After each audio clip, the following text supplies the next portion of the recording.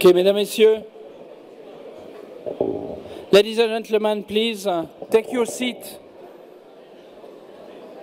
We want to start. Veuillez prendre place, s'il vous plaît. Nous allons commencer.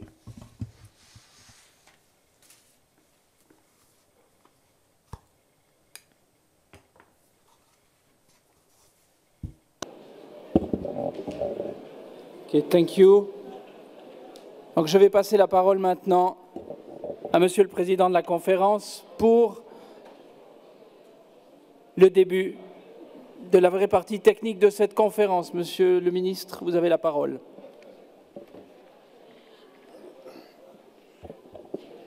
Merci, M. Clivaz.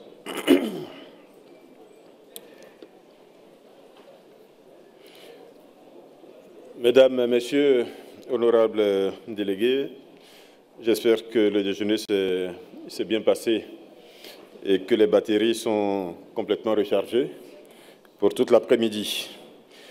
Nous allons donc à présent débuter la première séance sur le thème Agir collectivement et distribuer à l'échelle mondiale.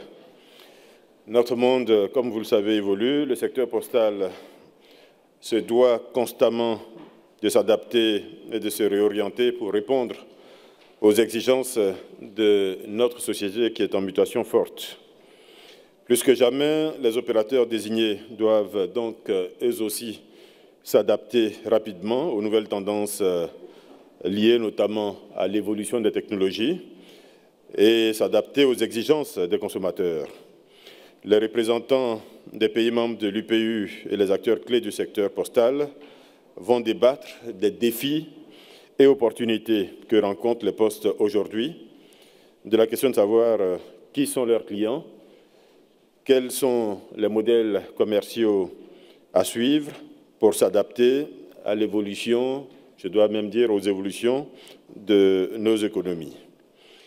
Je voudrais vous présenter rapidement l'animateur de cette séance. Je vais me contenter euh, d'introduire ce sera M. Peter Sommers. M. Peter Sommers euh, donc, fut membre du comité exécutif de l'opérateur belge Bipost jusqu'en juillet 2014. Il a dirigé la filiale Parcels National de Bipost, qui a connu une croissance rapide et totalisé jusqu'à 475 millions de dollars de chiffre d'affaires. Cette filiale, d'un effectif de près d'un millier de personnes, couvre les activités de colis de Bipost, entreprise à clients euh, B2C et entreprise à entreprise B2B en Belgique, les activités de colis et de courrier du régime international de Bipost en Belgique, en Europe, sur le continent américain et en Asie. Cette entreprise a également lancé le service novateur Shop and Deliver, donc achat et livraison. La filiale Parcels National de Bipost est opérationnelle dans 10 pays européens, aux États-Unis d'Amérique, au Canada, en Australie, Hong Kong, Singapour et Chine, etc. Peter Sommers est un directeur euh, chevronné dans les secteurs de la poste et de la logistique internationale. Plus de fort euh, de 25 années d'expérience à des postes de direction dans des grandes entreprises de transport et de distribution en Belgique, aux Pays-Bas, au Royaume-Uni. Donc, euh, Monsieur Sommers, je vous passe la parole pour euh, introduire ce panel et ensuite euh, l'animer. Je vous remercie.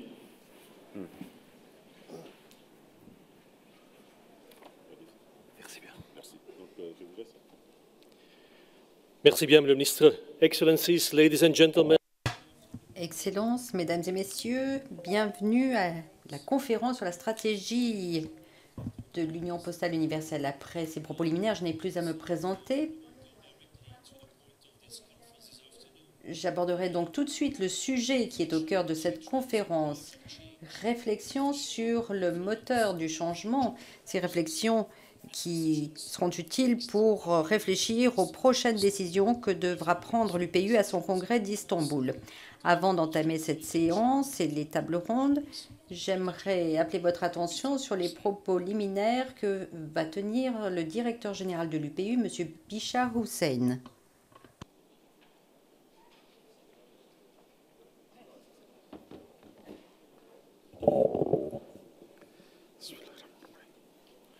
Your Excellencies, ladies and gentlemen. Excellences, Mesdames et Messieurs, je vous souhaite à nouveau la bienvenue à la conférence sur la stratégie, conférence stratégique de l'Union postale universelle. Il est temps maintenant pour nous de nous mettre au travail et cette conférence est un jalon pour notre organisation. Tout d'abord, nous allons faire le point sur les priorités stratégiques adoptées par nos pays membres au Congrès de Doha de 2012. Beaucoup de choses ont été accomplies depuis que le directeur général adjoint et moi-même avons commencé nos mandats en 2013. La structure du Bureau international a été ajustée pour remplir les objectifs fixés par les pays membres et pour réagir aux contraintes financières pesant sur les pays membres et l'UPU. Depuis 2013, nous sommes bien restés sur les rails. Nous avons maintenu le cap en utilisant notre stratégie comme feuille de route quotidienne. Les activités essentielles de l'UPU pour tous les pays membres, indépendamment de leur niveau de développement, ont été renforcées. De nouveaux domaines de travail majeurs ont été lancés également, de nouvelles approches ont été étudiées et des progrès significatifs ont été enregistrés dans la mise en œuvre de notre plan d'activité. Nous aimerions vous présenter une petite vidéo qui reflète un certain nombre de résultats que nous avons enregistrés. Donc je demanderai aux techniciens de projeter cette vidéo. En 2012, l'Union postale universelle et ses 192 pays membres ont adopté la stratégie postale de Doha, une feuille de route sur quatre ans pour le secteur postal mondial. Quels sont les progrès enregistrés jusqu'ici? Les postes sont interconnectés comme elles ne l'ont jamais été auparavant, mais plus de données doivent être échangées avec les douanes et les transporteurs pour améliorer la qualité de service. Aujourd'hui, un grand volume de courrier international n'est pas remis dans les 5 jours et il faut en moyenne 6 à 10 jours pour qu'un client moyen reçoive des marchandises euh, qui ont été commandées auprès d'un détaillant à l'étranger. Ce n'est que qu'en intégrant mieux les systèmes postaux, douaniers, de transport dans le monde et en synchronisant les processus que l'on pourra avoir une qualité de bout en bout. Pour atteindre les marchés étrangers, il est, parfois, euh, il est parfois difficile pour les petites et moyennes entreprises d'atteindre les marchés étrangers. En Amérique latine, beaucoup de petites entreprises n'auraient jamais pu exporter leurs marchandises si elles n'avaient pas eu la possibilité de recourir à la poste pour atteindre de nouveaux marchés grâce aux initiatives Easy Export qui ont été lancées par leur gouvernement. Fort de ces expériences, l'Union postale universelle aide maintenant d'autres pays à améliorer l'accès des petites entreprises aux marchés étrangers avec son propre programme Easy Export. Et le réseau postal doit être un partenaire critique pour euh, démanteler les obstacles. Les postes euh, opèrent dans un secteur où la croissance a deux chiffres et le volume des colis a explosé au cours des dix dernières années. Le nouveau programme sur le commerce électronique de l'UPU offre des solutions globales pour répondre aux besoins en évolution des clients, tels que le nouveau service de colis pour les envois de commerce électronique, un service de retour transfrontière pour les marchandises qui sont achetées en ligne et un système de déclaration douanière électronique afin d'accélérer le dédouanement. L'innovation ne porte pas uniquement sur les dernières technologies, il s'agit également de bien lire le marché et de créer les services euh, dont les clients auront besoin demain. Les gens font vraiment partie aujourd'hui d'un système financier formel grâce aux services postaux. À l'échelle mondiale, les postes offrent des produits financiers à plus d'un milliard de personnes. Mais il y a encore un potentiel incroyable euh, pour améliorer l'inclusion financière et y associer 2,7 milliards de personnes qui n'ont pas accès à des comptes bancaires dans le monde et pour leur offrir des services de transfert d'argent accessibles à un coût abordable, surtout aux travailleurs migrants, grâce aux services postaux, y compris euh, notamment par le service de paiement postal électronique de l'Union postale universelle. Les bureaux de poste des réseaux les plus importants de la planète euh, sont à l'œuvre.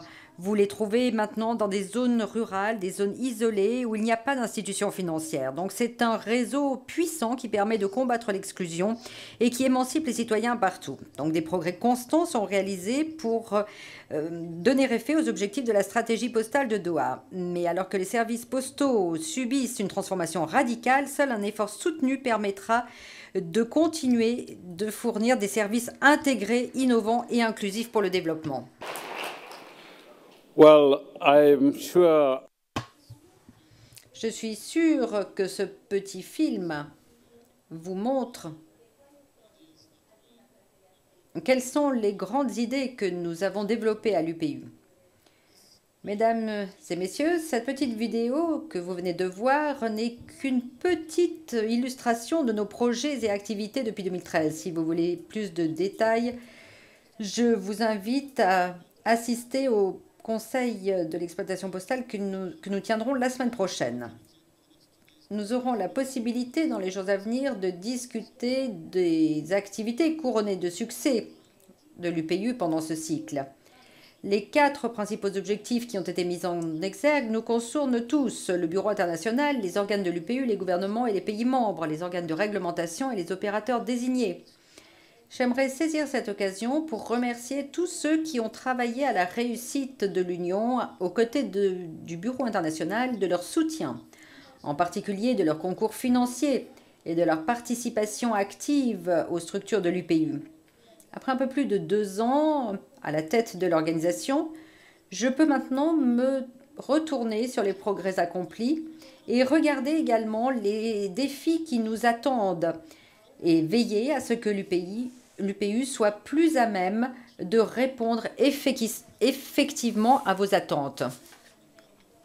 La feuille de route qui oriente nos actions et décisions reflète l'environnement postal mondial, un environnement marqué par des changements profonds et par certains points de bascule, qui représentent à la fois des défis et des possibilités pour le secteur postal. Le premier point de bascule concerne un changement spectaculaire dans le comportement de la clientèle et des consommateurs. Aujourd'hui, les clients veulent pouvoir accéder à des services partout, à n'importe quel moment, à partir de leur téléphone, de leur euh, ordinateurs et de leurs tablettes. Ils veulent des produits euh, respectueux de l'environnement, adaptés à leur mode de consommation préféré. Ils veulent que ces, que ces produits leur soient distribués à domicile ou euh, à proximité. L'avènement des services financiers mobiles et des services bancaires en ligne, ainsi que l'apparition de nouveaux acteurs sur le marché, exigent des postes en adaptation de leur comportement dans le secteur des services financiers. Le nouveau consommateur est numérique, il se préoccupe de développement durable. Et ce consommateur moderne a un, un barème tout à fait différent pour jauger la valeur d'un produit ou d'un service, ce qui soulève des difficultés majeures pour les opérateurs postaux, tant sur le plan de leur positionnement qu'en termes d'architecture physique et virtuelle des réseaux de distribution. L'adaptation de ces nouvelles conditions n'est plus une option, c'est une nécessité. Mais plutôt que de considérer cette nouvelle réalité comme une contrainte, les postes devraient y voir une possibilité tout à fait enthousiasmante. Le commerce électronique, l'Internet, la numérisation des services financiers, les nouvelles solutions de paiement mobile, ainsi que la grande quantité de données générées et saisies par les réseaux postaux sont autant d'atouts majeurs qui permettent au secteur postal de se positionner au cœur de la révolution technologique. Deuxième point de bascule, c'est l'évolution du trafic postal et l'évolution des modèles d'activité des postes. Bien que les volumes de la poste lettre soient en baisse, les volumes des colis sont en hausse constante, favorisés par l'explosion du commerce électronique. Oui, nous sommes les témoins d'un changement radical. Nous passons des documents aux marchandises. ce qui amène un nouveau modèle d'activité dans les postes. Aujourd'hui, la poste lettre génère moins de 50% des recettes des 20, grandes, des 20 plus grandes postes dans le monde. Le message est clair. Troisième point de bascule, la recalibration économique mondiale en faveur des pays en développement et des pays émergents qui évoluent aujourd'hui et changent la face du monde. Le trafic postal mondial est le reflet de cette évolution. Et évidemment, c'est une euh, goutte par rapport au trafic échangé entre pays industrialisés. Il y a également une hausse très importante dans les échanges sud-nord et sud-sud. Et la migration est un facteur important de ces tendances et un moteur. Là encore, le secteur postal et l'UPU sont appelés à jouer un rôle essentiel en tant que facilitateur des échanges internationaux et moteur de l'inclusion technologique, économique, financière et sociale. Mesdames et messieurs, en tant qu'organisation internationale responsable du secteur postal, nous ne pouvons pas ignorer ces points de bascule. Nous devons les intégrer dans nos réflexions stratégiques et nos actions. Ce qui nous amène au deuxième objectif de notre conférence stratégique après le rapport à mi-parcours sur la mise en œuvre de notre stratégie, pour ce cycle. Dans les deux jours de discussion qui s'annoncent, Nous espérons que vous parlerez de vos expériences, que vous ferez part de vos points de vue au fur et à mesure que nous nous attarderons sur ces sujets et sur beaucoup d'autres. Ce débat informera notre compréhension de l'environnement dans lequel l'UPU et le secteur postal évoluent aujourd'hui et évoluera demain. L'innovation, le commerce électronique, la facilitation des échanges, la concurrence, la réglementation, l'inclusion financière, les technologies de l'information et des communications, la responsabilité sociale, environnementale et économique, etc. Aucun de ces sujets ne sera laissé de côté dans les deux jours pendant lesquels nous discuterons. Donc nous devons vraiment faire le bilan en ce qui concerne notre organisation et le secteur postal d'aujourd'hui afin de façonner un avenir prometteur. Mesdames et messieurs, Excellences, je vais quitter la scène je pense qu'il est temps de laisser la parole à ces professionnels éminents. Et nous avons une assemblée également éclairée ici qui fera part de ces perspectives. Et je suis sûre que les bonnes idées qui seront émises dans cette salle contribueront à forger notre avenir. Je vous remercie de votre attention.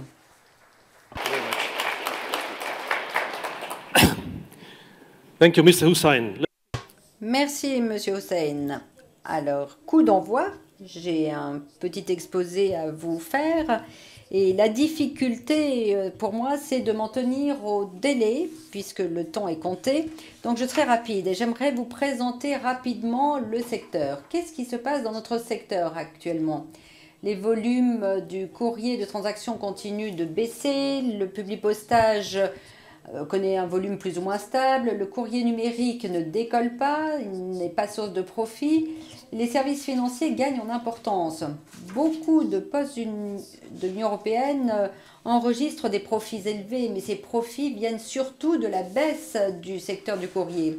Canada Post va mettre un terme à la distribution de courrier à domicile. Quant à la Nouvelle-Zélande, elle va passer également de nouveaux modèles. Là, vous avez un échantillon de 19 euh, opérateurs postaux qui enregistrent une baisse euh, sensible des volumes de courrier, plus dans certains pays que d'autres, notamment en Allemagne, en Finlande, en Suède, et ce entre 2001 et 2013. Le commerce électronique euh, augmente rapidement en croissance avec deux chiffres sur chaque continent. C'est une tendance irréversible D'après des études qui ont été accomplies, 70, 70% du commerce électronique a une dimension transfrontière. Asie-Pacifique, 40% des recettes euh, enregistrées sur le marché du commerce électronique. Et cela est vrai euh, pour toutes les entreprises qui euh, sont spécialisées dans la distribution de colis transfrontières. Mais qui va gagner cette bataille des colis du commerce électronique? Les postes, les intégrateurs ou les quatre grands Google, eBay, Alibaba ou Amazon? Donc les paris sont ouverts. Il y a une autre question valable qui se pose aujourd'hui. Est-ce qu'Amazon va survivre en tant qu'acteur pur? Ces acteurs purs ouvrent des magasins aux États-Unis. Est-ce est que nous aurons la même chose en Europe? Amazon investit plusieurs milliards de dollars dans la chaîne d'approvisionnement et les coûts d'expédition sont en train d'exploser. Est-ce que les envois gratuits et les retours gratuits seront durables, pourront être euh, soutenus à l'avenir? L'administration de l'aviation civile des États-Unis a donné la permission à Amazon de tester des drones de distribution, drones aériens. D'après une étude de Bloomberg de la semaine dernière, Amazon peut distribuer un colis pour un dollar. Amazon euh, met l'accent également sur l'impression en trois dimensions. Le camion de distribution est en route pour votre domicile et pendant ce temps, les factures et les ordres de livraison sont imprimés dans le camion. Aujourd'hui, vous trouvez sans arrêt de nouveaux fournisseurs de services numériques, de nouveaux concurrents. Alors, est-ce que c'est perturbant ou est-ce que cela peut contrer, par exemple, la position de FedEx sur le marché? Il y a beaucoup de choses qui se passent dans notre secteur. FedEx a annoncé la semaine dernière l'intention d'acheter TNT Europe les revenus, les recettes du PS pour le quatrième trimestre 2015 ont été plus faibles que les prévisions à cause du cycle d'achat du commerce électronique.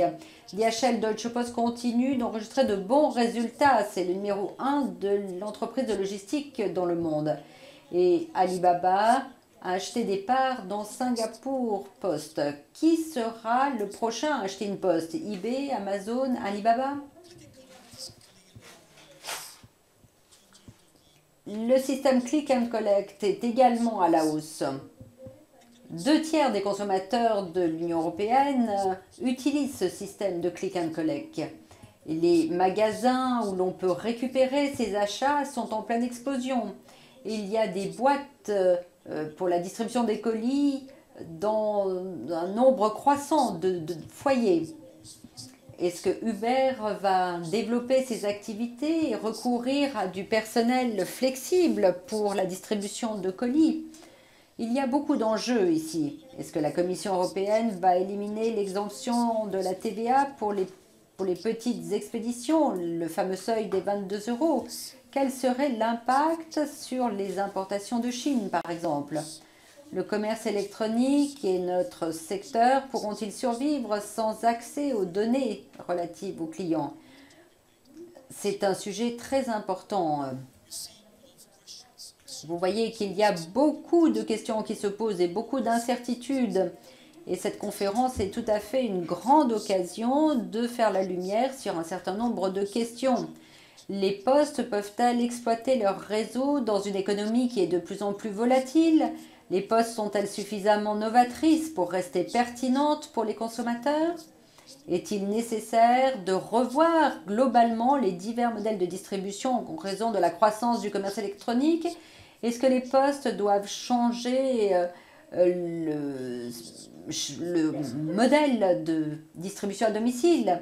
Est-ce que les postes vont remporter la bataille euh, pour euh, obtenir des PME comme clients Est-ce qu'il est nécessaire d'avoir plus de réglementation? Est-ce que le service postal universel est un véritable moteur de développement socio-économique? Et à quel point les services financiers sont-ils importants? Les postes peuvent-ils contribuer au développement durable? Cette conférence stratégique de l'UPU nous aidera à trouver les bonnes réponses à toutes ces questions importantes que se pose le secteur. Et je vous souhaite une excellente conférence très intéressante. This session of this afternoon will focus on three topics après-midi, nous mettrons l'accent sur trois grands sujets. Tout d'abord, nous parlerons de l'environnement économique en évolution rapide. Ensuite, nous parlerons de l'innovation comme clé du succès. Et enfin, nous parlerons des enjeux du commerce électronique. Nul ne conteste le fait que les incertitudes économiques ont une incidence énorme sur les comportements individuels et sur les infrastructures économiques. Pour la poste, eh bien, il y a des incidences également. Mais il peut y avoir également des débouchés. Les conférenciers vont explorer ces thématiques tout en parlant de conséquences de la crise économique et financière qui nous a frappés au cours de ces dernières années. Je vais tout d'abord donner la parole à M. Lin, directeur du bureau de l'Asie-Pacifique. Il a un grand nombre d'années d'expérience en Chine. M. Lin travaillait pour les postes de Chine comme directeur général du département des affaires étrangères et ensuite il a été directeur général du Media Center. Nous allons donc donner la parole à M. Lin qui va nous parler de ce que devrait faire le secteur postal pour faire face aux incertitudes économiques d'aujourd'hui. Vous avez la parole.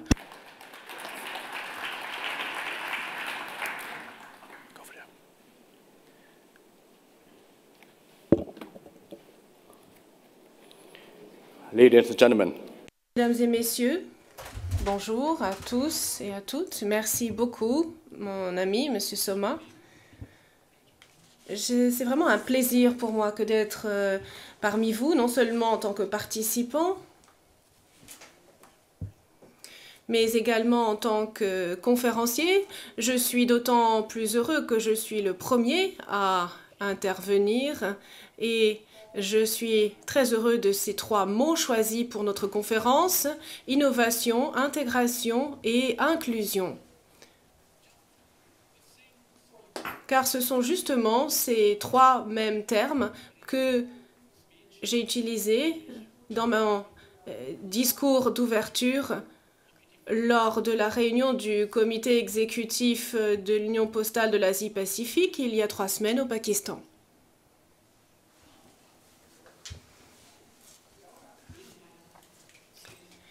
Et je pense que nous sommes euh, tous euh, sur la même longueur d'onde à ce propos. J'aimerais vous donner un exemple pour illustrer, mes propos. Vous savez qu'en Asie-Pacifique, nous avons un collège postal que l'on appelle l'APPC. Asia Pacific Postal College. Soit dit en passant, vous êtes euh, tous à encourager à nous euh, envoyer des personnes qui pourraient y bénéficier d'une excellente formation. Mais je reviens à mon propos. Normalement, pour les cours que l'on propose, l'on fait un exposé au début de la session. Et d'après les informations que mes collègues ont préparées à mon intention, la première page consisterait en une explication euh, en anglais du mot post, P-O-S-T, ce qui signifie que P, c'est ponctuel, O, overspread, élargi, S, safe, sécurité, et T, digne de confiance, trustworthy. Alors, je demande toujours aux participants si euh, cela est vrai ou non notamment pour ce qui est du premier mot, ponctuel. Et jusqu'à aujourd'hui, plus de la moitié des participants disent que oui, c'est vrai. Alors, maintenant, j'en viens à la deuxième question. Si une lettre de Bangkok, parce que nous nous trouvons à Bangkok, en Thaïlande, où nous sommes très heureux, donc si une lettre est envoyée de Bangkok à Beijing par la poste et qu'elle est acheminée en euh, trois jours ou en cinq jours, est-ce qu'elle est ponctuelle On peut parler de ponctualité ou non? Normalement, c'est difficile de répondre à une telle question. Mais moi, je dis que s'il il y avait euh, ponctualité, alors une lettre ne devrait pas mettre plus de trois jours à aller de Bangkok à Tokyo ou à Beijing. Il y a 30 ans, l'on n'avait pas du tout de concurrence.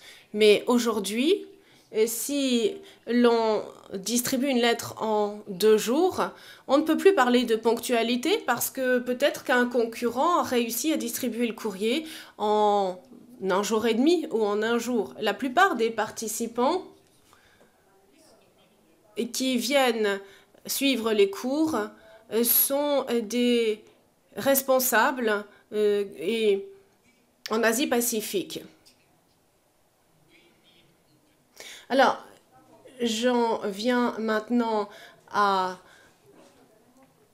une idée qui me tient particulièrement à cœur, nous devons ouvrir les esprits, l'idée d'ouverture. Oui, l'on a beaucoup changé, l'on a beaucoup ouvert, oui, c'est exact, mais par rapport à l'économie générale, par rapport à d'autres secteurs, nous n'avons pas suffisamment ouvert. Donc nous devons ouvrir plus, nous devons changer davantage, nous devons cibler, nous concentrer davantage sur le marché et sur les clients. Merci beaucoup.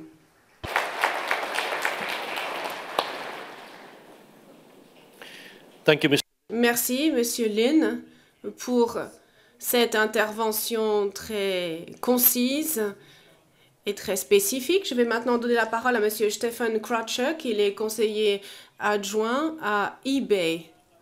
Donc, c'est euh, l'un des clients, euh, la poste dans la salle. Euh, Stéphane est né aux Pays-Bas et en 2009, il est entré à eBay.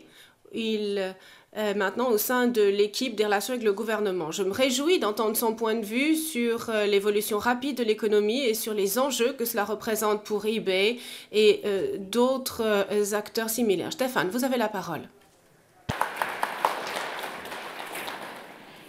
Good afternoon. Bonjour. J'aimerais vous dire que c'est un honneur pour une personne du secteur privé, pour euh, un représentant du cybercommerce, que d'être euh, ici. Pour moi, la Poste, c'est l'outil le plus puissant qui va euh, changer l'économie et le commerce électronique d'ici les dix prochaines années. Je crois que vous tous et les organisations que vous représentez, vous détenez les clés de ce qui pourrait être un succès économique de l'inclusion dans l'économie mondiale.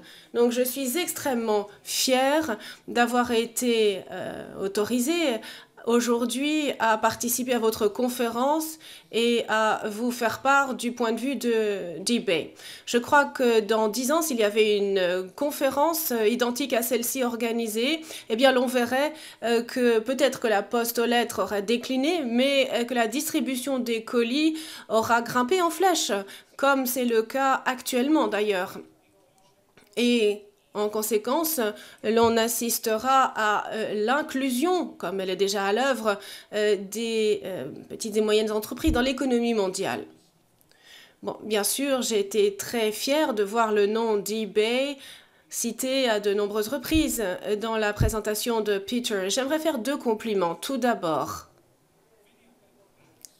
au sujet de la vidéo qui nous a été montrée pour nous en tant que pionniers du cybercommerce, eh bien, euh, nous pensons que cette euh, vidéo montre vraiment comment l'UPU a mis l'accent sur les euh, bons domaines. L'innovation, bien sûr, est essentielle. Et puis la question que Peter, une des questions parmi les nombreuses que Peter a posées est parfaitement pertinente eBay, cette année, va fêter ses 20 ans de plateforme du cybercommerce et il est bon de nous distinguer, nous, d'Amazon, euh, qui est également euh, représenté. C'est un concurrent, donc je ne suis pas particulièrement heureux de voir euh, trop souvent ce nom apparaître, mais Amazon, c'est plutôt un détaillant. Nous, nous sommes une plateforme, c'est-à-dire que nous permettons aux acheteurs, aux vendeurs, de se réunir. D'ailleurs, un exemple, en Europe, seulement plus de 350 000 professionnels, euh, vendeurs, euh, petits et moyens vendeurs, vendent sur eBay. Et la valeur de ce qu'ils envoient représente des milliards et des milliards de dollars. Donc, l'économie de demain, comme nous, nous la pensons, comme nous l'avons vu se développer au cours des dernières années, comporte quelques éléments dont l'un a déjà été cité dans la présentation de Peters. Alors, il y a euh, des acteurs pires euh, qui ouvrent maintenant des magasins physiques. Alors, il y a tout un paysage en évolution où le client dicte comment, quand et où il va consommer. Ce qui signifie que les acteurs commerciaux, mais également les acteurs euh, de la distribution vont devoir s'adapter à ce que demande le client. C'est le client qui est tout puissant et cela a radicalement changé par rapport à ce que l'on avait dans le passé. La deuxième chose, c'est que vous verrez euh, de moins en moins d'influence exercée par les euh, multinationales. Ce sont surtout les petites et moyennes entreprises qui vont monter en puissance. Il y a parfois une entreprise créée par une seule personne dans une région rurale. Vous avez entendu euh, ces histoires euh, de personnes qui ont été licenciées, qui ont créé leur entreprise en ligne et qui maintenant non seulement prospèrent, mais sont devenus des employeurs, des entrepreneurs. Alors ça me ramène à ce que je disais au début. Comment peuvent-ils prospérer?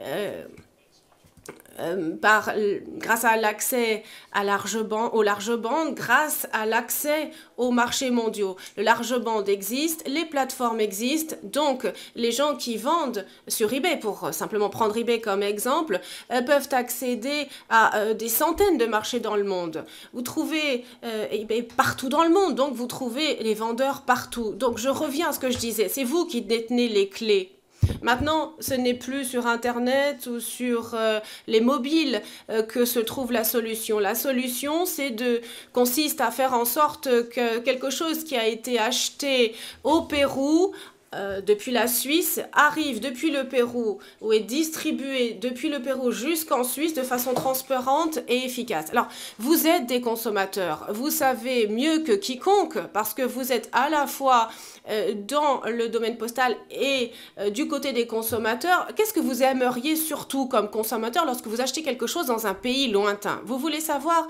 quand votre colis va arriver. Vous voulez savoir avant de cliquer sur oui, j'achète euh, auprès de quelqu'un que je ne connais pas, qui se trouve euh, très loin. Vous voulez savoir combien ça va vous coûter pour que euh, ce produit que vous achetez va être distribué. Ensuite, vous voulez savoir quand le produit va arriver. Donc, ce que veulent vraiment les gens, c'est de la prévisibilité. Pas besoin d'être physicien pour savoir cela. Euh, donc il faut des prix fiables, transparents, qui soient compréhensibles pour les PME, pour les consommateurs. Euh, tous les problèmes d'imprévisibilité doivent être réglés. Si j'envoie un, un, paquet de l'Irlande vers la Pologne en sachant que la partie la plus coûteuse c'est le dernier kilomètre, c'est beaucoup plus cher que lorsque j'envoie euh, ce même paquet de Pologne en Irlande, même si je sais que le dernier kilomètre en en Irlande est plus cher que le dernier kilomètre en Pologne. Alors comment est-ce qu'on explique cela? Où est-ce que je peux trouver l'information en tant que consommateur ou en tant que PME pour comprendre pourquoi il y a cette différence de prix? Et, ensuite, je pourrais prendre une décision. Alors, je termine. Et ensuite, je serai tout à fait prêt à répondre à vos questions si on en a le temps eBay a énormément de données. Vous l'avez d'ailleurs dit, Peters. Les données, euh, c'est essentiel. Donc nous avons une position euh, privilégiée parce que nous pouvons, euh, grâce à nos données, étudier les dynamiques au Pérou, Chili, Ukraine, Indonésie, Inde. Et on peut voir ce que font les PME dans ces pays-là et comment elles se comportent sur la scène internationale du commerce. Et nous avons abouti à des conclusions très importantes. Et je reviens à ce que je disais, c'est vous qui détenez les clés du euh, futur euh, économique euh, des petits acteurs. Plus de 95% des PME que nous avons analysées dans les pays que je viens de citer font de l'exportation. Beaucoup plus que leurs homologues euh, qui ont uniquement des magasins euh, physiques. Et sur les huit marchés que nous avons analysés, le nombre d'exportations se situe entre 30 et 40 et 60, et ça c'est une chose très importante, 60 à 80% des nouvelles entreprises qui se sont créées ont survécu à leur première année lorsqu'elles ont commencé à vendre en ligne, par rapport à seulement 20 à 50 qui ont survécu si elles ne vendent pas en ligne. Donc encore une fois, c'est un outil extrêmement puissant et avec un service postal efficace, transparent et sûr, vous pouvez faire la différence entre une crise économique et un succès économique au cours des dix prochaines années. Merci.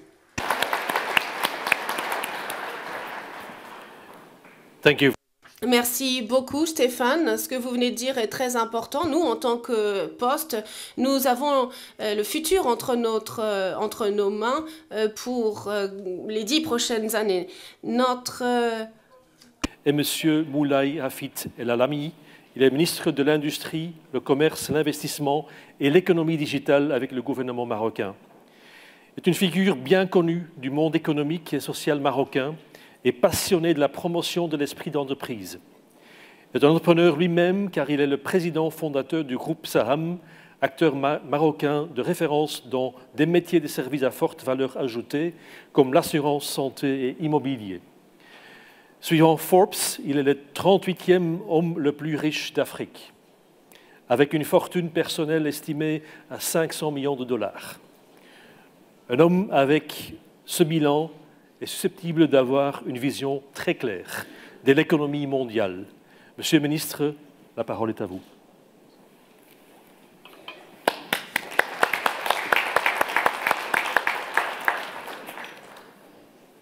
Merci, cher ami, pour votre présentation. Je suis ravi d'être euh, ici aujourd'hui, un peu intimidé devant les spécialistes du monde de la Poste. je ne suis qu'un modeste ministre chargé d'un certain nombre de sujets, dont le secteur postal. Donc en découvrant euh, ce secteur, nous sommes euh, impressionnés par les changements qui ont été opérés dans le monde et euh, les difficultés auxquelles doivent faire face les différentes postes à travers le monde. Certaines se sont déjà développées et ont avancé très fortement. D'autres sont en train d'essayer de, de réaliser cette transformation. Alors, quels sont euh, les enjeux socio-économiques que l'on rencontre souvent? D'abord, au niveau de la conjoncture. Nous avons aussi un marché mondial qui a décliné ces dernières années avec une crise qui a frappé tout le monde, y compris euh, euh, la Poste par, ricochet. Mais nous avons aussi une globalisation qui a totalement modifié le type des échanges entre les individus et les entreprises. Deuxième élément important, c'est cette évolution technologique qui a, euh, comme une brise, effleuré l'ensemble du monde, mais euh, pour certains, elle a été dévastatrice, en particulier ceux qui ne se sont pas euh, transformés, parce que les générations changeantes, de X à Y puis à Z, les besoins de consommation ont complètement changé et le rôle de la Poste a été transformé complètement. Alors,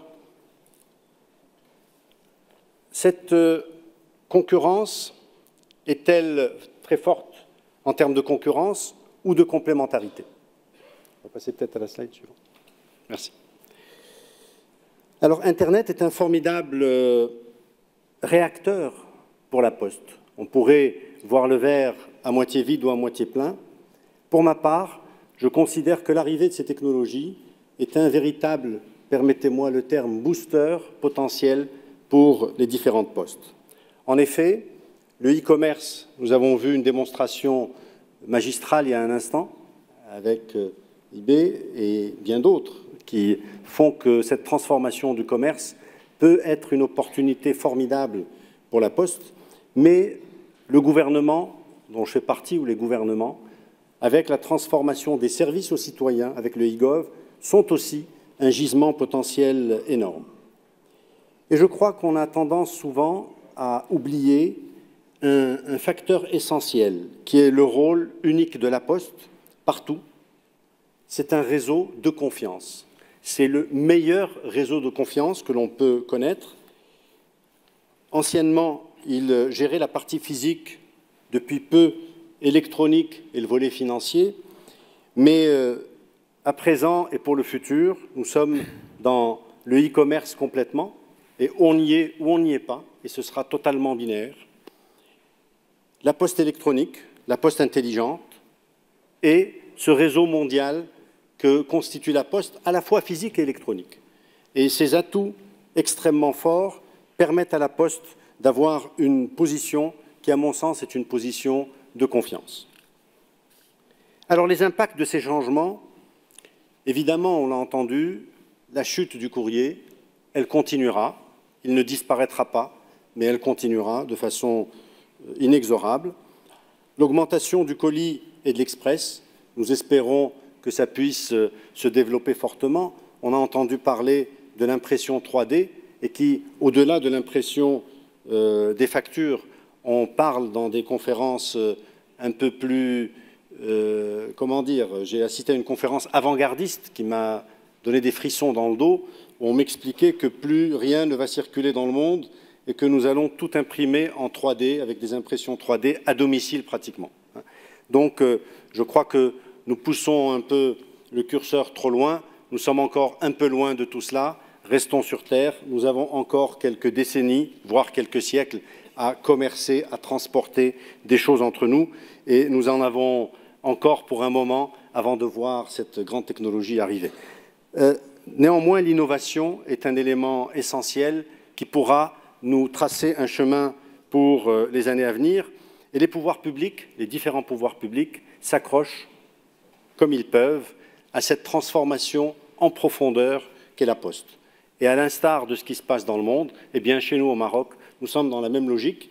J'ai eu l'occasion de rencontrer le directeur général de l'UPU, que je salue, et euh, en discutant, euh, j'ai eu des étoiles dans les yeux en regardant ce que font certaines postes dans le monde. Et à ce titre-là, avec euh, l'équipe de la Poste Maroc, nous avons une équipe aguerrie avec une vraie expertise, une vraie expérience. Nous avons décidé de monter ensemble, entre l'équipe marocaine et l'UPU, un projet de transformation en profondeur de notre poste.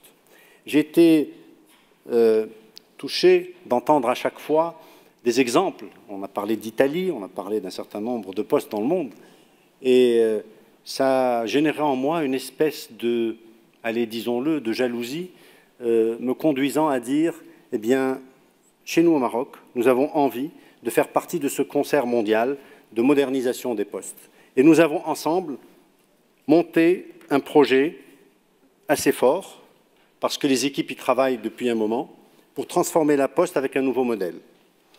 Alors, la poste doit rester en effet compétitive et servir ce qu'elle fait aujourd'hui, mais elle doit continuer à assurer le service universel, mais surtout investir l'espace numérique qui est en train euh, de prendre une part importante, on l'a entendu, 50%, au-delà de 50% pour la majorité des grandes postes. On a entendu quelque chose aussi d'assez surprenant que le Canada a pris une orientation d'éliminer peut-être une partie du courrier. Donc tout cela est nécessaire, cette transformation forte est nécessaire pour accompagner le gouvernement pour le développement économique et social du pays. Et ce projet a aussi pour objectif de trouver de nouveaux relais de croissance absolument nécessaires pour cette transformation de la Poste. Très rapidement, le partenariat avec l'UPU, eh bien, j'ai été frappé par l'expérience ou l'expertise des, équipes, la qualité d'écoute, et je crois que c'est important que vous ayez un témoignage de quelqu'un d'externe, qui n'est pas nécessairement dans la famille de la Poste, pour vous dire euh, la richesse que l'on peut trouver dans cette grande famille postale mondiale il y a vraiment de, et de l'information, et du savoir, et du partage potentiel. On a l'impression d'être euh, dans une famille avec un vrai engagement et une vraie technicité. Tout cela pour le grand bonheur d'une transformation de nos postes pour atteindre cette modernité ô combien nécessaire. Un dernier mot, c'est transformation. Cette slide est trop complexe, mais en deux mots, cette transformation doit passer nos postes de situations parfois délicates parce qu'elles se sentent agressées par l'arrivée de modernité à une poste qui se positionne sur un surf et qui prend, et qui prend le vent de cette modernité pour pouvoir euh, atteindre les cieux que nous souhaitons. Mais j'ai grande confiance avec cette confiance que nos populations ont envers la Poste de pouvoir faire de nos postes des véritables véhicules pour l'avenir. Et je vous remercie.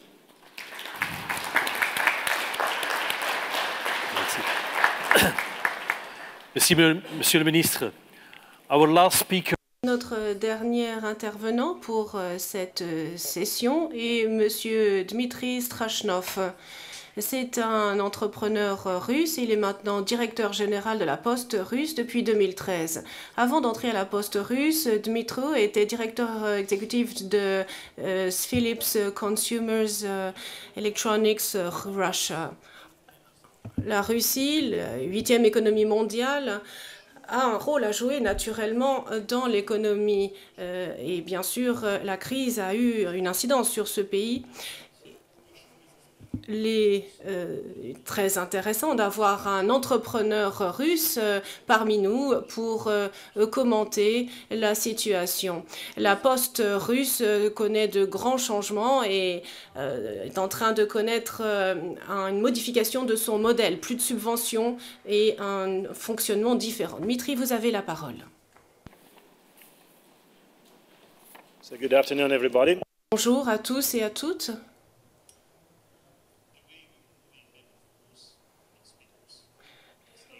Les conférenciers se lèvent, euh, vont au, podium et euh, retournent s'asseoir. Et ça me rappelle euh, la façon dont l'on fonctionnait en Russie il y a encore deux ans, lorsque chacun était, lors de grandes conférences, appelé à prendre le micro pour intervenir. Alors j'aimerais vous parler des enjeux que connaît l'industrie postale, le secteur postal aujourd'hui, et j'aimerais tout d'abord dire qu'il n'y a pas de recette magique. Alors, on s'est demandé comment survivre aujourd'hui, comment définir son espace, comment évoluer. En fait, la recette est toute simple, il faut être efficace. Il faut être efficace sur le plan de la logistique pour distribuer les colis, les lettres. Il faut également répondre aux attentes des clients. Et aujourd'hui, ce qui est particulièrement important, c'est de comprendre que les mentalités ont changé et que euh, les attentes ont changé. Est-ce qu'on a vraiment besoin de tout distribuer en une journée? Est-ce qu'un consommateur pourrait se contenter d'une distribution en 3 à 5 jours, mais en ayant euh, sécurité ou en ayant la prévisibilité totale Ce sont des questions qu'il faut se euh, poser parce que le euh, coût, euh, bien sûr, d'une distribution à cinq jours est inférieur à celui d'une distribution en un jour. Alors nous avons d'énormes enjeux à relever. lorsque la situation financière est instable, on doit compter chaque centime. Et d'ailleurs, la crise sévit partout aujourd'hui. Et qu'en pensent les consommateurs? Que font-ils aujourd'hui qu'ils ne faisaient pas lorsque les choses allaient bien? Eh bien, ils euh, font des économies et ils font attention à leurs dépenses. Et je crois que les opérateurs postaux ont euh, une possibilité à saisir. Bien que les temps soient difficiles, il y a des débouchés dans lesquels il, il y a des débouchés qu'ils doivent saisir. Ils doivent fournir des services de euh, grande qualité. Notamment en Russie où nous avons une infrastructure qui couvre tout le territoire, 42 000 euh, bureaux de poste, avec une infrastructure énorme sur le plan logistique.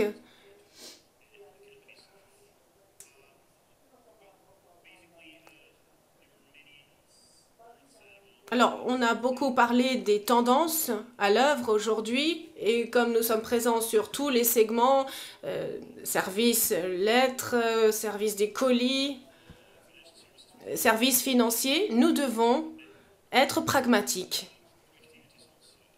et prendre les devants, prendre des initiatives. C'est fait partie des ingrédients de la recette.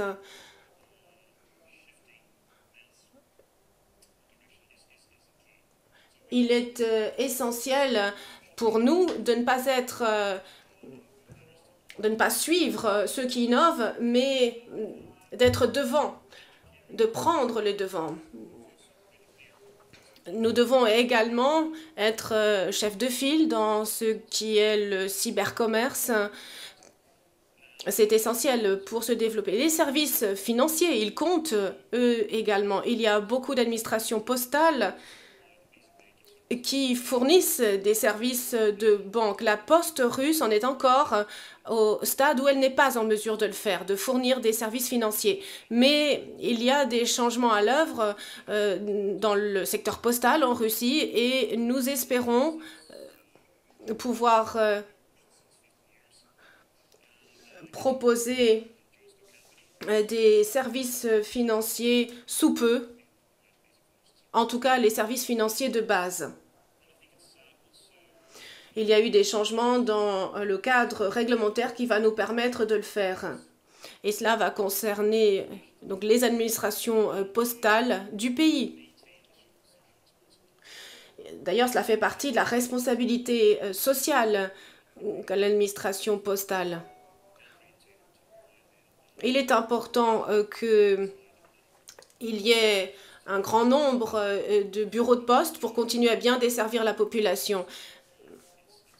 Et si l'on entre dans le secteur financier, cela permettra également de régler le problème de la population non bancarisée. Euh, bon, c'est vrai que dans euh, d'autres pays que la Russie, il y a un taux de pénétration des banques qui est élevé. Dans notre pays, en Russie, c'est moins de 50%. Donc il faut vraiment que les services euh, financiers de base soient des services de proximité et que toute la population soit correctement desservie sur ce plan. Maintenant, pour terminer, j'aimerais dire que, encore une fois, nous devons mettre l'accent sur l'efficacité, nous, nous devons repenser les approches de base, nous devons également nous pencher sur euh, la question du dernier kilomètre. Les clients sont de plus en plus exigeants, ils sont également de plus en plus jeunes, ils veulent de l'efficacité, ils veulent euh, obtenir euh, un produit de qualité pour leur argent. Et donc, c'est notre responsabilité à tous que de répondre à la demande. Je nous souhaite plein succès à tous. Et encore une fois, je souhaite que ces deux jours de discussion soient productifs et je suis sûre que hors réunion, nous aurons l'occasion de nous rencontrer et de parler parce que vos expériences m'intéressent et peut-être que la nôtre également vous intéresse. Merci beaucoup.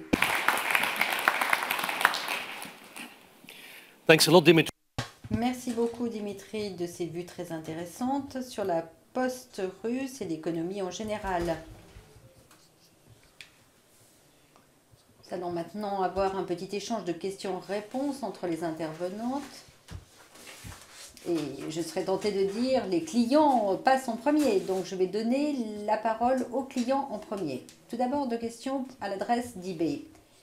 Nous avons ici la majorité de vos principaux fournisseurs postaux dans la salle. Que devrait-il, selon vous, changer pour mieux appuyer vos services, vos activités? Moi, j'avais une euh, liste plus longue, alors euh, si je dois me contenter d'un élément, je parlerai à ce moment-là de transparence et de prévisibilité des prix. La prévisibilité me semble essentielle. Qu'est-ce que vous voulez exactement? En tant qu'entreprise postale Qu'est-ce que nous devons assurer? Une distribution en trois jours? Ou un jour particulier Parce que c'est différent. Que voulez-vous? Oui, à une date particulière. Et si je peux rebondir rapidement sur ce qu'a dit Dimitri, je suis prêt à payer, je suis heureux de payer moins et d'attendre plus si je sais quand même quand le colis arrivera. Et, vous, et si j'en ai vraiment besoin, si je veux vraiment ma iWatch Apple pour impressionner mes amis ou ma robe de mariée, si je la veux vendredi, je serai prêt à payer plus. Donc là, je suis disposé à payer plus. Donc le prix en rapport avec la rapidité et surtout la prévisibilité. D'accord. Deuxième question pour eBay. Quand allez-vous acheter une poste? Amazon euh, l'a déjà fait. Bon, il ne faut jamais dire jamais, mais nous n'allons probablement pas le faire. Ce que nous allons faire et ce que beaucoup de gens font de plus en plus, c'est faire office d'intermédiaire entre le fournisseur, de services comme la poste et le client. Et nous allons essayer de regrouper ces milliers de PME qui dépendent d'eBay pour faire des transactions en tant qu'intermédiaire avec la poste. Bon, je posais ça sur le ton de la plaisanterie, mais est-ce qu'eBay va commencer à développer son service de distribution dernier kilomètre? Est-ce que c'est quelque chose que vous envisagez?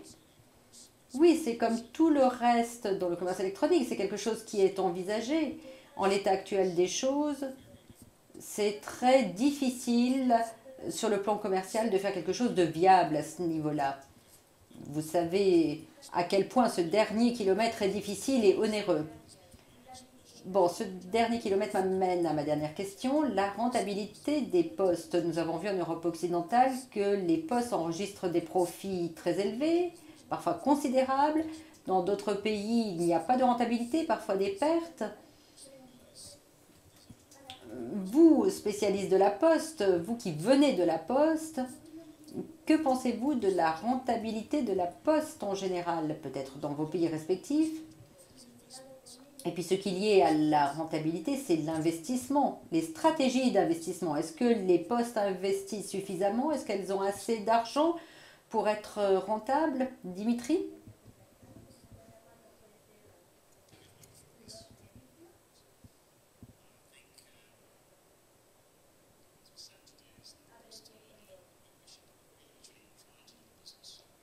On essaie d'opérer sur le marché, de mener nos activités et nous sommes sur un segment qui est très concurrentiel. Il y a beaucoup d'entreprises commerciales. Sans efficacité, nous ne pouvons pas survivre. Et par efficacité, j'entends être en mesure de maintenir la rentabilité.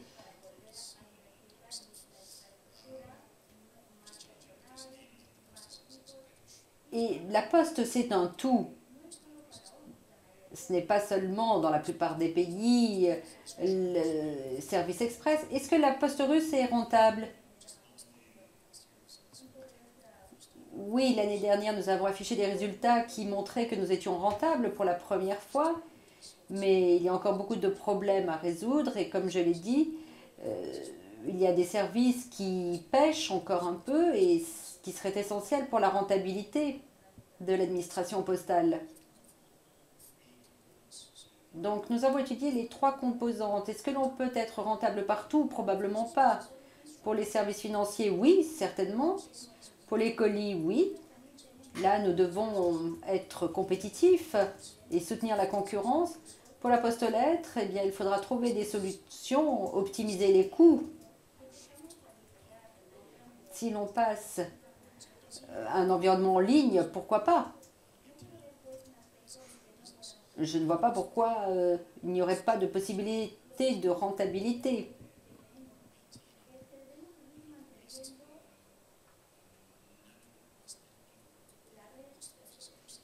ce qui est difficile, c'est de maintenir tout le réseau postal sur l'ensemble du territoire du pays. Ça, c'est quelque chose qui coûte de l'argent. Donc, il faut bien voir ce dont a besoin le réseau. Il faut voir où sont les créneaux de rentabilité. Euh, l'investissement, la rentabilité des postes en général, mais aussi en, Maroc Je pense qu'il y, a deux volets assez distincts. Il y a la poste traditionnelle, euh, qui a un, service universel qui n'est pas nécessairement ou qui n'est pas obligatoirement euh, rentable, qui ne doit pas être obligatoirement rentable, parce qu'il doit rendre un service. Et là, l'État, son rôle est d'accompagner. Mais il y a un deuxième volet et que l'on voit fleurir ces, dernières années, c'est toute la partie service euh, à valeur ajoutée de la Poste. Et on commence à percevoir des capacités assez importantes d'apporter un service euh, fondamental, que ce soit du e-commerce ou, autre. Euh, et la Poste, de, de mon point de vue, est vouée à continuer à être rentable pour les prochaines années, pour autant que les opérateurs se mettent dans, dans la vague de la modernisation. Et ils sont rentables aujourd'hui? Ils sont rentables aujourd'hui. De ce que l'on perçoit, ils sont encore rentables aujourd'hui. Très bien, ça va. Euh, Mr. Lin? Monsieur Lin, que pensez-vous de la rentabilité postale et des investissements? Bon, C'est une question très difficile.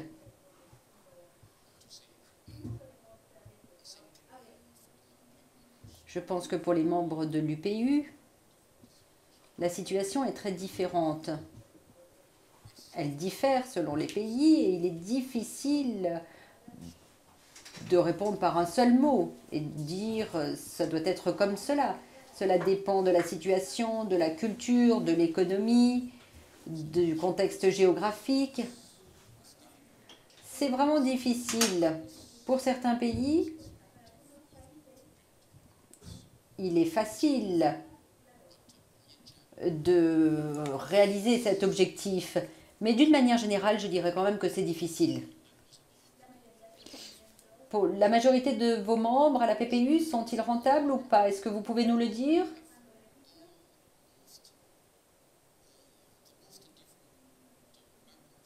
Nous avons des membres très divers. C'est peut-être l'union restreinte où la composition est la plus diverse. Nous avons 32 membres avec des membres de très grande taille comme la Chine, l'Inde, qui comptent 1,1 ou 1,2 milliard d'habitants, mais il y a également des pays du Pacifique qui ne comptent que 10 000 ou 20 000 habitants. Mais d'une manière générale, on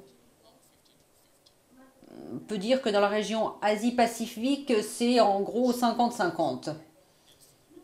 Maintenant, une question à nouveau à Dimitri. L'économie mondiale.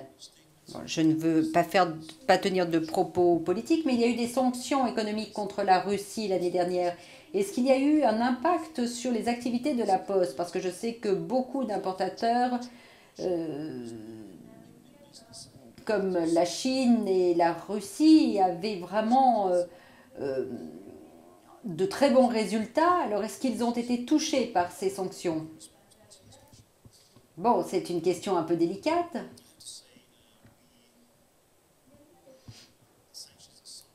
Je dois dire que les sanctions en tant que telles n'ont pas une incidence négative sur nous.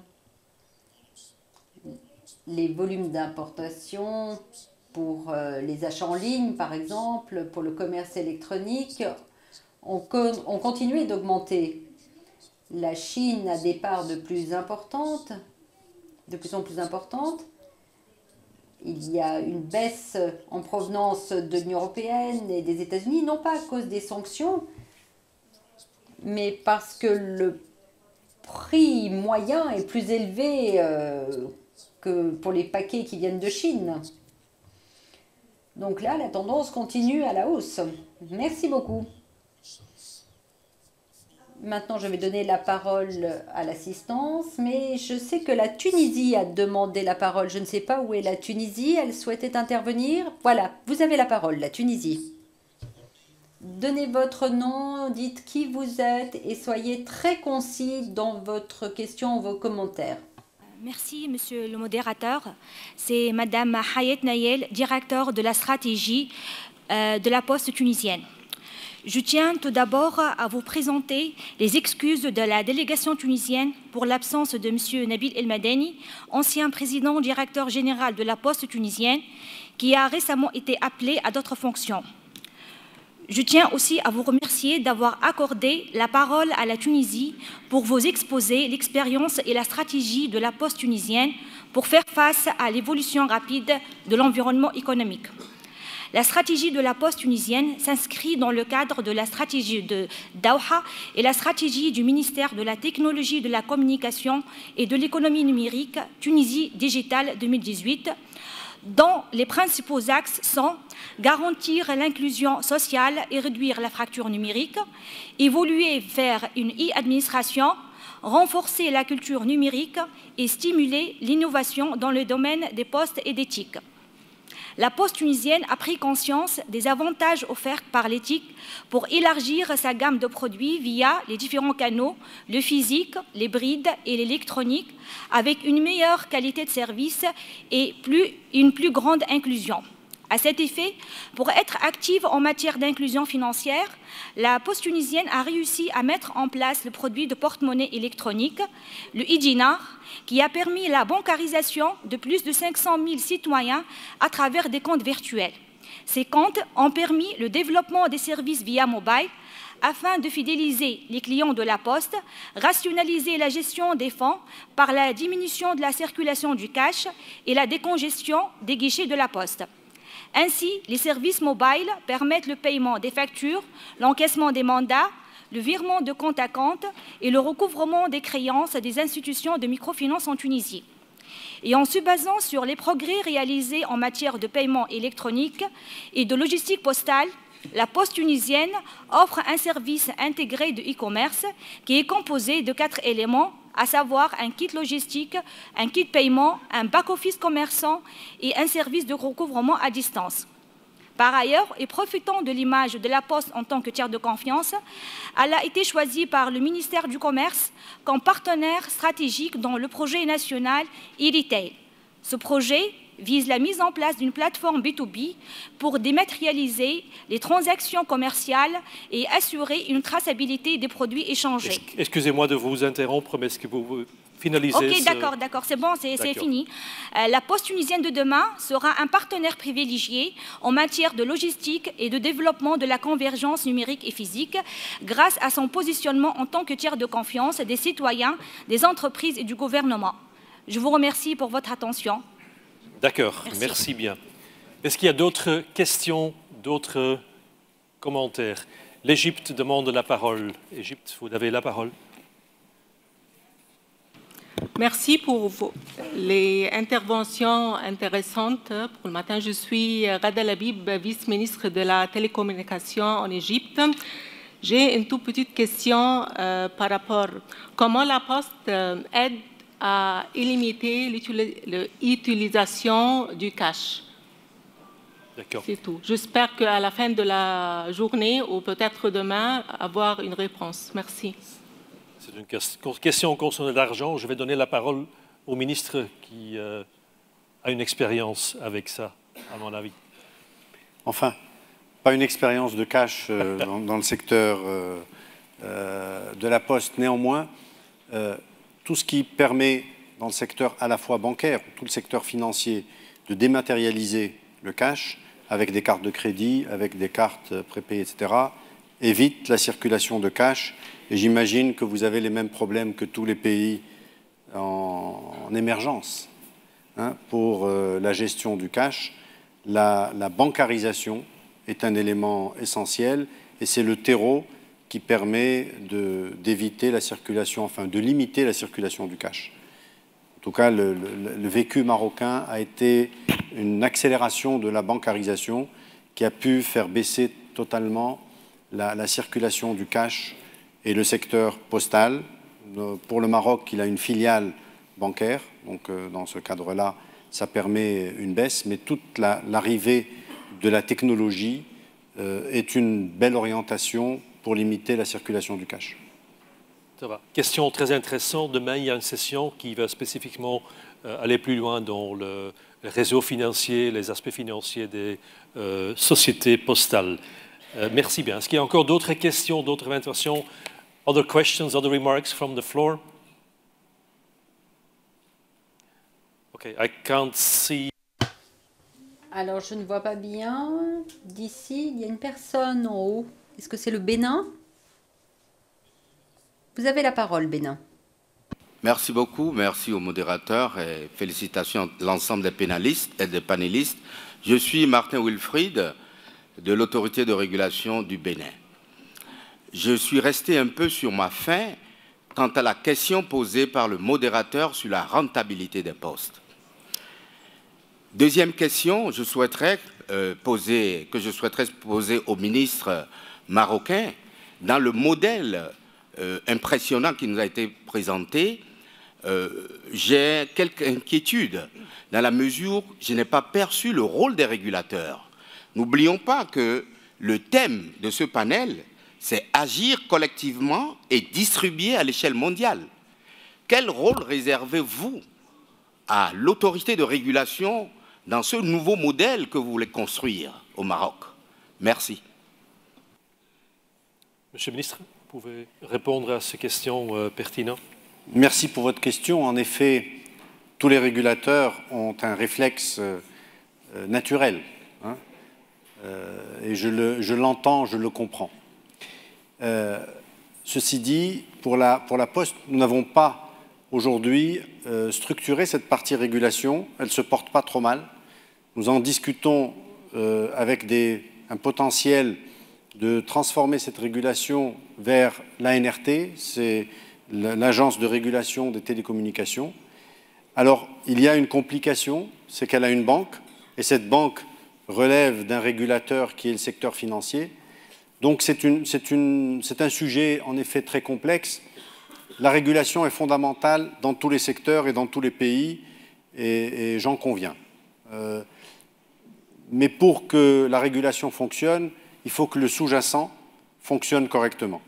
Nous avons besoin, d'abord, que nos postes soient aux normes internationales les plus avancées aujourd'hui, euh, en, gardant une, euh, comment dire, à l'esprit que nous y viendrons à la régulation. Dès que les transactions se passent et que les flux sont importants, la régulation arrive.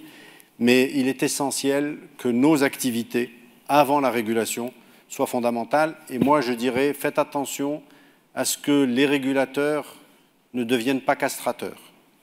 La régulation dépend de moi, dépend de mon département, par exemple de, des télécoms, et, je crois que nous avons tendance parfois à trop vouloir réguler par brider ou tuer des secteurs. Il faut en être, euh, il faut en être conscient. I see eBay mentioning something on eBay du point de vue de la réglementation, vous êtes d'accord avec ce qui a été dit? Est-ce que vous voulez commenter? Oui, je pense que c'est un point de vue assez rafraîchissant auquel nous souscrivons. Ce que nous disons en tant qu'acteurs du secteur privé à l'organe de réglementation, euh, ce que nous vous demandons, c'est de suivre une approche innovante en matière d'innovation, une approche pragmatique. Ce que l'on veut réglementer aujourd'hui ne ressemble pas à ce que c'était il y a un an. Et votre environnement réglementaire sera obsolète avant même que le décret ne soit promulgué. Donc il faut avoir une ouverture d'esprit et un cadre souple. Et là, évidemment, il y a un rôle à jouer pour les organes de réglementation, mais il faut un cadre qui peut être adapté à l'évolution de la technologie. Comme on l'a vu dans les différentes interventions, le progrès est très rapide. Et le terme castrateur ou castratrice pourrait s'appliquer ici. Il ne faut pas que la réglementation fasse obstacle, il faut qu'elle favorise. Il faut réglementer comme les concepteurs de logiciels travaillent, c'est-à-dire en constante évolution. Voilà, donc ce qu'on dit ici, c'est que la réglementation ne doit pas devenir un obstacle. Il y avait d'autres questions dans l'assistance, me semble-t-il.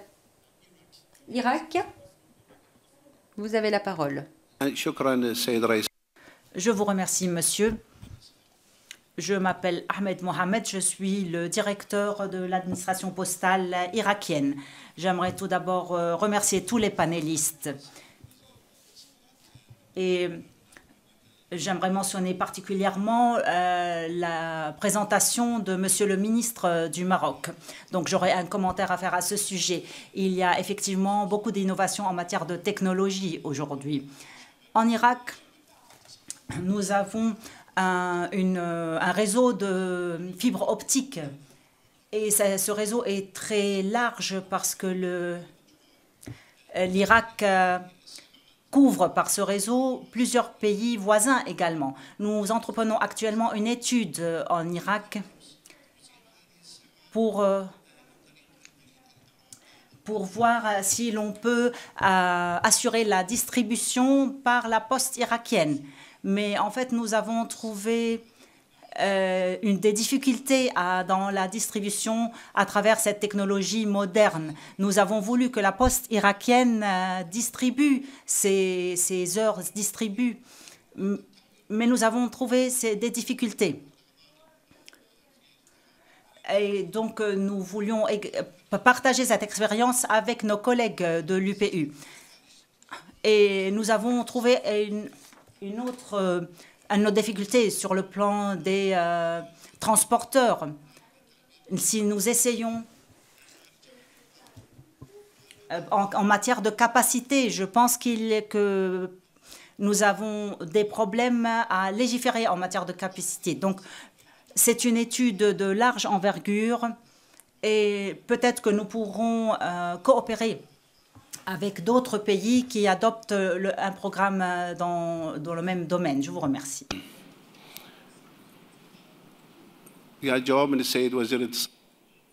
Donc je pose la question à Monsieur le ministre euh, du Maroc. Monsieur le ministre, vous pouvez répondre à ce question ou ce... Je, voulais vous remercier pour, pour votre intervention. En effet, nous avons tous à traverser cette transformation à différents, niveaux. Et ce qui est important, c'est de pouvoir, sur ces sujets-là, avoir un vrai partage au niveau, euh, universel, à travers l'UPU et aussi en direct. Sachez que vous êtes les bienvenus. Toute notre modeste connaissance, et je vous le dis tout de suite, elle est modeste. Quand je regarde ce qui s'est passé à travers le monde, nous avons encore beaucoup de choses à apprendre. Mais nous avons fait un chemin euh, jusqu'à présent qui est à votre entière disposition. Quand vous voulez, je suis disposé à vous recevoir avec les équipes et partager ensemble notre, notre expérience. Nous avons, nous avons tenté des choses qui ont donné de beaux résultats, d'autres qui n'ont pas été exceptionnels. Et dès que vous utilisez le réseau de la Poste, évidemment, les autres réseaux euh, se dressent face à vous en disant comment pouvez-vous orienter vers la poste des flux. Mais euh, je suis à votre disposition pour partager toute cette expérience et voir qu'est-ce que nous pouvons euh, en tirer comme, comme leçon euh, et à partager. Ok, grand merci. Il y a encore une question de Ouganda. Ouganda, vous avez la parole.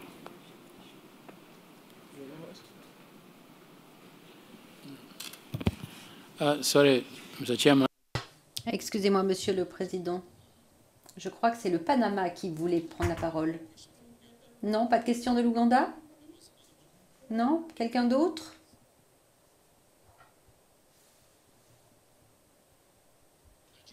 Nigeria. Nigeria, vous avez la parole. Merci beaucoup, monsieur le modérateur, de me donner la parole. J'aimerais vous faire part rapidement de notre expérience en matière de commerce électronique. La plupart des produits de commerce électronique euh, transfrontières qui arrivent au Nigeria passent par des opérateurs euh, désignés. Et lorsqu'ils arrivent, ce sont des petits paquets qui ne sont pas enregistrés. La plupart d'entre eux ne sont pas, en tous les cas, envoyés en recommandé. Et contiennent des choses qui ont une certaine valeur, donc ils doivent bénéficier d'un traitement spécial. Et s'il faut les distribuer comme des envois de la poste ordinaire, la sécurité de ces envois peut être mise en péril, parce que ce sont des envois qui contiennent des choses qui ont de la valeur. Donc si l'on accorde un traitement spécial à ces envois,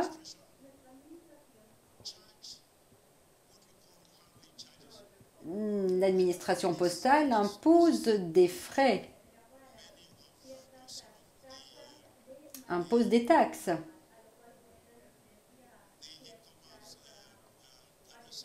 Mais beaucoup des destinateurs de ces envois électroniques résistent en disant qu'ils ont déjà payé pour leur achat, qu'ils ne peuvent pas quitter de droits supplémentaires, de taxes supplémentaires.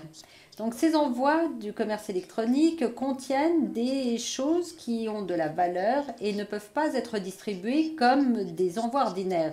Donc il faut leur accorder un traitement particulier, comme les envois EMS ou les colis, ce qui entraînera bien sûr des coûts supplémentaires.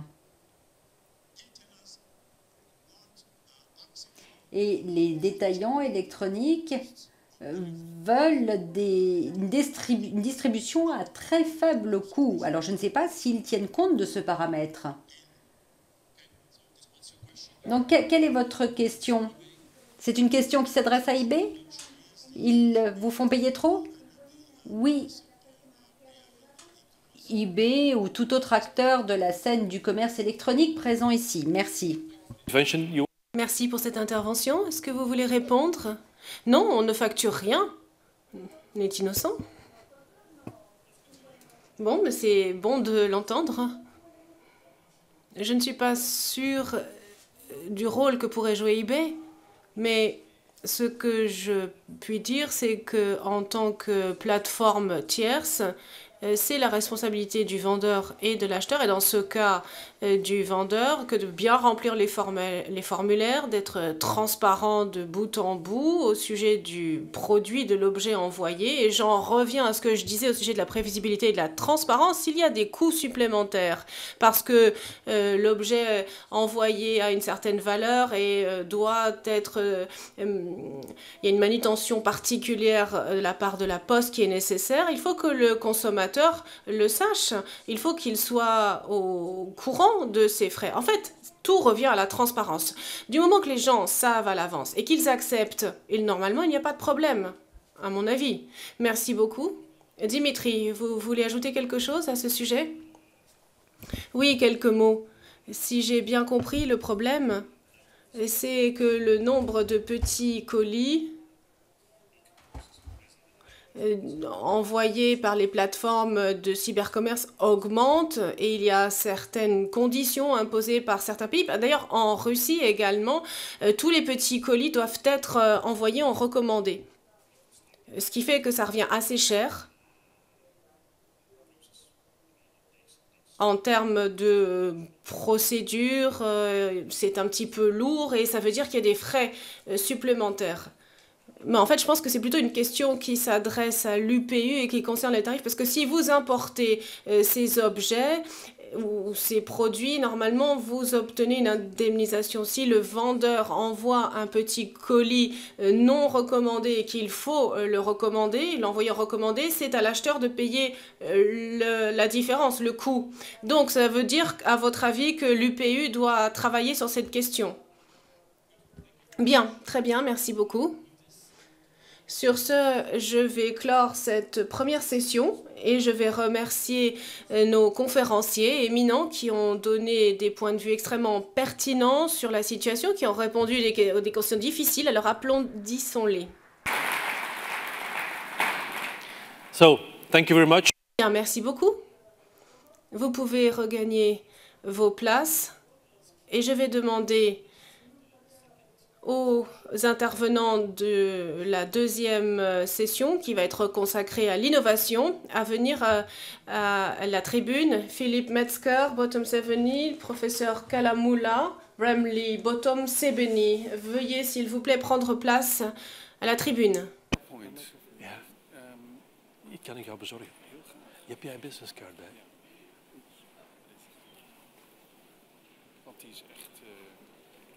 Alsjeblieft. Thanks a lot. Yeah. Excellent. Okay. Very, very good. Thank you. Tot ziens. Bonjour. Enchanté. Mon micro encore. So what order do you want the same again? So yes, yes, please, yes, please, yes, yes. So, it's, so it's first uh, it's it's it's Boton, then Dr. Benton, Metzger and Ramley. Okay.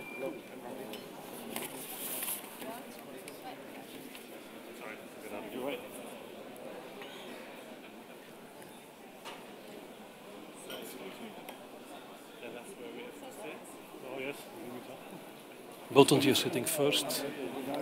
Thank you. Thank you. This man is going to give you the seating order. Oh, okay. Yeah, I'm Ramley. You're Professor Ramley. Sorry. Yes for the pronunciation. Oh, no problem. My microphone is still.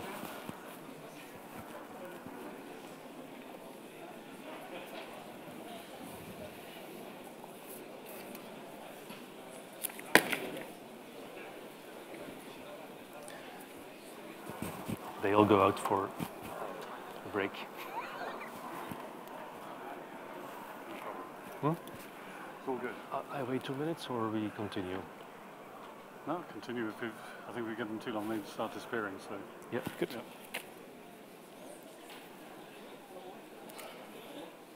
You have a microphone.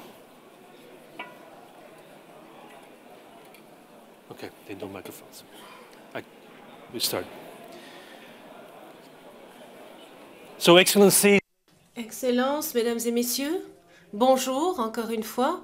Nous allons poursuivre et entamer la deuxième discussion consacrée cette fois-ci à l'innovation. L'innovation a toujours fait partie du tissu des services postaux publics qui existent depuis des siècles. Mais puisque l'environnement mondial change, il est nécessaire de proposer euh, des services plus rapides, plus efficaces et plus transparents. Alors poste est au centre de l'attention et comment combiner tous ces services postaux? Est-ce que les pays en développement doivent investir dans de nouvelles technologies avant de renforcer leurs services de base? Les conférenciers vont s'interroger sur ce que doivent faire les postes pour être euh, au plus près de l'actualité et pour rester concurrentiels en tirant les leçons, en tirant leçon de l'expérience des autres secteurs. Nos intervenants pour cette deuxième session euh, sont notamment Boton Sebeni, secrétaire général de Post Europe. Avant euh, de travailler pour Post Europe, euh, Boton travaillait pour Magyar Post en Hongrie où il était directeur exécutif des activités internationales et il était membre du comité exécutif. Je suis impatient d'entendre ce que Boton a à nous dire sur l'innovation en Europe et parmi euh, les membres de la communauté postale européenne. Vous avez la parole, Botonde.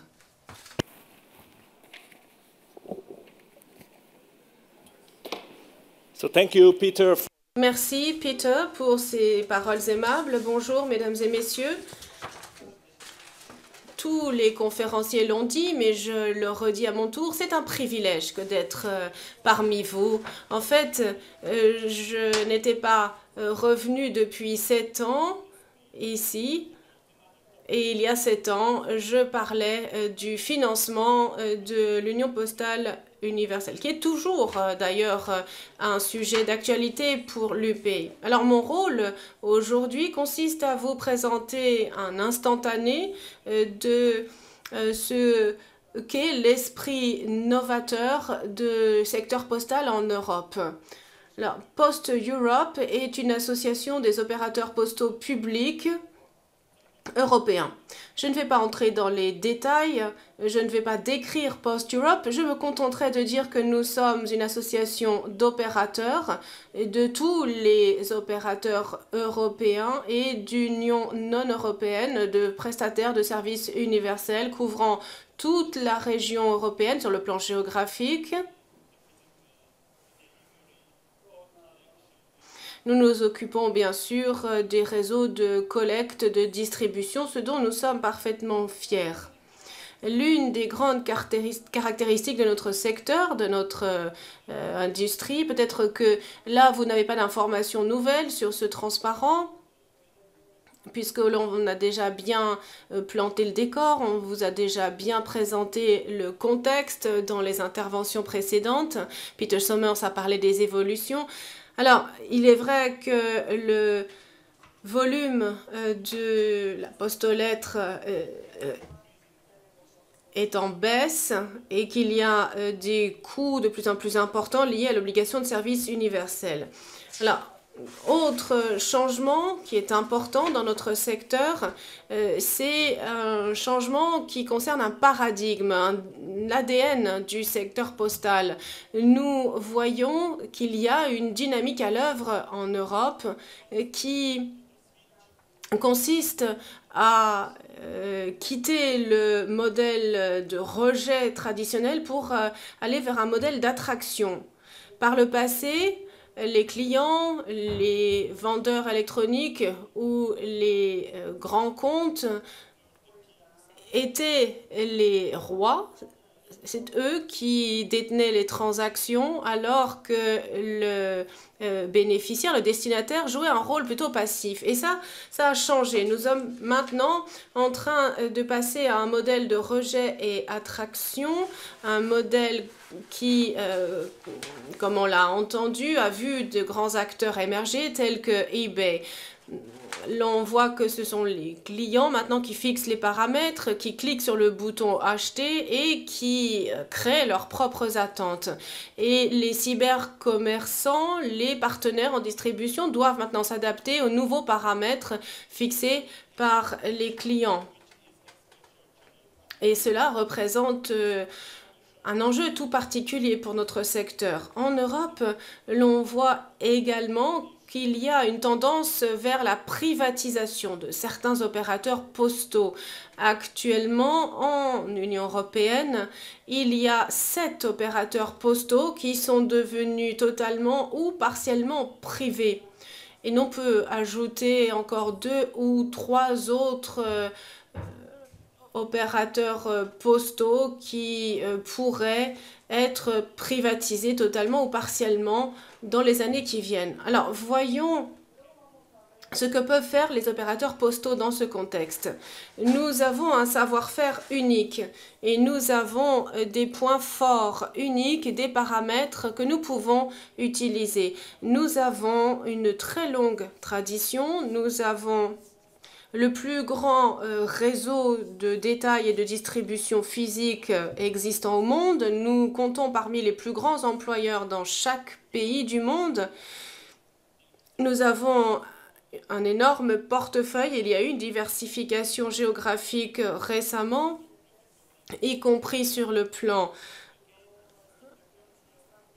des euh, pays, nous sommes en général des partenaires de confiance. Et enfin, j'ajouterais que dans un certain nombre de pays, dans un nombre important de pays, les opérateurs postaux se trouvent dans une situation financière relativement bonne. Une étude de cas, euh, la coopération, tenant compte de ces paramètres, c'est l'initiative de l'industrie postale sur le commerce électronique et l'on s'est fondé sur les forces du marché pour réaliser cette étude et également sur euh, la Commission européenne. Cette euh, initiative a pour objectif euh, de travailler sur certains éléments euh, précis, notamment la capacité de distribution. Vous pouvez d'ailleurs voir sur le transparent certains éléments caractéristiques de cette initiative. Et j'aimerais là souligner le rôle moteur qu'a joué euh, la International Post Corporation, l'IPC. Et euh, l'on peut également dire dans ce contexte qu'il y a des pourparlers entre l'IPC et l'UPU pour euh, aligner dans la mesure euh, du possible euh, le programme Interconnect. Donc, si l'on tient compte de toutes ces évolutions, de tous ces faits nouveaux, eh bien, l'on peut dire que il y a une atmosphère propice à l'innovation en Europe, il y a un portefeuille novateur qui apparaît les opérateurs postaux sont novateurs dans le domaine de la poste aux lettres, de la poste aux colis, dans le domaine des services financiers, la logistique, la téléphonie mobile, le cybergouvernement. Ce qui est tout à fait positif. Nous devons également souligner que nous devons être novateurs sur le terrain, tout d'abord, puisque nous devons euh, défendre euh, les éléments euh, fondamentaux de notre activité et nous devons également saisir les débouchés. Dans ce contexte, Post Europe, en tant qu'association d'opérateurs du secteur, peut diffuser l'expérience, les meilleures pratiques et tirer les enseignements des activités non seulement au sein de l'Union européenne, mais également en dehors des frontières de l'Union européenne, puisque récemment, nous avons lancé un programme institué euh, Post-Europe euh, Neighborhood avec l'UPU pour répondre aux besoins spécifiques des opérateurs de l'Europe euh, du Sud et de l'Est. Donc il y a une dynamique à l'œuvre, beaucoup de débouchés de croissance, beaucoup de possibilités de croissance. Je vous remercie de votre attention.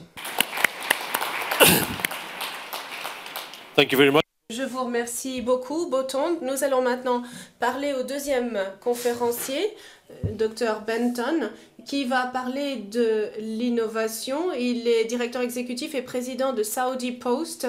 Il a mené la restructuration de Saudi Post en Arabie saoudite et il a beaucoup euh, contribué au secteur au niveau international. Dr Benton a les compétences nécessaires et l'expérience car avant d'entrer à Saudi Post, il était euh, ministre adjoint où il a mis en place un projet de cyber-gouvernement euh, qui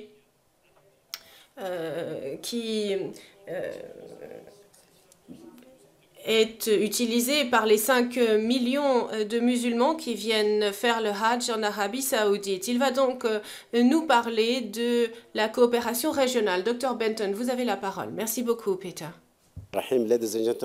Mesdames et messieurs, bonjour. Je vais tout d'abord m'interroger sur la mission de la Poste. On a beaucoup parlé des changements dans l'ADN de la Poste, des évolutions, je vous montrerai que finalement rien n'a changé. Notre euh, mission est toujours de distribuer les lettres. Par contre, ce qui a changé, euh, c'est la taille. L'on est passé de lettres au colis à des conteneurs. Et puis il y a une autre dimension qui est la dimension temps de la distribution. Demain, dans deux jours, dans cinq jours, dans dix jours. Et puis la troisième dimension, c'est euh, depuis où et vers où? C'est la distance. Où est-ce que l'on collecte? Est-ce que le client va venir au bureau pour euh, récupérer son envoi? Je crois que si l'on s'intéresse à ces trois dimensions, l'on pourra aborder l'avenir avec confiance. Et pour faire euh, cela en tant que poste, l'on doit tout d'abord investir beaucoup dans l'infrastructure. Même pour la distribution des lettres, des colis, il faut investir. La plupart des postes, qu'il s'agisse d'entreprises, d'organisations, ont investi et ont créé des réseaux. Par exemple, il s'agit là, ce sont là des réseaux qui sont les ingrédients nécessaires de euh, toute recette de succès. On a besoin d'un réseau de transport pour pouvoir envoyer euh, euh, du matériel de bureaux vers des centres et l'on a besoin également de réseaux locaux de distribution. La distribution du dernier kilomètre, on a également besoin de bureaux où l'on peut euh, accueillir les clients et puis il faut également investir beaucoup dans la technologie. Il faut pouvoir euh, suivre, localiser, savoir ce qui se passe au sein de votre propre organisation. Donc, euh, la création de ces quatre réseaux, à mon avis, euh, vous donnera la possibilité de travailler sur les dimensions dont j'ai parlé il y a quelques instants. Cela vous permettra d'exploiter les capacités que vous avez acquises en créant ces réseaux efficaces, notamment les réseaux informatiques que vous avez construits. Et puis, nous sommes toujours fiers de euh, nos facteurs euh, qui euh, représentent le cinquième réseau. Alors, comment utiliser ces réseaux pour innover et pour gagner davantage d'argent et pour mieux servir les clients? Alors je montre toujours cette photo. Euh, voilà, ça c'est le monde des consommateurs. Bon, le monde change, on le sait, les enfants de 3, 4, 5 ans ont maintenant des iPads et des iPhones. Ce sont eux nos futurs clients. Ce n'est plus moi ou vous ou les gens que l'on connaissait. L'on sait également que les gens euh, qui travaillent maintenant rentrent chez eux, ouvrent leur ordinateur, euh, parlent sur Skype euh, pour communiquer avec leur famille.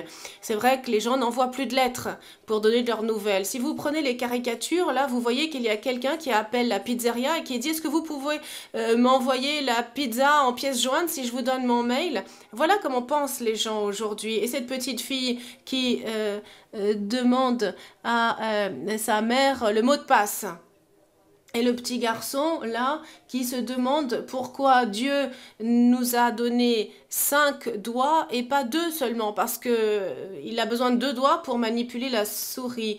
Et puis, euh, l'autre euh, personne est prête à donner uniquement son adresse mail. Donc, voilà, qui sont nos consommateurs d'aujourd'hui? Nous devons les servir au mieux, trouver le bon produit au bon moment pour les bonnes personnes.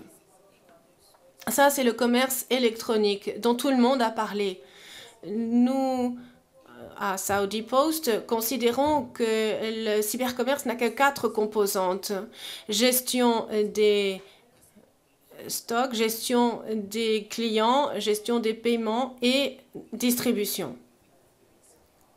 Alors, si on demande aux gens d'eBay, d'Amazon, d'Alibaba ou d'autres qui s'occupent de cybercommerce, ils sauront que 99% des problèmes, c'est des problèmes de distribution, de livraison. Et dans certains pays, comme dans les nôtres par exemple, notre problème, c'est les paiements. Parce que la plupart euh, des euh, gens font euh, des colis contre remboursement et lorsque le colis arrive chez eux, ils n'en veulent plus. Donc on a un gros problème d'impayé. Donc il faut que toutes ces composantes euh, soient fonctionnent bien. Cybercommerce, gestion des magasins et gestion des paiements. Et puis gestion également de la distribution. Donc il faut également que la dimension client à client euh, soit suffisamment satisfaisante. Alors, il y a des grandes plateformes euh, telles que eBay qui n'a pas à s'occuper de gestion de magasins, qui a seulement des catalogues électroniques. Nous, nous nous occupons de services aux clients parce que c'est nous qui nous occupons des paiements et des distributions. Et l'on gagne de l'argent grâce à trois sources que l'on a à la poste. Le deuxième type de cybercommerce, qui est donc la gestion des magasins. Parfois, l'on doit acheter de bons produits que l'on veut envoyer et au client pour euh, gagner davantage d'argent. Bien sûr, la personne qui appelle la pizzeria et qui dit qu'elle veut sa pizza en pièces jointes, euh, ben, cette personne-là, on peut l'aider grâce à notre modèle. Bien sûr, il n'y a pas qu'en Arabie saoudite euh, que cela se passe. Nous savons que la plupart de nos clients achètent euh, des produits en Europe, aux États-Unis. Donc nous avons passé des accords avec des entreprises pour pouvoir donner une adresse locale au Royaume-Uni, aux États-Unis. Et nous facilitons le paiement local. Par exemple, si vous êtes en Arabie saoudite, vous allez à la poste et vous, ou si vous allez sur Amazon par exemple, eh bien, vous mettez votre adresse américaine qui va aller dans une des entreprises avec laquelle on travaille, qui est UPS. Et on, UPS nous enverra le colis. Ce sera moins cher et ça facilite euh, la transaction. C'est ce qu'on appelle wasselalami.com. Et puis nous avons toutes sortes d'autres accords. Nous avons un accord avec Amazon qui prévoit que euh, tout paquet qui arrive en Arabie saoudite, euh, quel que soit euh, la modalité choisie par le consommateur arrivera à Saudi Post et on se chargera de la distribution. Bien sûr, Amazon, c'est une grande entreprise avec une réputation. Donc, euh, Amazon a testé Saudi Post pour euh, être sûr qu'elle pouvait travailler avec Saudi Post. Et puis, bien sûr, les cybergouvernements. Qu'est-ce que le cybergouvernement? Là encore, on a le gouvernement client, gouvernement à gouvernement et gouvernement à entreprise. Donc nous pouvons distribuer des documents parce que nous avons le réseau de distribution. Nous nous pouvons donc distribuer des documents, nous pouvons recevoir des clients dans nos bureaux parce que nous avons déjà le réseau de bureaux. Donc, tout ce que l'on fait pour euh, le cybergouvernement, c'est utiliser les réseaux qui existent déjà. Mais on fait quelque chose de plus en Arabie saoudite. On a un système d'adressage que nous avons dû mettre en place dans notre pays et pour pouvoir avoir des euh, codes pour tout le pays. On a des codes ZIP, on a des données démographiques qui aident le gouvernement à être un cybergouvernement, à bien planifier pour les, ouvertures d'écoles, d'hôpitaux, pour euh, prendre toutes sortes de décisions nécessaires pour la population. Bien sûr, les services financiers sont importants également. Là aussi, nous avons euh, les banques locales, nous avons des bureaux l'on peut transférer de l'argent à faible coût pour les personnes qui veulent ce service. Donc il n'y a pas de changement dans l'ADN de la poste en fait. Il y a simplement eu un déplacement des dimensions vers le haut et vers le bas et une utilisation des ressources déjà existantes. Et enfin, nous avons un réseau de transport. Nous avons euh, transformé ce réseau de distribution en réseau de logistique. Et en fait, c'est une entreprise maintenant qui s'appelle Knuckle et cette entreprise, 15% euh, de cette entreprise euh, fonctionne pour la poste. Le reste, c'est l'infrastructure euh, l'économie. Nous distribuons dans tous les magasins de vêtements. Donc les magasins n'ont pas besoin de stocker toutes les tailles. Bon, si la cliente arrive et qu'elle elle fait du 42 et qu'elle a que le 44, elle va à la caisse, elle euh, paye et son vêtement en taille 42 arrive de n'importe quel magasin.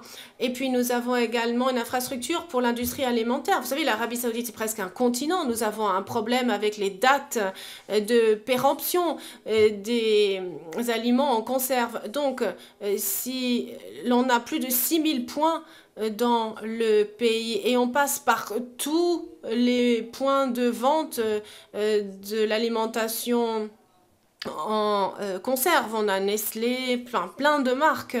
On garde la trace de toutes les dates de péremption de l'alimentation, de la nourriture en conserve dans tout le pays. Et enfin, et bien sûr, le public postage, on s'en occupe également. On reçoit les données euh, postales, on a les bases de données, on peut imprimer et l'on peut euh, poster et distribuer. On a un certain nombre euh, de cartes de fidélité, SkyTeam et d'autres. Pour les compagnies aériennes, on s'occupe de l'impression, de la gestion des bases de données pour les compagnies aériennes. Bien sûr, la chose la plus importante maintenant, c'est les télécoms. Nous sommes... Enfin, nous travaillons avec les barrages. Je pense que vous connaissez tous les barrages en Arabie Saoudite qui est euh, principalement détenu par Saudi Post. Pourquoi? Parce que l'on a des ressources, c'est-à-dire des bureaux en Arabie Saoudite. Ça, c'est une ressource extrêmement précieuse et euh, l'entreprise fonctionne très très bien actuellement. Et puis bien sûr, nous avons dû changer énormément de choses pour pouvoir euh, satisfaire les clients, pour pouvoir suivre les tendances. Nous avons énormément de points de distribution et puis ce qui est très important également, euh, c'est dans notre réseau informatique euh, le système de suivi, localisation, tout ce qui passe par la poste est localisé et suivi grâce aux étiquettes RFID. Nous retrouvons absolument tout. Donc il y a un système de traçabilité qui est, fonctionne extrêmement bien et on peut absolument suivre tout ce qui passe par notre réseau. Et puis on a également euh, le euh, suivi euh, et la gestion des performances. On sait en temps réel si nous avons de bons résultats ou non. Nous savons que qu'il y aura un retard euh, sur un colis euh, avant que le client n'en soit informé. Enfin, nous, nous le savons déjà deux jours à l'avance que le colis du client va être distribué avec retard et on peut l'en informer. Enfin, euh, nous faisons des affaires puisque la plupart euh, des entreprises que j'ai citées, ce sont des entreprises dont nous sommes propriétaires à Saudi Post ou euh, que nous avons partagé avec d'autres entreprises. Je vous remercie et je pense que nous, en, nous reparlerons de tout cela au cours de la séance. Thank you very much, Dr. Benton. Merci beaucoup, Dr Benton, de ce point de vue très intéressant sur ce qui se passe dans la poste saoudienne.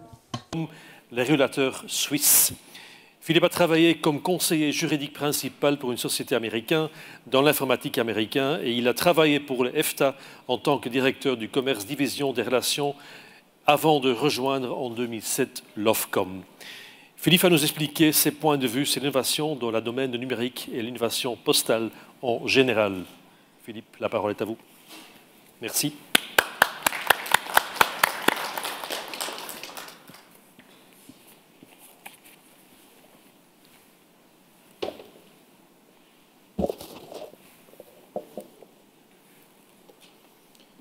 Monsieur le Président de la conférence, Excellences, honorables délégués, c'est un grand plaisir pour moi euh, d'être euh, devant vous aujourd'hui pour pouvoir discuter du thème de l'innovation. C'est la première fois que j'ai le plaisir euh, de faire un discours à l'UPU, notamment à la conférence de stratégie, et je me permets ainsi peut-être une une introduction un peu non conventionnelle. Je pense en tant que débutant, on a encore le droit de faire ça. En arrivant euh, à ce centre de conférence ce matin, je me suis rendu compte qu'à Genève se tient actuellement euh, cette semaine le 43e Salon international des inventions de Genève. Et il me semble que euh, l'UPU doit être félicité pour l'excellent timing d'avoir choisi de tenir sa conférence stratégique sur le thème de l'innovation notamment en même temps. Donc je pense d'ici à demain soir, euh, nous n'aurons pas encore suffisamment d'inspiration, d'idées pour l'innovation, nous pourrons peut-être nous rendre ensemble euh, à ce salon d'invention. Euh, mais voyons déjà jusqu'à où nous amènent les différentes discussions que nous menons aujourd'hui et demain. Je vous propose de brièvement couvrir deux volets sur ce thème de l'innovation qui nous occupe. Premièrement, l'innovation dans le domaine du numérique sous l'aspect, je dirais, de citoyen, de citoyenne numérique. Et le deuxième volet, euh, plus précisément, le positionnement de l'instance gouvernementale en Suisse sur l'innovation postale. Commençons donc par l'innovation et la citoyenneté, citoyenneté numérique. Elle nous intéresse particulièrement à l'Office fédéral de la communication, puisque nous sommes chargés par le Conseil fédéral suisse de tenir compte des évolutions dans le domaine euh, des nouvelles technologies et de l'information et de la communication et de façonner l'avenir du numérique en Suisse. Euh, ceci, bien sûr, en étroite collaboration avec nos partenaires, parce que nous sommes décidément aujourd'hui dans une ère de multiparties prenantes, multi-stakeholderism, pour utiliser le beau terme euh, anglais. Et c'est évident que seulement en réunissant les forces de part et d'autre des instances gouvernementales, du secteur privé, de la société, que nous arriverons euh, à nous servir au mieux d'éthique.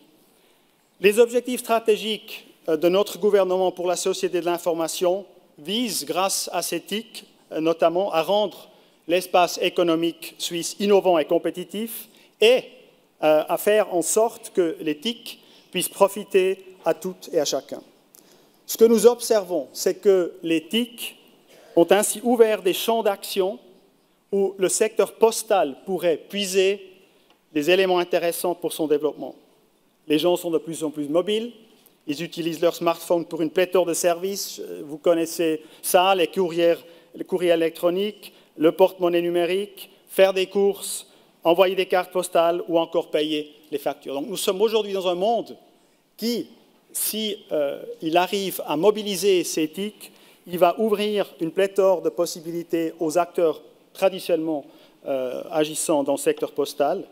Et nous constatons avec plaisir que plusieurs de ces services, effectivement, sont déjà offerts par des fournisseurs, que ce soit des fournisseurs postaux ou d'autres fournisseurs. Ce développement technologique ouvre également euh, la voie à des nouvelles formes de participation au processus démocratique. C'est là le deuxième élément de ce premier volet sur lequel j'aimerais insister. Nous avons par exemple euh, un agenda de vote électronique. Nous avons un agenda d'accès simplifié et ciblé des particuliers aux données et aux informations des autorités, de rendre toute cette manne euh, de données euh, dont disposent les autorités accessible à, tous.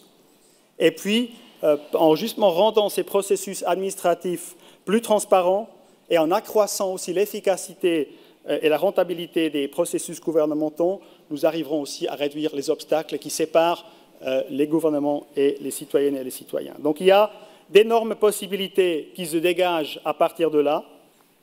Et bien entendu, n'oublions pas que ça pose également toute une série de nouveaux défis. Nous avons bien sûr des défis en matière de sécurité, euh, de la communication, de la protection de la vie privée, et il est évidemment primordial que nous ayons les bonnes bases juridiques pour euh, pouvoir faire face à ces défis-là. Il va également, euh, évidemment, de pair avec cela qu'il faut former les citoyennes et les citoyens, notamment les jeunes, qui découvrent et souvent sont très, au point techniquement, qui, qui découvrent peut-être plus, difficilement les défis euh, par lesquels ils seraient confrontés à l'avenir. Et d'ailleurs, euh, je citerai juste un exemple. En Suisse, nous avons un programme national jeunes et médias qui consiste à promouvoir et à euh, améliorer la formation des jeunes dans l'ère numérique. Donc l'accès à, cette citoyenneté digitale que j'ai mentionnée est vraiment pour nous un aspect qui peut devenir un pilier aussi de la démocratie directe, qui fait force, la force de la Suisse. Et donc, en rassemblant le e-gouvernement d'une part et le e-voting d'autre part, comme exemple, nous pensons euh, que nous pourrons aussi euh, dégager des pistes intéressantes pour différentes entreprises à offrir des services dans ce domaine-là, notamment les entreprises postales. Je mentionnerai juste encore à titre d'exemple que la Poste suisse et d'autres fournisseurs en fait en Suisse euh, qui sont actifs dans le domaine non postal euh, ont développé et mis en place toute une série de services, par exemple liés à la cybersanté, un autre volet qui se prête à l'innovation, euh, l'identité électronique, bien sûr aussi, et les courriels sécurisés. Donc il y a vraiment un champ vaste pour pouvoir dégager de l'innovation. Le deuxième volet de ma brève intervention est plus focalisé sur le positionnement sur le thème de l'innovation vraiment en matière postale. Tout d'abord, j'aimerais relever que euh, l'innovation n'est pas, seulement une, nouveauté technologique, euh, ça peut être un nouveau service, un nouveau produit, mais ça n'a pas obligatoirement besoin d'être une technologie d'information et de communication. Je nuance ainsi un tout petit peu ce que je dis dans ma première euh, partie de l'intervention, mais je pense qu'il est important de garder cela en tête. Qui dit innovation ne dit pas automatiquement TIC. Euh, ça va plus loin de ça. Et si je le dis, c'est que les aspects commerciaux dans l'innovation sont très souvent mis en avant. C'est les premiers aspects qui sont examinés. Et euh, parfois, on oublie un tout petit peu qu'il y a un facteur humain qui est extrêmement important dans l'innovation. Le facteur humain reste en effet essentiel. Et d'ailleurs, euh, si je peux mentionner quand même ce, fait intéressant, aucun autre secteur, à ma connaissance, ne jouit d'un réseau humain aussi large et dense que celui euh, de la Poste. Il y a plus de 600 000 bureaux, selon mes informations, euh, de Poste qui sont recensés dans le monde entier. Et là, on voit bien qu'on se retrouve dans un secteur qui s'oriente vers l'éthique, qui fait de l'innovation, mais qui garde bien sûr un, facteur humain très important. Donc, tester euh, l'innovation sous l'aspect technique et économique est très important, mais il faut également l'assortir d'une étude au préalable des effets au niveau de la société. Ça ne veut pas dire pour autant qu'il faut tout de suite tout réglementer. J'ai bien entendu l'appel ce matin euh, du ministre tunisien que les régulateurs euh, ne devraient pas devenir des castrateurs. Il ne s'agit pas de ça. Nous voulons une innovation qui soit aussi libre que possible, parce que seulement en laissant euh, un champ très vaste à ces forces, pouvons-nous atterrir avec des solutions concrètes qui, qui, voient le jour. Mais il y a un équilibre, évidemment, dans ce processus-là. L'innovation n'est pas un but en soi, mais elle doit constamment être mise en balance avec les besoins réels de notre société. Quant à l'UPU, pour euh, terminer euh, mon intervention, même si l'innovation n'est pas directement de son ressort, il va sans dire que nous pensons que euh, l'UPU peut encore être stimulée dans cette, l'innovation peut encore être stimulée dans cette organisation qu'est l'UPU.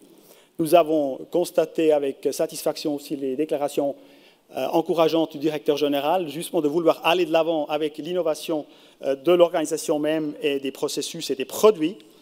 Euh, déjà aujourd'hui, l'UPU, bien sûr, offre des produits tout à fait innovants qui facilitent les processus entre les opérateurs et en poussant ces démarches encore plus loin, par des systèmes originaux et des échanges d'informations, nous pensons que l'UPU peut encore contribuer davantage à éviter des désagréments dont certains ont déjà fait état aujourd'hui, manque d'interopérabilité, euh, coûts rédhibitoires pour les petits envois, délais non respectés, manque de transparence et de fiabilité.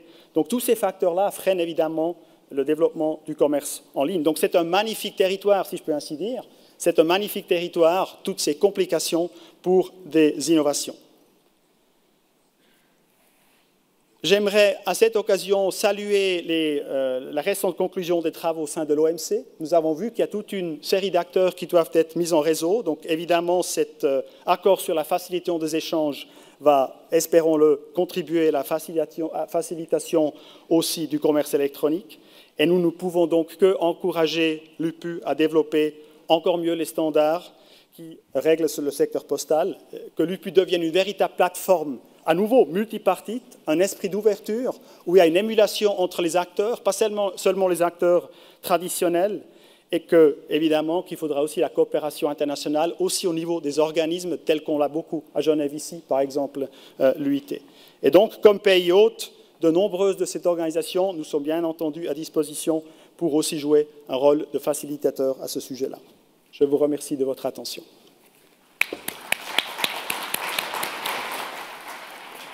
Merci Philippe. Un régulateur qui déclare qu'il n'est pas un obstacle. Très bien, on aime ça. Our next speaker.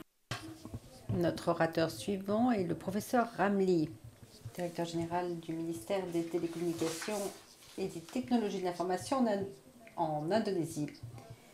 Il est diplômé d'une université allemande à Essen et il est ingénieur en télécommunications, diplômé de Wollongong en Australie. Le professeur Amni va nous en dire davantage sur la mise en œuvre de la stratégie postale de Doha, diversification de la poste, inclusion financière, innovation, et comment la poste indonésienne a favorisé une mise en œuvre innovante. Vous avez la parole, professeur. Merci, monsieur le modérateur. Mesdames et messieurs les délégués, mesdames et messieurs, comme nous le savons, le développement rapide des technologies de la communication et de l'information a eu une incidence significative sur la croissance du secteur postal, en particulier sur les services de la poste aux lettres. Et ce contexte particulier a poussé les opérateurs postaux à innover, à développer la poste colis, la logistique et les services financiers. La concurrence dans le secteur postal exige des gouvernements qu'ils se préoccupent vivement de la situation de sorte qu'un climat concurrentiel sain puisse être instauré. Qui plus est, les opérateurs postaux publics sont aussi, tenus euh, d'opérer diverses percées pour pouvoir développer leurs activités postales. Le gouvernement indonésien joue un rôle important pour faciliter les opérations entre opérateurs postaux et institutions publiques, par exemple le ministère des Transports, le ministère de l'Agriculture, le ministère des, Finances, la Direction générale des douanes. Il s'agit également de déterminer les normes applicables aux services postaux universaux et aux services postaux commerciaux grâce à la réglementation ministérielle. Il s'agit de décider également des, tarifs des services postaux universels et des formules tarifaires pour les services postaux commerciaux. Pour anticiper la tendance à la baisse de la poste-lettre, les opérateurs postaux ont diversifié leurs services en se concentrant non seulement sur la poste-lettre, mais également en développant leurs services, en mettant en place des services financiers, des services de logistique et de détail.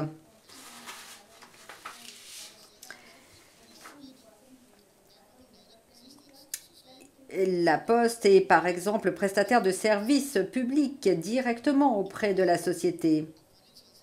Dans le secteur des services financiers, Poste Indonésie emploie ou utilise les technologies de la communication et de l'information pour développer ses services financiers de manière indépendante ou dans le cadre de partenariats conjoints en étudiant les profils et les besoins de ses clients. Plusieurs services ont été développés, par exemple les mandats euh, instantanée, les virements en ligne, les paiements en ligne. Et un service a été lancé récemment. Il s'agit de M-Postpay, un service numérique qui permet aux abonnés d'accomplir un certain nombre de transactions très facilement. Une enquête a été menée dans quatre provinces indonésiennes, par exemple la province de Jambi, euh, centre de Bornéo, dans les Célèbres, dans l'est de Java, pour identifier les structures d'épargne dans les ménages. 1358 responsables de foyer et 376 abonnés de PT Post Indonésie ont répondu. Et les résultats montrent que 41,8% des sociétés, des personnes pardon, interrogées gardent leurs économies en liquidité chez elles. Compte tenu des résultats de cette enquête, et dans la perspective de l'inclusion financière, le gouvernement indonésien a désigné Post Indonésie comme gestionnaire des comptes d'épargne. Pourquoi? Parce qu'il dispose d'un réseau très large qui atteint les coins les plus reculés d'Indonésie, avec 4076 bureaux de poste, 3729 bureaux de poste en ligne, 236 services mobiles et 24 674 points de vente. Poste Indonésie est donc le choix logique à l'issue de ce projet. Par ailleurs, les frais administratifs sont relativement faibles et la société fait grandement confiance euh, aux services postaux de Poste Indonésie.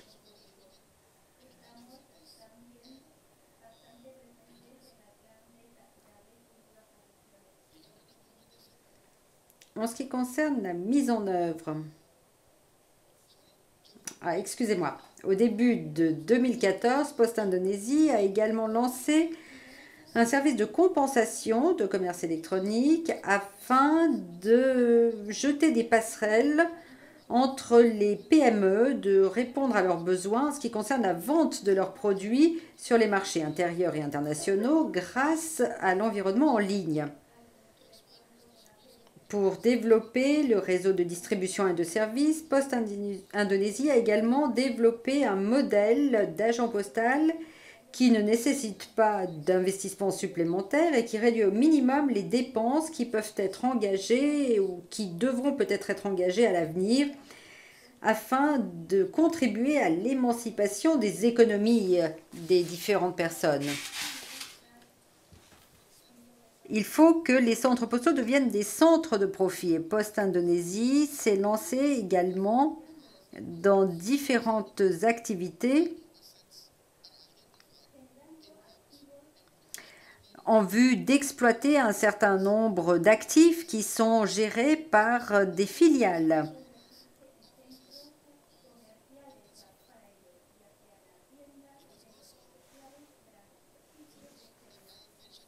Je me dois de mentionner ici que le gouvernement indonésien a établi un plan de développement du commerce électronique qui devrait être avalisé d'ici à la fin de l'année afin d'intégrer le secteur postal dans le système commercial. Pour votre information, le commerce électronique en Indonésie représente 15 milliards de dollars américains en 2013 les transactions se montaient en 18 milliards de dollars et on s'attend à ce que ce chiffre atteigne 24 milliards de dollars d'ici à la fin de 2015. Il découle de mon exposé que les principaux facteurs de la réussite de l'Indonésie en ce qui concerne le développement du secteur postal sont la mise en place d'une réglementation qui tient compte de l'évolution du secteur postal. Deuxièmement, la sensibilité des parties prenantes à l'évolution de l'environnement. Ces parties prenantes réussissent à anticiper. Troisièmement, la fourniture de services qui répondent pleinement aux besoins de la société. Quatrièmement, l'utilisation des technologies de l'information pour favoriser l'innovation dans les services. Cinquièmement, l'accroissement de la coopération avec les entreprises pertinentes et enfin la participation de la société à la définition des points de service postal. Je vous remercie. Thank you, Professor. Please join us again. Merci, professeur. Veuillez nous rejoindre pour la discussion de groupe. Une question à l'adresse du docteur Benton pour commencer. L'innovation dans une entreprise postale ne peut être couronnée de succès que lorsqu'encadrement au plus haut niveau accorde une attention à cette question, lorsque le PDG dirige les programmes, euh, lorsqu'il euh, alloue des budgets, lorsqu'il donne aux gens la possibilité de réussir. Alors comment est-ce que les choses s'organisent à la cause? Comment avez-vous structuré les équipes? Comment mettez-vous sur pied l'innovation?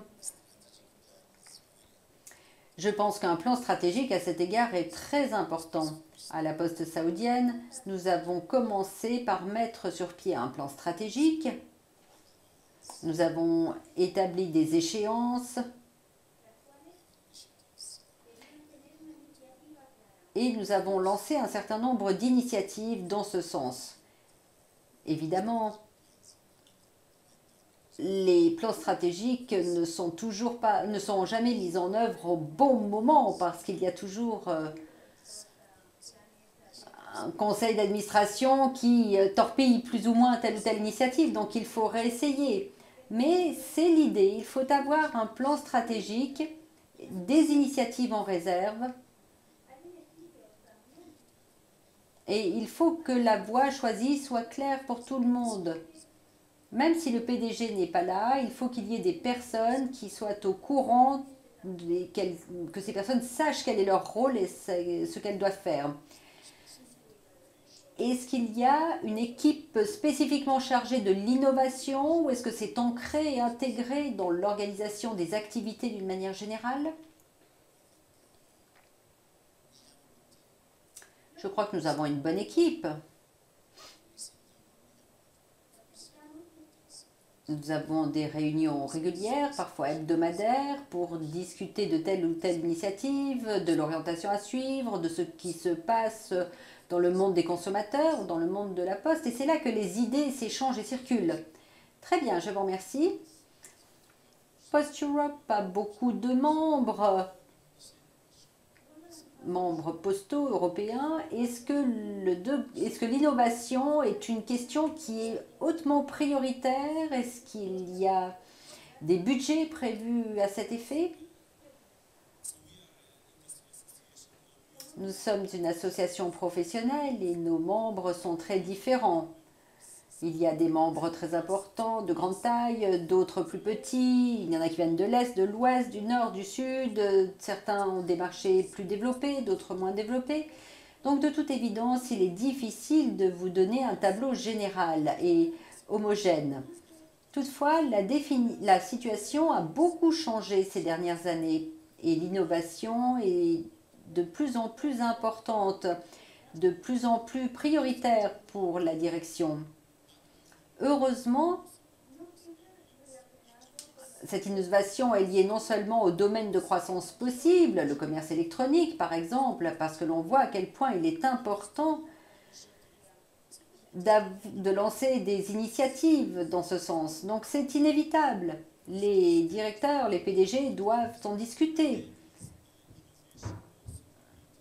Mais il y a également de l'innovation pour les opérations de base à toute occasion, nous essayons d'innover. Bien sûr, nous tenons compte des possibilités de croissance, mais avant de mettre en place un certain nombre d'innovations, il ne faut pas oublier que nous avons des opérations de base qui sont très importantes également. Mais d'ailleurs, vous présidiez la même session euh, avec euh, trois PDG à Vienne. C'était la poste belge, la poste portugaise et la poste autrichienne qui étaient là. Et les trois ont décrit des stratégies similaires.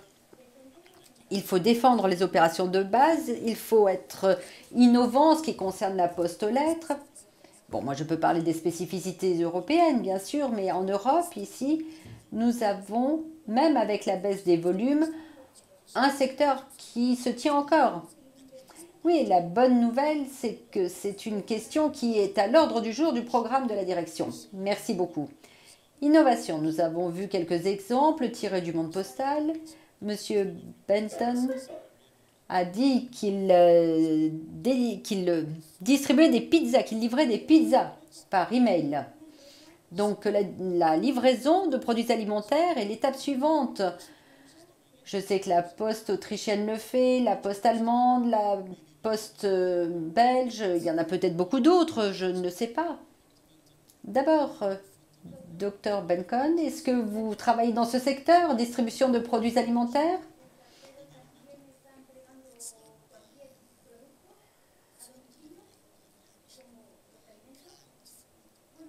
Non, moi j'ai parlé de l'industrie des produits alimentaires en conserve.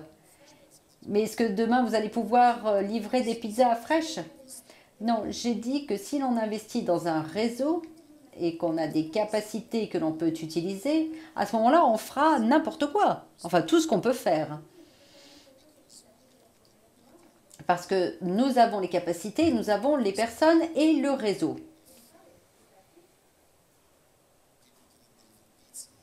Donc si on ne peut pas, si quelqu'un ne peut pas distribuer des pizzas, ben nous nous le ferons. Et s'ils ne peuvent pas pétrir la pâte, eh ben nous le ferons.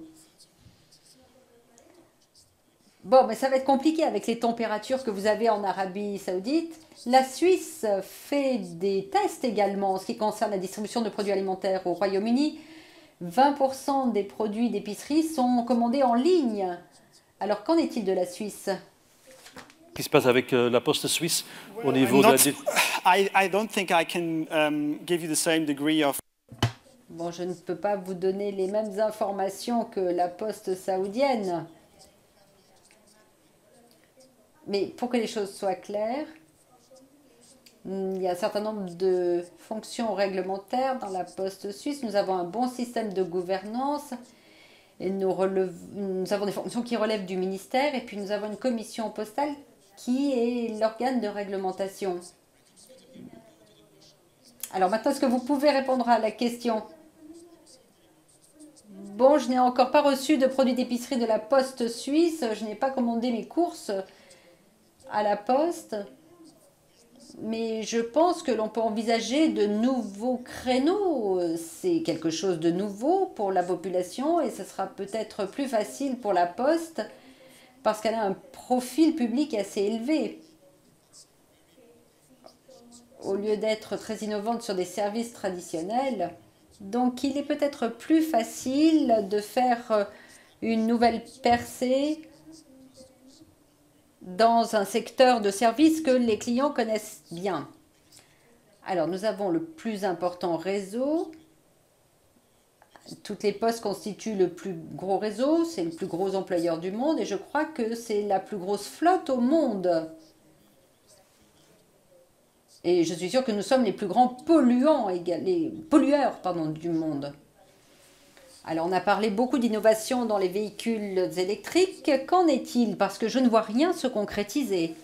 Parfois où je vais en Europe, partout où je vais en Europe ou aux États-Unis, euh, je vois des véhicules qui polluent. Parfois un véhicule électrique, mais c'est très rare. Alors que se passe-t-il dans le secteur? Dr Benton et ensuite Philippe Est-ce que vous distribuez avec des véhicules électriques? Alors, laissez-moi vous expliquer comment nous travaillons.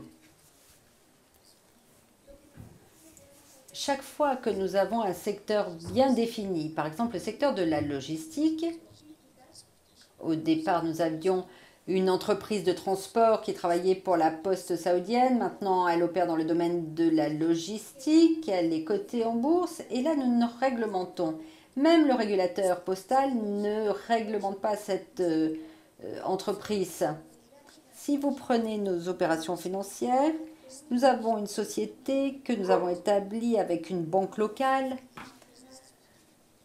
Et là, nous ne réglementons pas.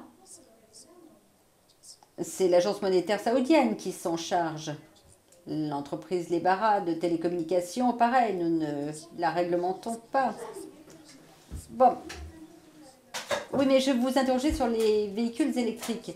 Oui, mais ce que je veux dire, c'est qu'avec mes collègues de la poste saoudienne, J'essaie de m'éloigner, de m'écarter de la réglementation postale.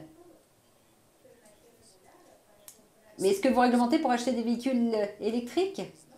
Non, là où je veux en venir, c'est que la plupart des personnes euh, qui ont ces véhicules, ce sont des entreprises que nous ne réglementons pas, nous. Donc nous n'avons rien à voir. Philippe? Puisque vous m'avez posé une question tout à l'heure à laquelle je n'ai pas pu répondre précisément. Bon, j'ai vu plus souvent de véhicules électriques que de légumes à la poste suisse.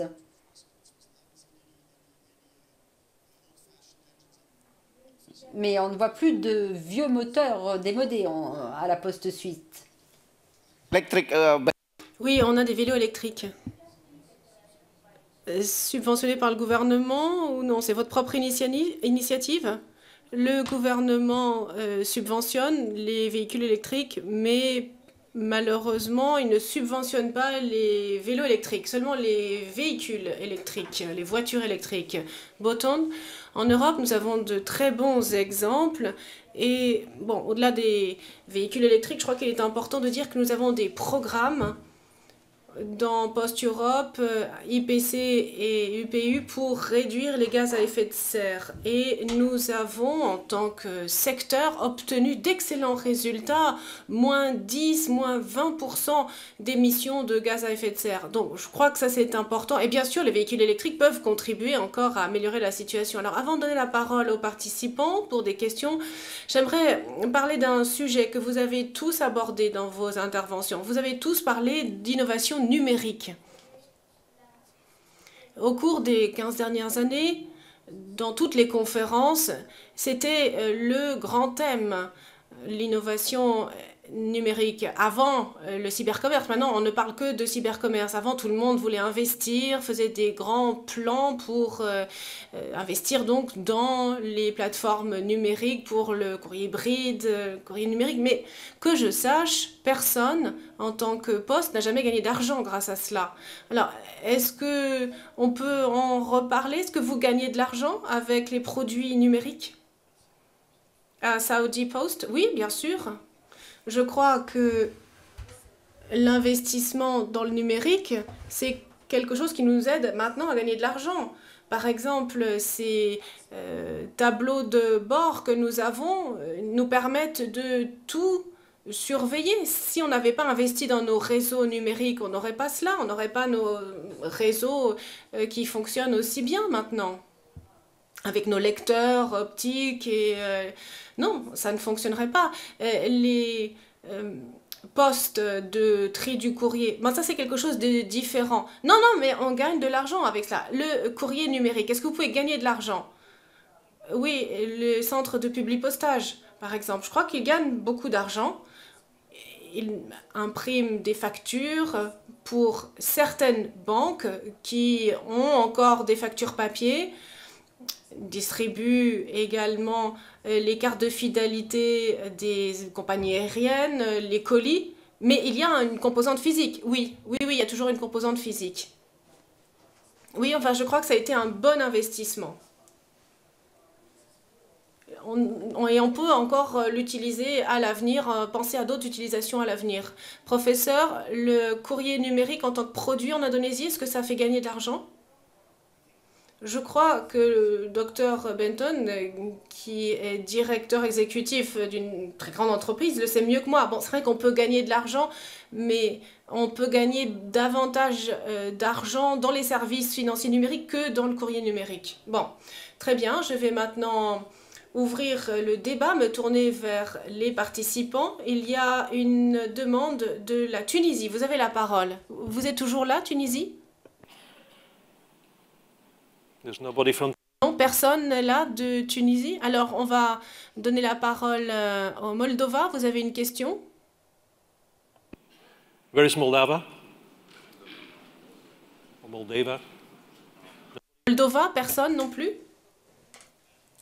Bon, alors la France? Oui, merci, monsieur le médiateur, de me donner la parole. Non, juste par rapport à la question que vous avez posée sur les véhicules électriques, bah, Il y a l'exemple de la Poste française, puisque aujourd'hui nous avons 21 000 véhicules électriques. Combien? 21 000. 21 000. C'est-à-dire que 25% de ce qui roule à la Poste à 4 roues, à 3 roues ou à 2 roues est aujourd'hui électrifié. Parfait. Donc c'est subsidié par le gouvernement ou est-ce que c'est votre propre initiative C'est notre propre initiative, mais il y a effectivement des aides du gouvernement pour euh, notamment les véhicules utilitaires. Voilà. Euh, je voudrais dire aussi que les véhicules électriques, ce n'est pas uniquement bon pour lutter contre la pollution, mais c'est aussi bon pour améliorer les conditions de travail euh, des conducteurs. On a par exemple une baisse de l'accidentologie supérieure à 50% chez les conducteurs de véhicules électriques comparé aux conducteurs de véhicules à essence ou diesel, parce qu'il euh, n'y a pas de vitesse à passer, euh, il n'y a pas de bruit, et donc les conducteurs sont beaucoup plus attentifs à l'environnement extérieur. Et concrètement, ça se traduit par une baisse de l'absentéisme de 6 jours par an en moyenne par conducteur de véhicules électriques. Donc tout ça, c'est à réintégrer dans le calcul du coût économique du véhicule électrique. Très bien, merci bien. Are there other questions? Y a-t-il d'autres questions?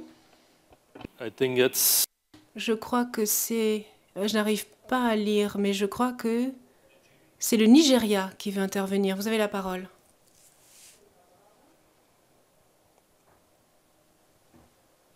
Merci, monsieur le modérateur. J'entends dans cette conférence et dans toutes les discussions sur les services postaux un mot qui revient sans cesse, c'est le mot d'innovation. Et de mon avis, l'innovation repose sur le savoir et sur l'investissement. Et comme nous le savons tous dans cette salle, nous sommes des administrateurs postaux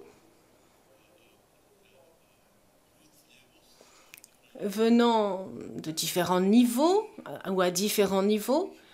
Et par rapport à cette question de l'innovation, je crois que la Poste a pris du retard parce que nous n'avons pas pris le savoir au sérieux. Et c'est toujours le cas encore pour certains d'entre nous.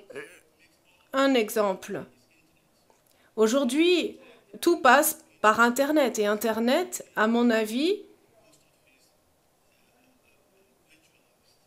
c'est un bureau de poste virtuel. Regardez tous les processus sur Internet.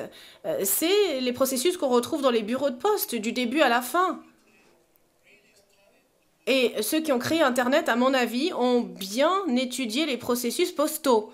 Parce que la Poste n'a pas pris le savoir, la connaissance au sérieux que l'on voit que ce qui change maintenant, eh bien, euh, fait que nous sommes un petit peu en retard, nous sommes à la traîne. Alors, votre question, oui, donc il faudrait que l'on prenne au sérieux la recherche et le savoir à la poste. Donc, c'est une question que vous adressez à quelqu'un en particulier? Oui, oui. Et puis, les investissements, est-ce que ça consiste uniquement à vendre? Parce que la poste n'est pas qu'un réseau de distribution. C'est, il y a trois dimensions la dimension physique, numérique et financière euh, des services financiers. Peut-être qu'on pourrait demander à eBay, enfin vous avez demandé à, à eBay s'il allait acheter euh, une poste, mais est-ce que ici, l'on est en train de dire que la poste ne sert qu'à distribuer les produits du commerce électronique ou pas? Oui, bien, je crois qu'on a déjà des réponses euh, sur euh, l'importance de l'innovation, mais votre question est la suivante. Est-ce que euh, la poste, c'est uniquement le dernier euh, kilomètre euh, pour la distribution des colis? Yes, um, I, I Oui, je crois que c'est une remarque très pertinente qu'a faite euh, le délégué de la Nigeria. Moi, je pourrais peut-être faire une comparaison avec le secteur des médias. On a une discussion, un débat un peu semblable au sein du secteur des médias, parce que les modèles traditionnels euh, de production de euh, documents imprimés, par exemple, ça représente un grand enjeu pour les journaux traditionnels et les éditeurs. Et bon, tant que les choses fonctionnaient, tout allait bien. L'innovation n'était pas la priorité. Aujourd'hui, tout le monde est remis en question, qu'il s'agisse du secteur des médias ou du secteur postal, comme l'a rappelé euh, le délégué du Nigeria. Maintenant, l'innovation, c'est la priorité et euh, c'est une chose dont doivent s'occuper les directeurs exécutifs et dont il faut tenir compte dans les stratégies. Donc il faut monter en puissance, à mon avis, pour être à la hauteur des enjeux de l'avenir. Donc l'innovation, c'est pas uniquement sur le dernier kilomètre, ça apporte également sur les services financiers et les services numériques. Donc l'innovation couvre euh, tout euh, l'éventail du secteur postal. Professeur, un commentaire? Oui. Euh, oui, j'avais un commentaire à faire. Je crois que le secteur postal, c'est comme le secteur des télécommunications. On doit penser en trois niveaux. Niveau physique, comment vous distribuez physiquement les colis, les lettres, dernier kilomètre, jusque dans les foyers. Et puis, il y a également le niveau numérique. Comment est-ce que vous gérez vos réseaux sur le plan numérique? Et puis, le dernier, niveau, qui est le niveau euh, supérieur, qui est très important, c'est niveau, le niveau d'application. Comment est-ce que vous innovez dans vos services pour euh, durer? Donc je pense qu'il faut vraiment faire les parallèles entre la poste et les télécommunications. Merci beaucoup. Est-ce qu'il y a d'autres questions? Oui, je vois une pancarte qui se lève. L'Iran, si je ne me trompe pas. L'Iran, vous avez la parole. Merci, monsieur le le modérateur. J'aimerais faire des commentaires concernant l'investissement dans le numérique. Nous pensons euh, que l'investissement dans le numérique ne génère pas directement de l'argent, mais évite de perdre de l'argent. Et bien sûr, cela euh, nous aide à améliorer la qualité de nos services. J'ai entendu le euh, docteur euh, Button dans son intervention parler de l'obligation de service universel. Alors comment euh, considérez-vous, quelle place accordez-vous à l'obligation de service universel par rapport au développement 30% des euh, produits du cybercommerce sont distribués dans les zones rurales en Iran. Alors, est-ce que vous avez quelque chose à, commenter à cet égard? Philippe, est-ce que vous pouvez répondre sur cette question?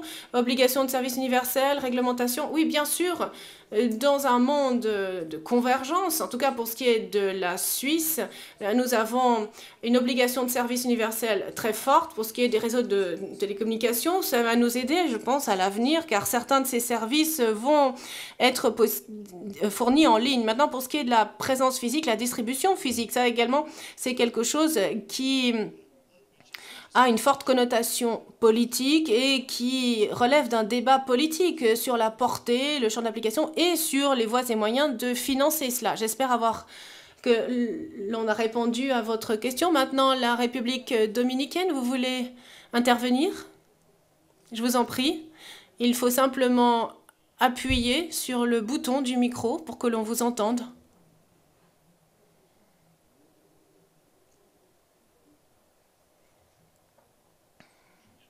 Il faut bien appuyer sur le bouton du micro, sinon on ne vous entendra pas.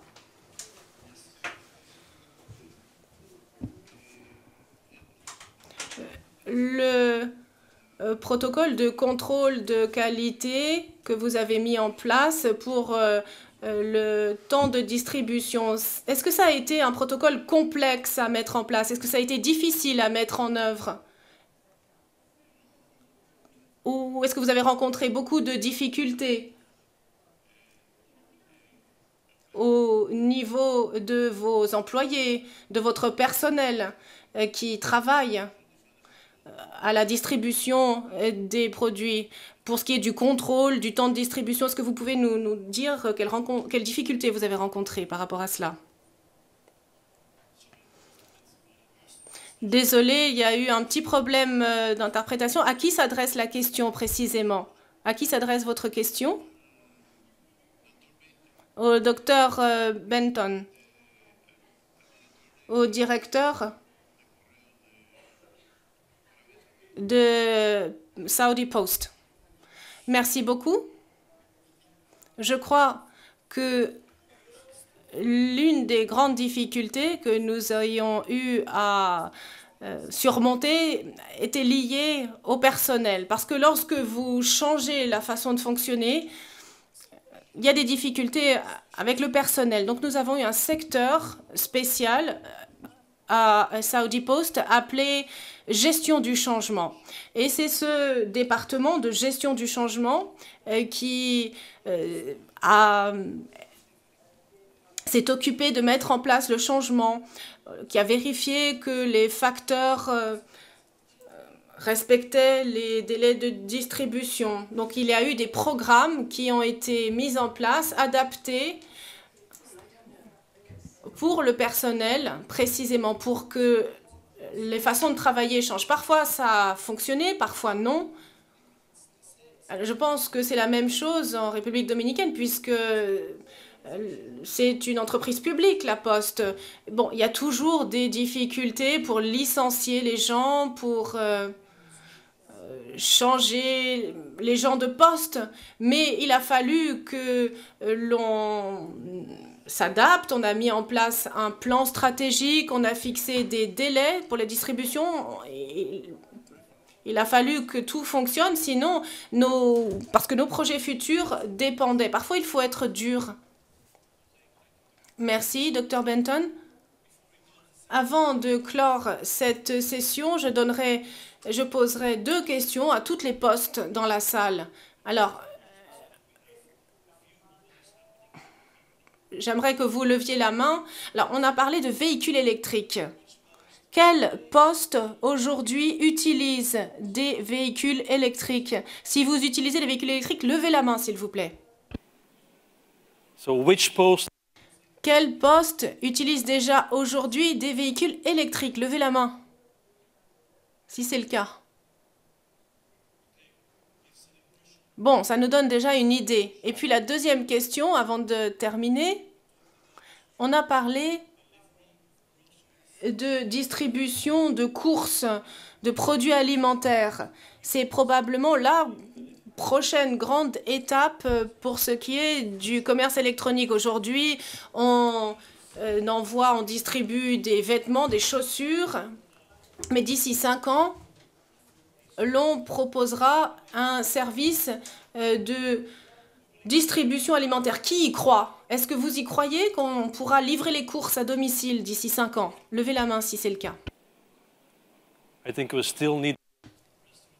Bon, je crois qu'il faudra toujours aller au restaurant si on veut manger une pizza.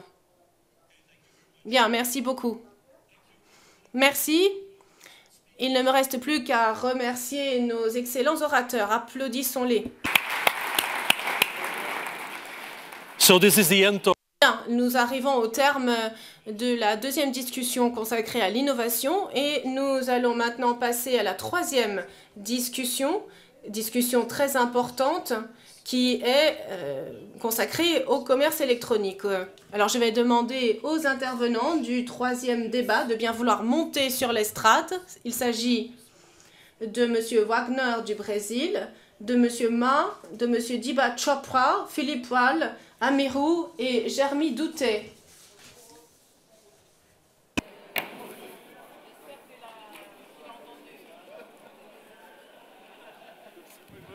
Sorry? Yeah, perfect. I think we are good on time. Yeah. Very well on Perfect. time, yeah. A couple of minor changes. Um, it's not going to be Jeremy Douté, it's uh, Nicolas Martin. Ah That bon. was going to be my first point. Yes. How about that? Wow, that's. Uh, and Nicolas Martin wants to be me. Yes. Very good for you. I'm very positive. If you yeah, thank you very much. Thank you. Sorry, my. I've just handwritten your uh, bio, so you can get a bio from me. Yeah, that's amazing. Does that do? I'm sure, yes, 12 countries. countries. Yes. So, yes, and, uh, that's great. That's great. uh, what is your Yes. name? Nicolas Nicolas. Martin. And you're Exactly the, the other co-CEO. ah, you're the other co-CEO. There's That's the advantage of having uh, two CEOs. Peter, thank you very much. Oh, thank, thank you very much. I give you my card. Here you are. But you're not using the Thank you. So how was uh, the new direction that we look at things? Very good. Oh, good presentation. Yeah, I, li- I think it was one of the. Yeah, very good. We, s- we catch up later. Oh, merci, très bien. J'ai vécu à Bruxelles pendant 5 ans. Je suis presque belge. Oui, Ah Ah, oui. très bien, merci. Ah. Hello, you're Mr. Ma. Mr. Ma. From China. Okay, Mr. Ma. No, Yeah. uh, Very good, thank you. Great, thank you. Est-ce que je peux te demander ta carte? Mais tu as perdu combien de dizaines de kilos Euh, pas de dizaines de kilos, euh, Un quelques, cinq. Un certain nombre. Cinq. Ça te va très bien. Mais merci parce que j'avais plus de, tes Ah, ça va. Monsieur Wall. Je vais parler en français. Pas de problème. Deepak Chopra. We know each other. We've seen each other before. Somewhere in a conference at the IPC. All right. Yeah. Okay. I worked at Bpos before. Yeah.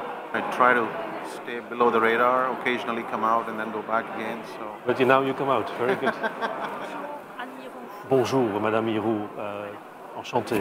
Bon, mi- le micro est encore euh, là, alors je dois être prudent dans ce que j'ai dit. Mais prenez votre place. euh.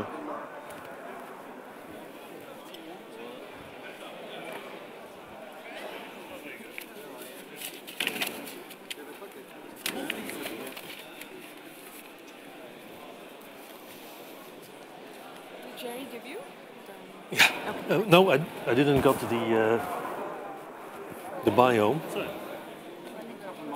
You have the, the bio uh, of this guy. So, that was, yes, there's the bio. It's, uh, da, da, da, da, da, uh, Deepak, Philippe Wall, Anne Mirou. Et là, voilà. Um, so this is his name again, Nicolas Martin.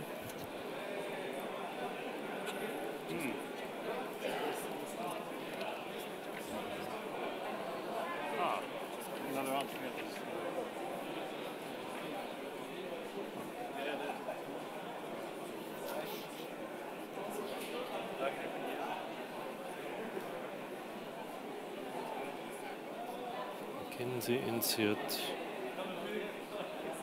Hmm, 2000 the best retail lounge, world retail awards. Very good. Okay. Um, for interventions, Okay, wait. should have We have the Ministry of France. Once inter- intervention, then I have IATA. And then there's another one. okay, there's Ministry of France, I have the Swiss. uh, then there's uh,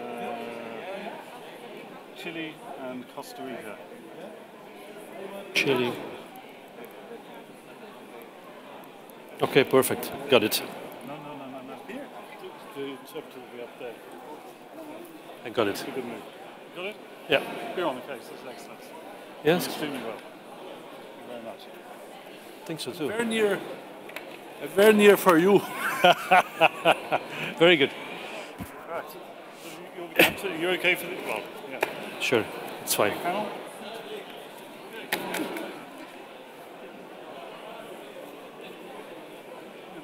saying so. Good. Yeah, we're good, good on time.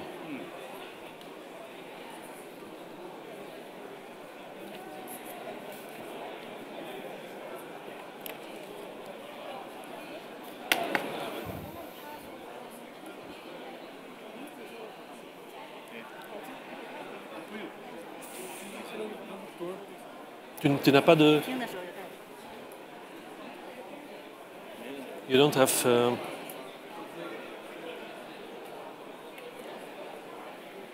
Okay, we.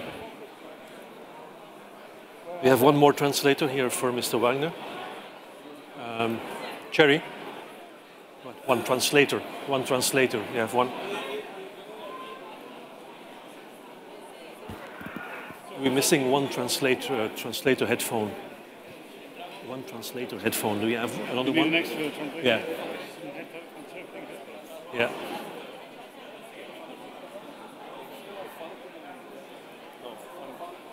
You can take take already mine. Very well and- Thank you. Yeah.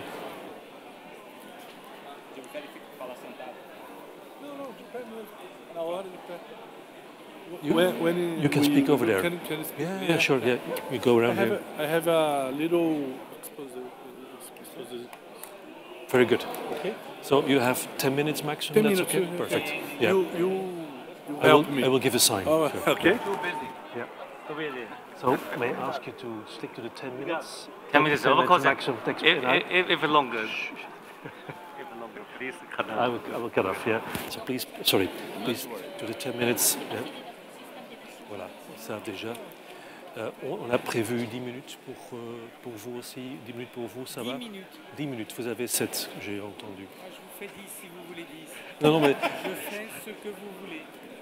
C'est très bien. 25 minutes, je vous fais 25. Non. 2h10. Le maximum, c'est 10, ça va, très bien. 5, 10. comme Parfait, parfait. Comme ça, on a un peu de temps pour euh, la discussion. Ça va, merci, on va commencer.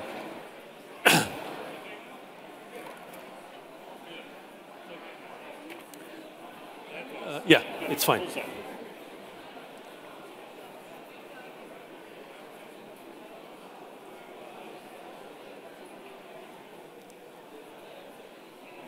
So, Excellencies, Excellences, Mesdames, Messieurs,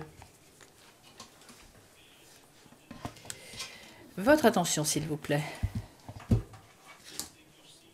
Si vous voulez bien prendre place.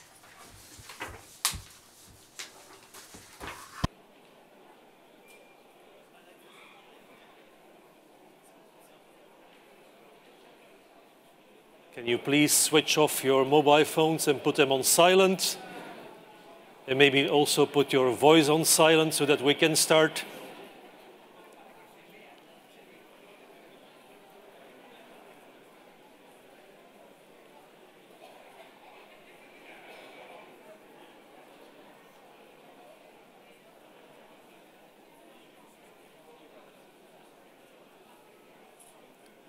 Okay, please take your seats.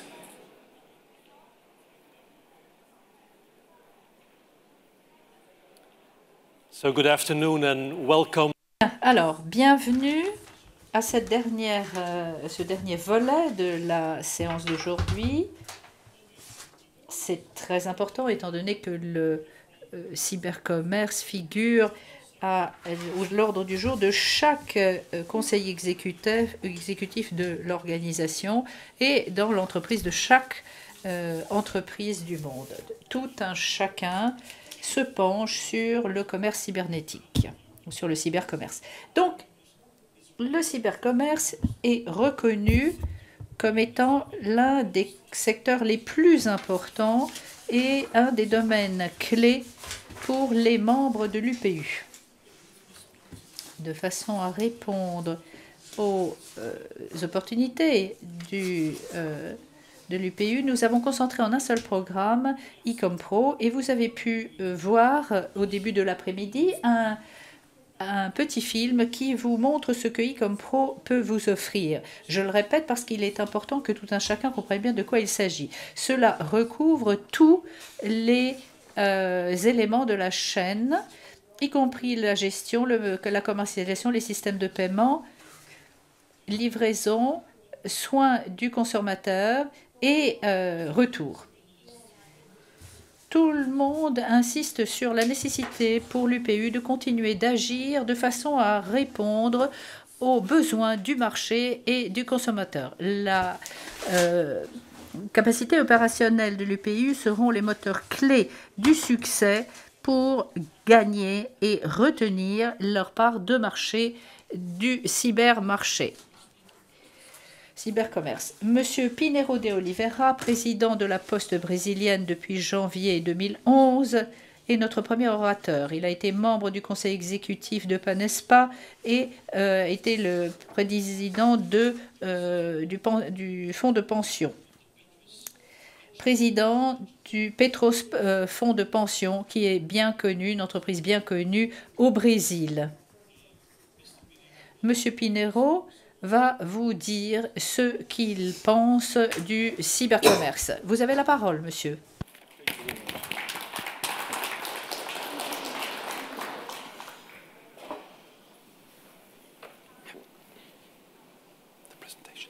presentation, please. Thank you very much, P- Mr. Peterson. Merci. Merci, Monsieur Summers. Merci infiniment et toutes mes félicitations aux euh, différents conférenciers. Je vais faire une euh, brève présentation. Oui, mon présentation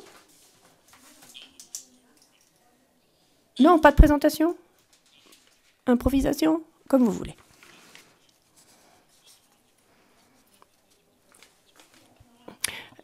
No, uh, uh, we'll follow. Okay, perfect.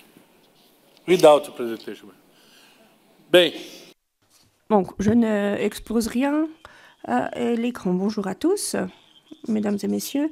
C'est pour moi un grand plaisir, une grande fierté pour euh, les courriers euh, brésiliens et pour moi-même que euh, d'être ici. C'est en même temps une énorme responsabilité que cette conférence stratégique de l'UPU. De nouveau, toutes mes félicitations et tous mes hommages aux conférenciers, à M. Sommers et à vous tous. Nous le savons tous, le commerce et électronique a cru en flèche, en Brésil en particulier. Pour euh, nous faire une idée des choses, entre 2011 et 2014, on a accusé un 100% d'augmentation du commerce électronique au Brésil. 18 milliards de reais à l'époque et maintenant 35 milliards, pas maintenant, en 2014, l'an dernier. Rien qu'en quatre, quatre années, on a multiplié par deux ce volume. Et même chose pour les consommateurs. 32 millions de... euh, et maintenant 62 millions entre 2011 et 2014. Il y a beaucoup d'achats sur les sites internationaux également. Nous les utilisons beaucoup. Et euh, ce volume de commerce a augmenté du même ordre que le commerce national par voie électronique.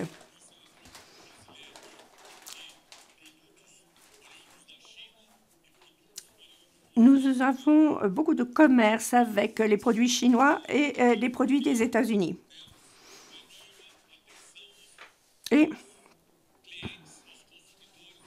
Nous suivons de très près le profil de nos consommateurs de cybercommerce. Nous sommes absolument convaincus au sein des services postaux brésiliens que le e-commerce est fondamental, en particulier avec les colis et paquets. Et la dimension logistique que cela suppose au sein des postes, qui doivent être à la hauteur pour cette logistique intégrée, tout particulièrement en ce qui concerne les entreprises qui se sont tournées sur le commerce par voie électronique. Ce sont des entreprises sans magasin, souvent sans vitrine. Leurs magasins et leurs vitrines sont purement virtuels et elles doivent absolument pouvoir euh, compter sur notre logistique, contrôle, stock, distribution, contrôle des stocks. Tout ceci est fondamental et euh, les postes brésiliennes en sont bien conscientes ont travaillé d'arrache-pied. De plus, le consommateur est de plus en plus exigeant, et ce sur la ligne de bout en bout. De bout, en bout. Rapidité, dimension cyber, dimension numérique. pour essayer de pallier les incertitudes traditionnelles du secteur euh, postal. Et par conséquent, nous devons être à la hauteur de tout ce travail de modernisation, pensant d'abord et avant tout à ces consommateurs qui ont une énorme palette de choix et qui se tourneront vers quelqu'un d'autre si euh, tout le monde n'assure pas derrière. Donc il est très important de pouvoir donner à ce consommateur la satisfaction en particulier pour le traçage et le suivi de bout en bout depuis le moment du clic de la commande en ligne jusqu'au euh, moment de la distribution à la maison. Donc évidemment, euh, traçabilité, fiabilité de la distribution, contrôle de bout en bout de la chaîne. Nous voyons bien aujourd'hui que nous pouvons tout à fait offrir des logistiques différentielles. Ça a toujours été notre idée parce que euh, finalement, euh, la poste, ça a toujours été un travail d'une grande variété. Nous avons toujours su nous adapter aux changements, faire montre de souplesse, et ainsi, nous avons réussi à bien voir que nous deviendrions les leaders du cybercommerce si nous arrivions à cet effort d'adaptation, rapidité, sûreté, capacité en matière de TIC avec un travail de customisation, c'est-à-dire du, euh, du travail sur mesure pour le client. Donc dans ce domaine, les postes euh, brésiliennes ont travaillé énormément, en particulier pour les colis, pour les paquets, dont le volume augmente de plus en plus et de plus en plus vite ce qui veut dire aussi toutes sortes de services de suivi, comme je l'ai déjà expliqué, de distribution, d'appui et de soutien technique et pratique aux postiers et facteurs. car il faut envisager des changements très rapides, en particulier dans le mode de livraison. Nous comptons également plus de 40% de participation du marché et beaucoup de services, des services très différents. Je pense par exemple à EMS, au CEDEX, CETEX Mundi, Export Facile, qui s'appelle chez nous Exporta Facile et Importa Facile, import-export facile tant pour la distribution au Brésil que hors Brésil, que pour l'importation adaptée aux clients, qu'ils soient au sein de nos frontières ou à l'étranger. Donc une grande diversité logistique dans laquelle nous avons investi énormément dans le sens aller et retour de euh, l'échange en amont et en aval. Nous comprenons en outre que les TIC sont fondamentales pour les partenariats et peuvent nous amener à collaborer avec des spécialistes de logistique de cybercommerce pour les magasins, les portails électroniques et virtuels, toujours dans le sens de l'intégration de la technologie qui, je le redis, est quelque chose de fondamentale pour les postes du monde entier à notre époque. Cette intégration est incontournable si l'on veut que les clients, qui sont nos citoyens, puissent avoir euh, toute facilité dans la ligne d'acheminement, c'est-à-dire depuis l'usine jusqu'au domicile, selon la euh, voie de transmission choisie par le client, par l'intermédiaire, quelle que soit la distance, la longueur de cette chaîne. Et en même temps, je disais aller-retour parce que le euh, suivi à contre-courant doit être important aussi. Euh, feedback, ego et écho, et remonter à la source. Que s'est-il passé? D'où vient le paquet? Pourquoi il n'est pas là? Comment? Etc. Depuis 6 euh, à 10 mois, on travaille de plus en plus avec les smartphones pour avoir un traçage complet de euh, ces produits qui sont envoyés, de ces ventes en ligne interactivité totale, client-fournisseur, pour arriver également à plus euh, de productivité, d'efficacité en ce qui concerne nos euh, véhicules, euh, nos vecteurs de distribution, déjà nos postiers et facteurs. Tout ceci est euh, fondamental puisqu'il s'agit ici d'avoir un service sûr, fiable et rapide qui euh, permette de suivre et euh, d'augmenter encore le développement du commerce électronique internationale, ceci favorisant en particulier les micro-entreprises et les PME du Brésil, tournant le profil traditionnel du commerce par boutique et magasin. Et euh, les flux les plus importants pour nous sont Chine, Brésil et, euh, États-Unis, Brésil. D'où, je le redis encore, l'importance de l'Internet. D'où aussi l'importance de la réglementation euh, des postes. Cela fait plusieurs années que nous y travaillons de façon très intense pour arriver à davantage d'automatisation, en particulier pour la poste au colis. Et pour les liens entre clients et entre entités d'acheminement et de vente au Brésil et à l'extérieur de nos frontières également. Donc, importance de la collaboration financière, en particulier avec le Banco do Brasil. Et euh, nous avons une euh, facilité euh, qui nous fait remonter sur 20 et 30 mois et qui nous permet d'établir des tableaux pour une enquête qui va nous permettre de suivre ces échanges avec d'autres facilités, assurance, capitalisation et autres.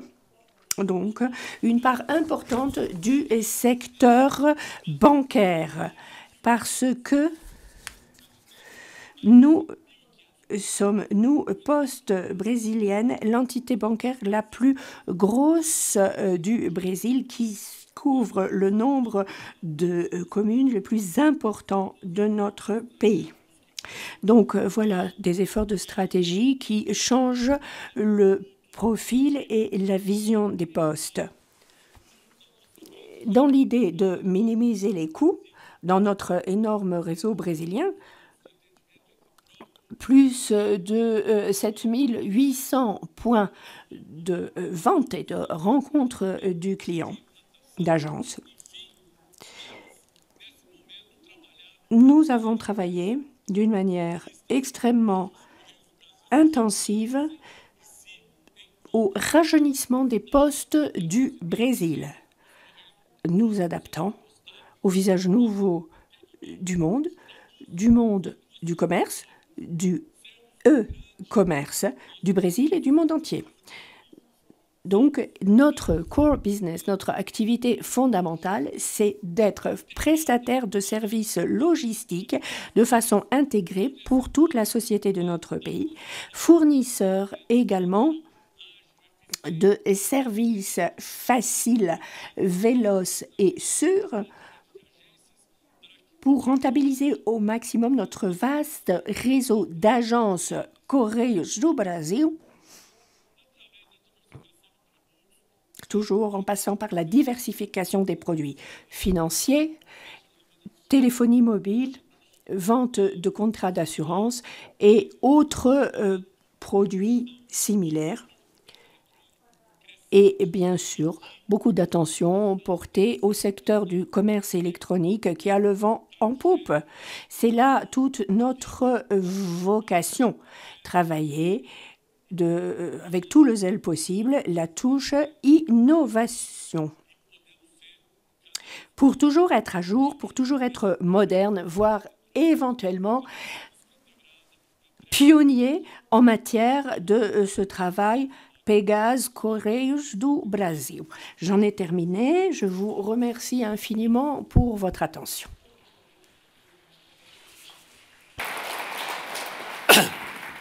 Thank you very much. Monsieur Pinero, je vous remercie de votre exposé fort intéressant. Monsieur Ma est notre intervenant suivant, directeur général de l'administration d'État des postes en Chine. Monsieur Ma a des décennies d'expérience dans le secteur de la poste et il va sans aucun doute nous présenter des vues extrêmement intéressantes de ce qui se passe en Chine. Comme nous pouvons le voir dans la presse, euh, il y a des choses magnifiques qui se produisent en Chine dont il va nous parler. Et cela ne fait point de doute. Monsieur Ma va nous parler de la promotion collaborative de l'industrie du, du colis et des mesures prises pour faciliter le développement du commerce électronique. Je vous donne la parole, monsieur.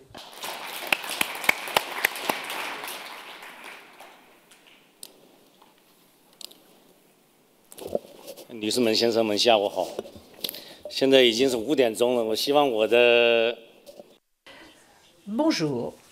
J'espère que mon intervention ne sera pas trop ennuyeuse.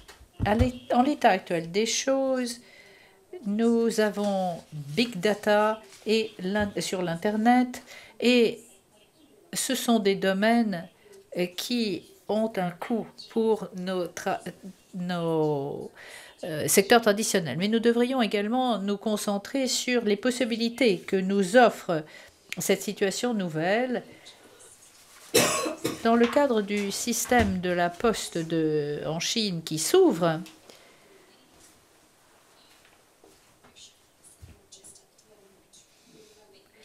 Il convient de procéder à une euh, synergie du développement euh, du commerce électronique. Je vais vous parler maintenant du développement de cette branche.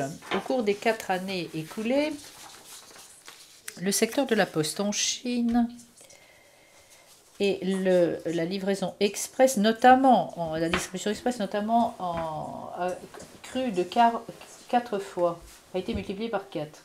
L'an dernier, le volume euh, des colis express euh, s'élève à 454 euh, milliards de dollars, ce qui est un chiffre record à l'échelle du monde. Le commerce électronique y compte pour beaucoup. Deux tiers de ce volume vient du commerce électronique. 5 à 6 milliards compte également pour un pourcentage important. Par conséquent, on peut dire que le commerce électronique est le moteur et qui donne l'élan. Nous avons également innové de nombreux produits pour nous adapter à l'évolution au cours des quatre dernières années. Les colis et les distributions express ont été réduites de 40%. Quant au nombre de bureaux postaux, il a connu une augmentation de 60%, ce qui nous a permis de développer des services destinés à nos consommateurs. Le secteur de la livraison express a connu une véritable percée et le commerce électronique, grâce à la chaîne d'approvisionnement, est un complément important à l'évolution traditionnelle. L'an dernier, le commerce électronique et les distributions par express ont abouti, ont compté pour 50% du volume total. Par exemple, le double 11. Cela montre, il y a eu une grève qui montre bien l'importance de ce système. Quant à notre volume quotidien, il se chiffre par centaines de millions, c'est-à-dire trois fois plus que nos opérations euh, du commerce traditionnel. Donc le commerce traditionnel a été grandement euh, affecté alors vous voyez euh, l'avion de la poste chinoise qui s'occupe des distributions aériennes et le volume est considérable. Sur la partie droite de l'écran, vous voyez le plus grand centre commercial autrefois en Chine. Mais évidemment, ils ont connu eux aussi les conséquences du commerce électronique. et nous avons dû fermer 147 centres commerciaux, tendance qui s'accuse. Par conséquent, une telle tendance a eu une incidence considérable sur notre commerce de détail traditionnel. Étant donné ces circonstances,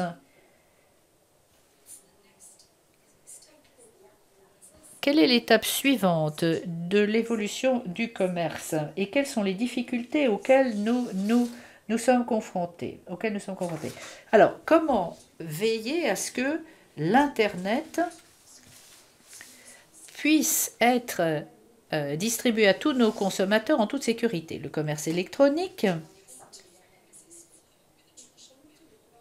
a des flux différents de courrier par rapport au courrier traditionnel. Le commerce électronique est plus flexible. Au cours du festival, il y a des volumes très importants, tandis que en hors période festival, le volume est inférieur. Donc comment s'assurer que les distributions, euh, que le réseau euh, puisse fonctionner de façon harmonieuse? Première difficulté, l'équilibre entre le commerce électronique et les distributions de courrier express. Nous avons des centaines de milliers de transactions euh, par voie électronique. Mais les deux plus importants comptent pour 90% du marché. Par conséquent, la plateforme de commerce électronique et la plateforme logistique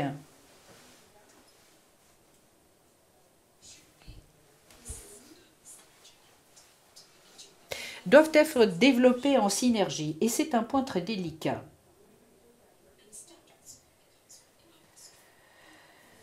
Les normes viennent en général d'en haut. Quant au secteur de la poste, les, disons, les forces du marché viennent d'en bas. Donc comment euh, euh, veiller à ce que les forces d'en haut et d'en bas euh, puissent se développer harmonieusement, se rencontrent et que les problèmes que nous devons résoudre soient, soient résolus? Autre problème, qualité, quantité, sécurité.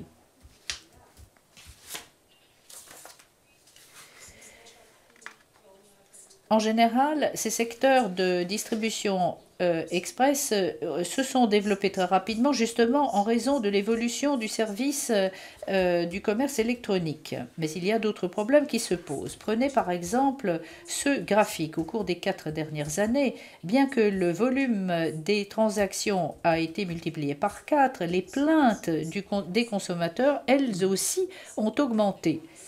Ce qui signifie que les gens continue d'avoir quelques réticences par rapport à ces services. Donc il faudra équilibrer quantité, qualité, sécurité, ces trois paramètres. Autre difficulté, il s'agit d'équilibrer les, euh, vendeurs et les destinataires euh, au bout de la ligne. Et il faut tenir compte de ce coût dans le prix fixé par le vendeur. Alors, la fixation des prix, vendeurs, acheteurs, euh, sont évidemment contradictoires et c'est une difficulté dont il faut tenir compte. Quatrième difficulté, nous avons une demande multiple, alors que la capacité de base est unique. Donc, outre les épiciers,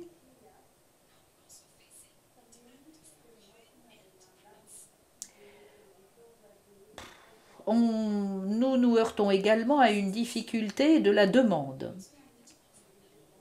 Une demande qui euh, se porte sur les produits alimentaires depuis cette année, ce qui revient à dire qu'il nous faut fournir également des services tels que les services de transport qui vont être très difficiles à réaliser. Alors, du point de vue stratégique, il va falloir accélérer la croissance et d'autre part, il va falloir répondre à deux éléments difficiles. Nous avons un, plan en euh, plusieurs étapes. Et nous pensons que le volume des envois par express euh, connaîtra un doublement euh, d'ici une année. D'autre part, il faudra augmenter le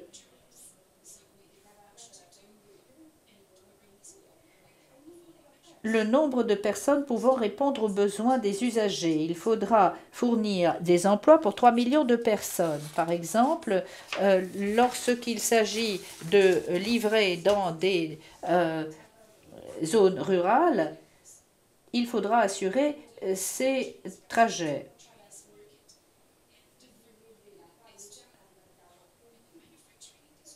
Il faudra également prendre langue avec l'industrie manufacturière afin que les marchés euh, soient organisés selon les besoins des consommateurs. Donc il y a le système de train express et le système de euh, traçage et d'avis par euh, téléphone portable, par SMS. Et il faudra également promouvoir les colis par voie postale afin qu'ils soient intégrés dans les autres branches industrielles. Il conviendra de combiner les services de la poste avec les points de retrait. Et à l'avenir, il faudra peut-être que l'on ait un bon système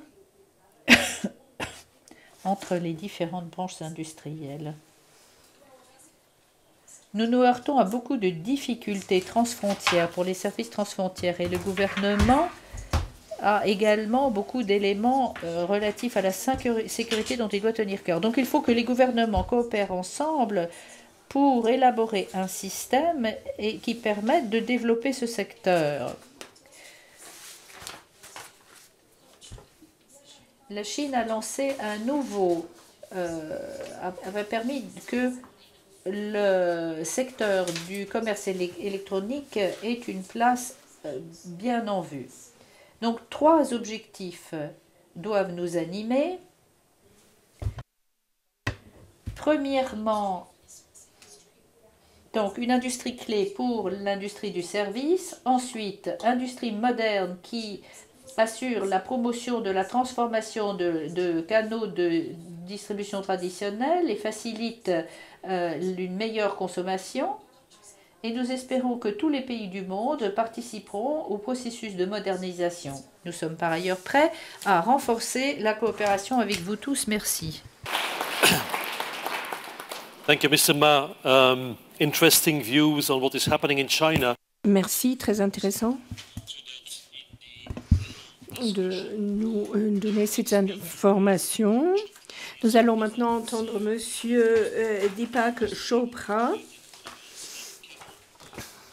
président directeur général de Poste Canada, qui va euh, nous parler des étapes courageuses et nouvelles pour redimensionner le rôle des euh, postes canadiennes, en particulier les modifications au plan de la distribution à domicile. Et c'est très intéressant euh, pour nous d'entendre M. Chopra euh, nous euh, parler de l'incidence du commerce par voie électronique. Merci. Merci, nous sommes très heureux d'être ici au nom de Poste du Canada pour parler du e-commerce international. Et j'ai choisi ce thème parce que j'ai vu de mes préopinants que dans la plupart des juridictions, le euh, commerce national par voie électronique est en de bonnes mains. Déjà, le euh, volume euh, est dans la question des 40% des échanges pour le cybercommerce. En principe, il n'y aura pas de réduction. Il y a 20 ans, un peu plus peut-être, la production disait que euh, le volume de courrier allait euh, tomber en flèche. Et finalement, ça a fini par se produire. Beaucoup se posaient la question, alors quid des postes si le courrier disparaît? C'était une question tout à fait pertinente. Or, le euh, commerce électronique est arrivé. Et très vite, on s'est dit que l'industrie des postes tiendrait le coup. Et je pense que c'est encore trop tôt pour nous les postes de nous dire que les colis et les paquets euh, vont nous sauver, en particulier euh, au plan international. Ça, c'est euh, une conclusion trop hâtive. Vous avez entendu M. Ma, vous avez entendu notre ami du Brésil parler de leur poste et de leur pays, et je n'ai pas l'ombre d'un doute qu'il y aura des stratégies qui vont tout à fait tenir la route. Maintenant, moi, ce sur quoi je voudrais me centrer, c'est sur l'échange international. Les grandes questions, peut-être, c'est quelque chose qui est un défi collectif, probablement pour nous tous. Et nous avons des règles qui remontent à 50, euh, 60 ans. Lettres, courrier aérien, où les postes étaient l'acteur numéro un, c'était sans conteste.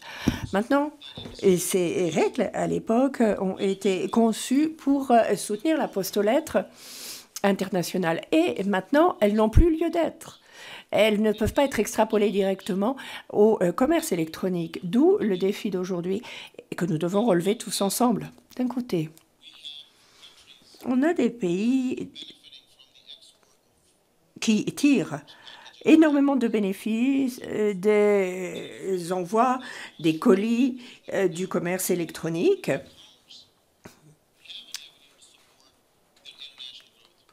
Et avec des perspectives prometteuses pour la croissance nationale et des postes nationaux grâce à ce cybercommerce. Donc, c'est un domaine extrêmement important pour le secteur postal. Maintenant, autre défi, la réception le point est du destinataire, avec des défis tout à fait nouveaux. et qui nous viennent notamment des pays exportateurs. Lorsque ces paquets nous arrivent, il faut beaucoup plus de temps pour les traiter, pour les distribuer au destinataire final. Et si ce service, nous n'arrivons pas à l'assurer, à l'assurer sur le long terme, cette croissance sur le court terme, ce succès risque d'être éphémère. Donc il est capital que nous comprenions bien que nous devons absolument trouver le juste milieu, savoir soutenir la croissance des PME ou des micro-entreprises et en même temps nous assurer que nous allons pouvoir tenir des coûts raisonnables.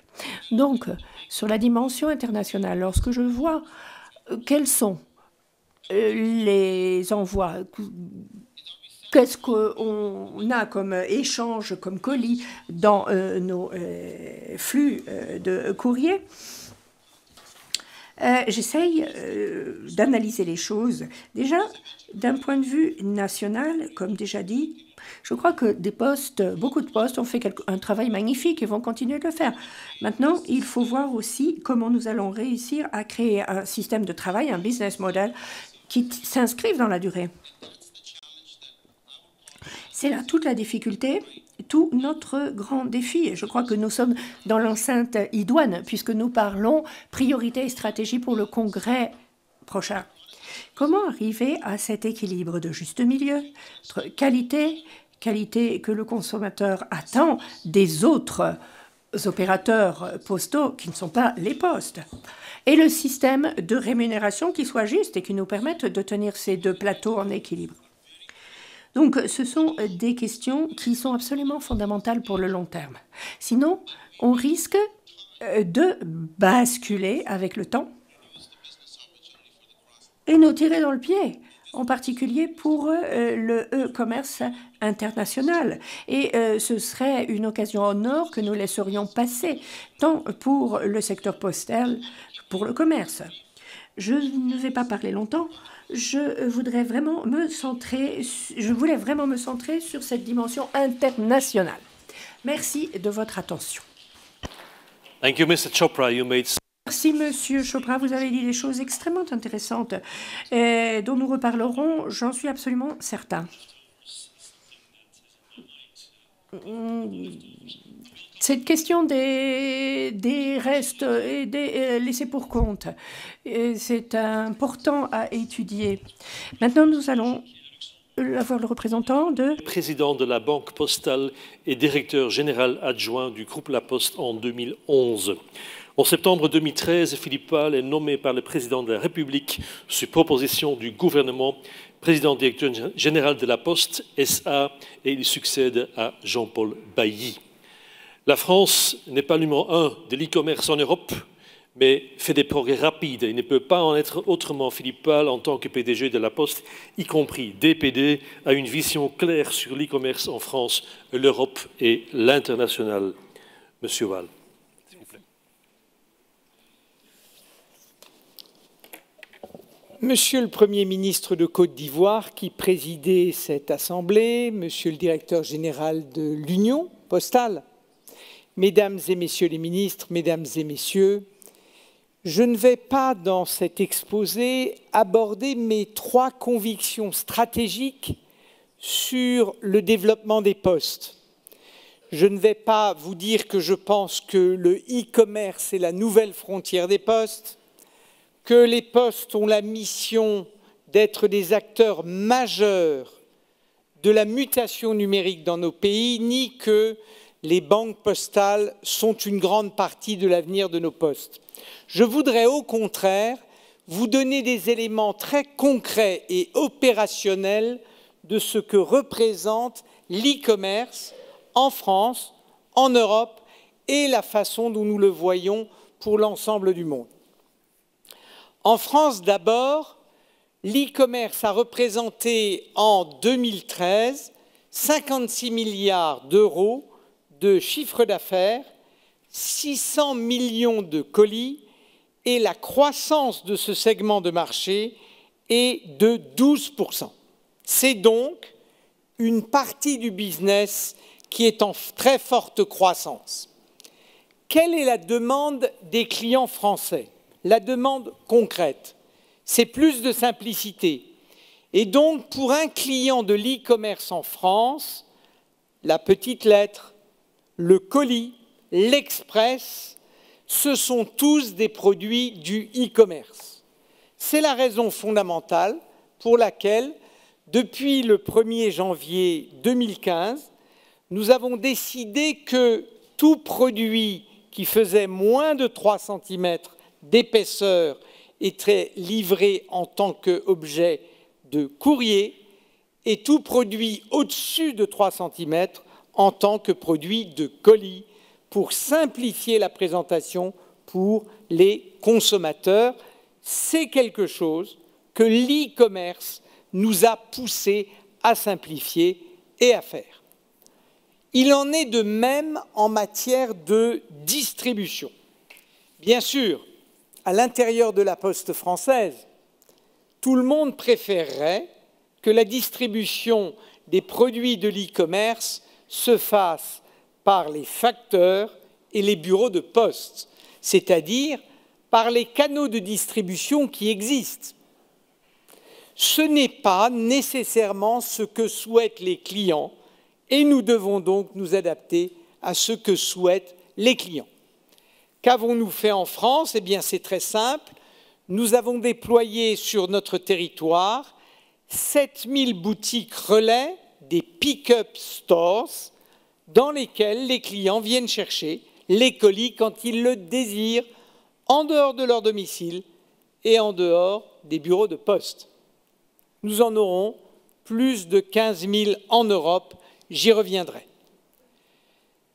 Le deuxième développement qui est lié à l'e-commerce, c'est que nous sommes en train de développer un réseau de consignes connectées avec Neopost et je sais que Wagner Pinheiro, le patron de la poste brésilienne, réfléchit lui-même à développer un tel réseau de consignes. Quelle est l'idée? Elle est très simple, permettre aux gens en dehors de leur domicile, dans les grands domaines de passage, les gares, les aires de passage, les centres commerciaux, d'aller chercher avec un code un colis dans une consigne qui est connectée et qui répond aux besoins du client. C'est une innovation qui a été stimulée par le e-commerce. Troisième innovation stimulée par le e-commerce, le produit Predict, qui a été développé par nos équipes britanniques, qui consiste à envoyer un message le jour précédant la livraison au client pour lui demander à quelle heure et à qui il souhaite que nous livrions le colis. Et ainsi, le client a la possibilité de déterminer une fenêtre d'une heure pendant laquelle il va être livré. Ces trois innovations montrent bien à quel point l'e-commerce va bouleverser à la fois la gamme des produits et aussi les modes de distribution traditionnels de nos postes. Je le disais, cette innovation de prédict, la prédiction de la livraison, a été apportée par les équipes européennes de la Poste. C'est la raison pour laquelle je voudrais maintenant vous parler de ce que nous faisons à l'intérieur du continent européen. En Europe, dans l'ensemble de l'Europe, il y a plus de 300 milliards d'euros pour le marché du e-commerce et il est en croissance de 17%. C'est bien l'avenir des postes européennes qui se joue à cet endroit-là. C'est la raison pour laquelle nous avons écouté la volonté de la Commission de l'Union européenne d'accélérer le développement du e-commerce, de favoriser la création d'acteurs européens du e-commerce et que, dans le cadre de IPC, nous avons construit un réseau qui est en train de se mettre en place et qui s'appelle ECIP, qui est le moyen pour nous de doter les consommateurs européens, les e-commerçants européens, d'un réseau de traçabilité et de contrôle de très haut niveau. Il sera totalement opérationnel à la fin de cette année. C'est un engagement absolument considérable de toutes les postes européennes et ça a exigé évidemment de très forts investissements financiers, de très forts investissements technologiques pour un réseau qui fournira une base de référence au e-commerce dans l'ensemble de l'Europe. Et pour nous, à travers nos opérateurs qui aujourd'hui sont regroupés sous la marque DPD, DPD en anglais, c'est dans les 40 pays de notre présence un réseau qui sera utilisé au quotidien pour le service à la fois du colis B2C, B2B et aussi plus globalement pour les services postaux. On le voit là encore, c'est le e-commerce qui nous a poussés à accélérer notre marche en Europe. Alors du côté maintenant international, au niveau mondial, je crois qu'il faut bien voir que ECIP sera une référence, mais que fondamentalement, nous aurons besoin du réseau e-com-pro de l'UPU. Il n'y a pas de contradiction entre ces réseaux. Nous avons besoin pour communiquer et échanger avec la totalité des membres de l'UPU, du travail de l'UPU, de ce lieu de coopération et de construction d'un nouveau réseau. Et très clairement, ICOMPRO correspond à cette volonté que nous avons de coopération. Il est complémentaire de ce que nous avons réalisé dans la coopérative IMS il est très clairement aussi la nouvelle étape que nous allons franchir ensemble. C'est la raison pour laquelle nous pensons que les différentes communautés de réponse à l'e-commerce, que ce soit IPC, que ce soit le CALA Post Group, KPG, que ce soit l'UPU, sont sur la base de la coopération qui a lieu dans cette Assemblée et à travers l'UPU la bonne réponse à ce qui est, de mon point de vue, la grande frontière des postes dans les dix années à venir, c'est-à-dire l'e-commerce. Et au moment de conclure, je voudrais à la fois remercier notre modérateur, le directeur général de l'Union et aussi nos amis ivoiriens pour avoir si bien organisé cette conférence stratégique. Mesdames et messieurs, merci de votre attention.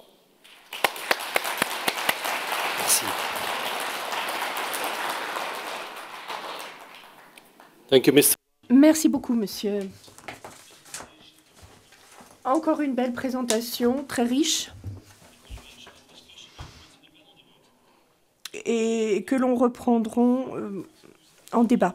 Directeur de la division de la technologie et de la logistique à la CNUSET, la conférence des Nations Unies sur le commerce et le développement. Elle est responsable des activités dans le domaine de l'innovation et de la technologie pour le développement, les transports et la facilitation du commerce. Sans doute, le CNUSET et Anne Mirou ont une vue très claire sur l'importance de l'e-commerce au niveau mondial pour l'économie en général et les postes en particulier. Madame Mirou, s'il vous plaît.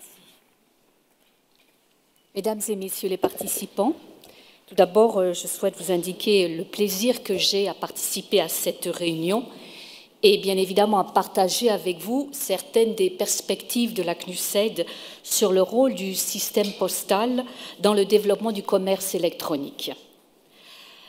Le domaine même du commerce électronique, c'est un, sujet euh, sur lequel la CNUSED s'est penchée depuis déjà, je dirais, une quinzaine d'années puisque nous avons euh, le premier rapport que nous avons euh, établi, c'est le premier rapport en fait des organisations internationales sur ce sujet, précisément sur la question du commerce électronique dans le euh, pays en développement. Nous l'avons publié en l'an 2000. Tout récemment, il y a à peine deux semaines, nous avons lancé, disons, une une mise à jour en quelque sorte de ce rapport de 2010 et les perspectives, bien évidemment, les questions qui étaient posées étaient d'une envergure tout à fait différente.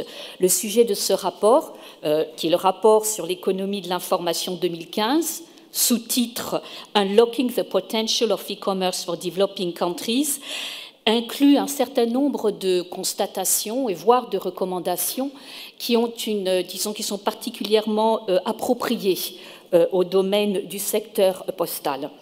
Je préciserai ici, ou plutôt je voudrais reconnaître la contribution de l'UPU à l'élaboration de cet ouvrage et la collaboration tout à fait euh, agréable et utile que nous avons eue avec cette organisation. Je, ne parlerai pas, enfin, de la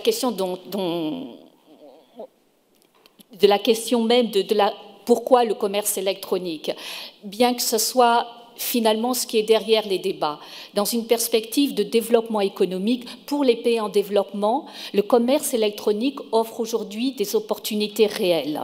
Et c'est justement là peut-être qu'une politique de commerce électronique est aussi une politique de services postaux. Il y a une synergie entre les deux au niveau macroéconomique pour les pays de, de considérer ces deux blocs en même temps. Le commerce électronique offre des opportunités, mais il ne faut pas oublier qu'il a aussi un certain nombre de risques. tout le monde, disons, est, au courant de nos jours des activités de cybercrime, d'activités frauduleuses. Euh, par exemple, il est estimé qu'en 2012, environ 3 milliards et demi de dollars ont été perdus en termes de revenus pour les fournisseurs euh, en raison de la fraude euh, online. Et surtout, ce qui est grave, c'est que les euh, cybercrimes euh, augmentent euh, en volume et en, disons, atteinte ou couverture géographique plutôt. Il y a aussi d'autres éléments qui sont importants quand on parle d'une perspective de services postaux, et je penserai en, particulier à l'impact du commerce électronique sur la concurrence et sur justement la façon dont les petites et moyennes entreprises peuvent profiter de ce nouveau médium de communication et dans quelle perspective. Et puis aussi, il y a tout l'aspect des revenus fiscaux.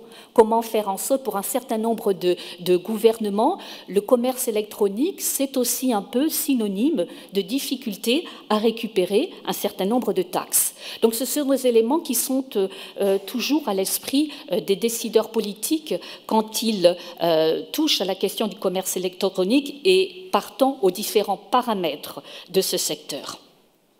On a mentionné à différentes reprises, et c'est un peu l'objectif de médias positives, elles sont, disons, illustratives, euh, la remarquable expansion du commerce électronique sur la décennie euh, précédente.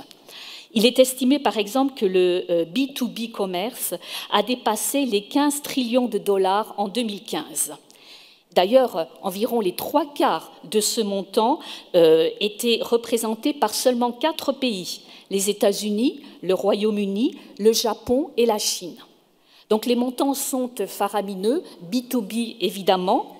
Et puis on a aussi l'aspect euh, B2C, donc business to consumer, qui, comme on peut le voir sur ce euh, schéma, est beaucoup, beaucoup plus petit, même s'il est en, en expansion relativement rapide. Ceci étant, c'est en particulier dans le domaine des relations business to consumer que particulièrement le service postal a un rôle important à jouer. En termes de euh, perspective géographique et, mondiale, je voudrais souligner, et nous l'avons d'ailleurs vu euh, grâce à la présentation qui nous a été faite par le représentant de la poste chinoise, les chiffres pour la Chine sont euh, remarquables. Et il n'est donc pas étonnant que la Chine soit aujourd'hui le marché le plus important en termes de e-commerce B2C. Si vous voulez montrer peut-être les... Voilà. Merci, je vous remercie. Euh, comme vous pouvez le constater, donc on a un certain nombre, on a des différences géographiques euh, assez euh, importantes. Ceci étant conduite par l'Asie, la part des pays en développement et en transition devrait augmenter et passer environ 40% du B2C euh, global d'ici trois ans environ pour, 2018. Euh, et en comparaison, si on prend un continent comme le continent africain, à la fois l'Afrique et le Moyen-Orient, les deux réunis euh, arrivent à peine à représenter 2% du commerce mondial B2C. Donc il y a des très très larges différences au niveau des régions et bien évidemment au niveau des pays. Et d'ailleurs, et c'est la, prochaine diapositive, voilà. Cette diapositive, si vous voulez, a un petit peu pour objectif de, vous montrer les, vraiment les, deux extrémités sur la base, bien évidemment, euh, des données qui nous sont disponibles et de voir, de comparer justement euh, la part des individus euh, qui achètent des produits online. Et on voit bien évidemment dans la partie qui est la partie gauche euh, de la diapositive, ce sont plutôt des pays en développement et la partie euh, à droite, ce sont euh, des pays développés avec quelques pays en développement, particulièrement dans le haut du panier, je dirais, ou de la barrière de GDP, comme Singapour et la Corée.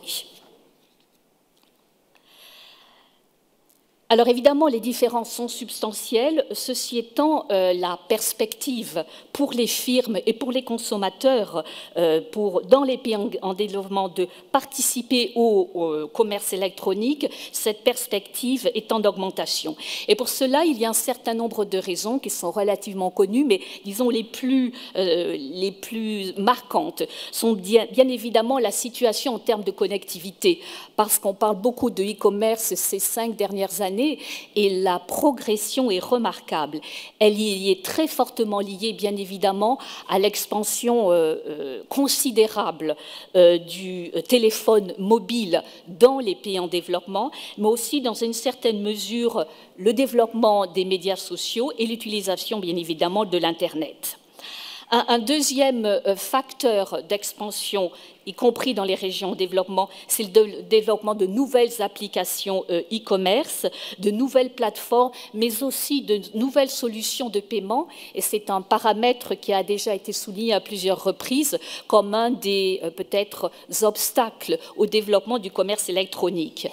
Et non seulement le développement des cartes de crédit, mais plus encore les solutions de paiement mobile sont une source et une possibilité, une opportunité, une facilitation plutôt d'expansion du commerce électronique. Et enfin, le développement de nouveaux services euh, locaux e-commerce dans les pays en développement. Ok, très bien. Donc, je vais euh, me passer assez rapidement à, disons que euh, dans les pays euh, en développement, on a vu que le, commerce électronique est en expansion. L'utilisation de l'Internet par les petites entreprises reste cependant très très limitées. Les raisons sont nombreuses. D'abord, la, possibilité d'avoir accès à des services IT euh, à coût euh, raisonnable, mais il y a aussi des problèmes de capacité, euh, de compétences. Et puis enfin, élément crucial, c'est la possibilité d'avoir à disposition des solutions pour la livraison aussi bien online et électronique ou physique. Et c'est là justement, disons, l'élément clé qui fait que les postes sont un des acteurs fondamentaux du système euh, et de l'écosystème e-commerce. Je mentionnerai euh, rapidement euh, un des index que la CNUSED a établi, qui est de voir dans quelle mesure les, les pays sont prêts. C'est le e-commerce, B2C e-commerce Readiness Index. Et cet index a quatre paramètres. Le premier, c'est vous voulez venir en arrière, s'il vous plaît? Merci. Euh, le pourcentage des individus qui utilisent l'Internet, le pourcentage aussi qui ont une carte de crédit, bien que cela puisse être modifié à terme, euh, disons, un paramètre ou une donnée qui euh, traduit l'existence de serveurs euh, sur Internet sûr. Et puis, ce qui nous intéresse aujourd'hui particulièrement, c'est le pourcentage de la population qui ont un service postal qui délivre les paquets à la maison. Et on voit qu'il bien évidemment qu'il y a une corrélation extrêmement importante entre l'expansion de l'e-commerce et en particulier cette dernière, ce, ce dernier Par exemple, il est intéressant de noter que dans les pays développés, environ, euh, disons, 100% des gens ont un accès euh, postal service at home. En Afrique, c'est moins de 40%, et même dans certains pays d'Afrique, 10% euh, de la population n'a accès à aucun service. Donc on voit, disons, cette dichotomie de situation qui explique aussi, qui est un élément à prendre à compte pour les autorités politiques dans une perspective de développement de commerce électronique. Je conclurai avec les recommandations de la CNUSED. L'une d'elles est particulièrement importante aujourd'hui. En fait, c'est euh, la nécessité de considérer le système postal comme une infrastructure cruciale et essentielle. Et quand je veux dire le système euh, postal, je pense euh, à cette comment dire, problématique qui a été mentionnée, qui est que faire pour régler cette contradiction entre l'accès à des services à des prix raisonnables pour toute la population et toutes les entreprises d'un pays, et puis d'autre part l'accès à des services particulièrement sophistiqués et qui répondent aux besoins des entreprises modernes. Une deuxième recommandation de la CNUSED, c'est de se pencher peut-être sur le système de l'adresse dans les pays en développement. C'est un obstacle dans un certain nombre de pays, justement, où ce système n'est pas, euh, pas développé, voire pas du tout au point. Et puis le troisième domaine, qui est un domaine qui tient à cœur particulièrement à la CNUSED, c'est pour ce qui commerce, concerne le commerce euh, international. Euh, toute la question de la facilité du commerce. On en a parlé à plusieurs reprises, mais je voudrais euh, souligner particulièrement cette difficulté auquel se trouvent euh, confrontés importateurs et exportateurs, qui est la synergie entre le système postal et le système des douanes. À cet égard, je soulignerai, disons, j'ai le plaisir d'indiquer que euh, nous, à la CNUSED, nous travaillons sur ce qu'on appelle un Memorandum of Understanding entre UPU euh, et euh, notre système d'automatisation des douanes à Sikuda. L'objectif de ce partenariat, c'est de développer ou de faciliter un échange de données et surtout l'interface entre précisément le, système postal et le système douanier. Et en faire dernier point, euh, on peut envisager d'amélioration, euh, et je, pense en particulier aux pays en développement euh, dans, ce contexte, sans prendre en compte l'ensemble de l'économie. Autrement dit, il y a un certain nombre de questions qui ont besoin de de, réponse.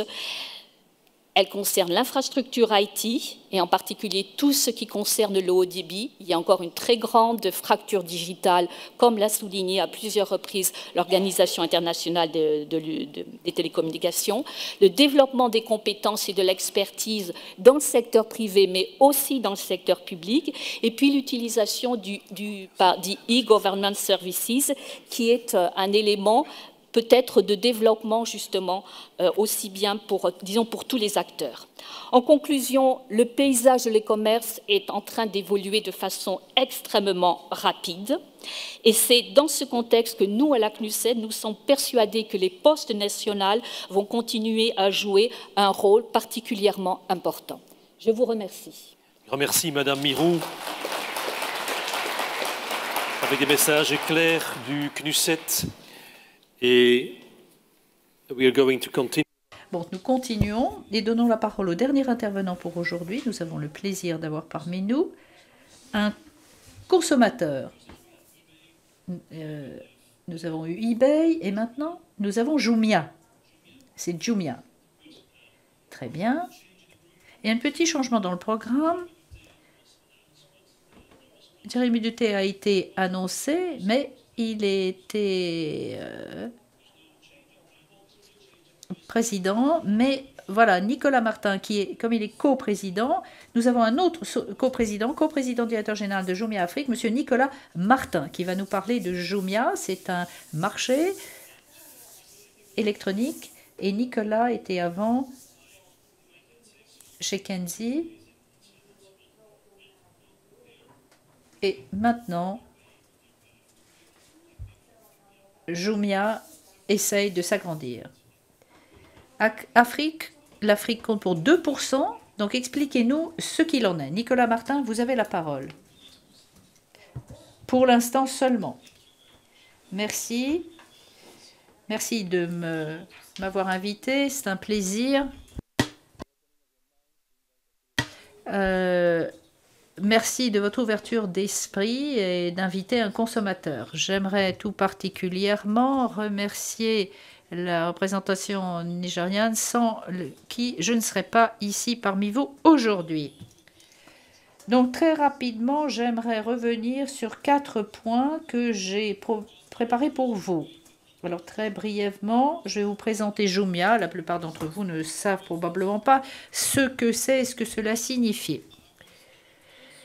Pour nous,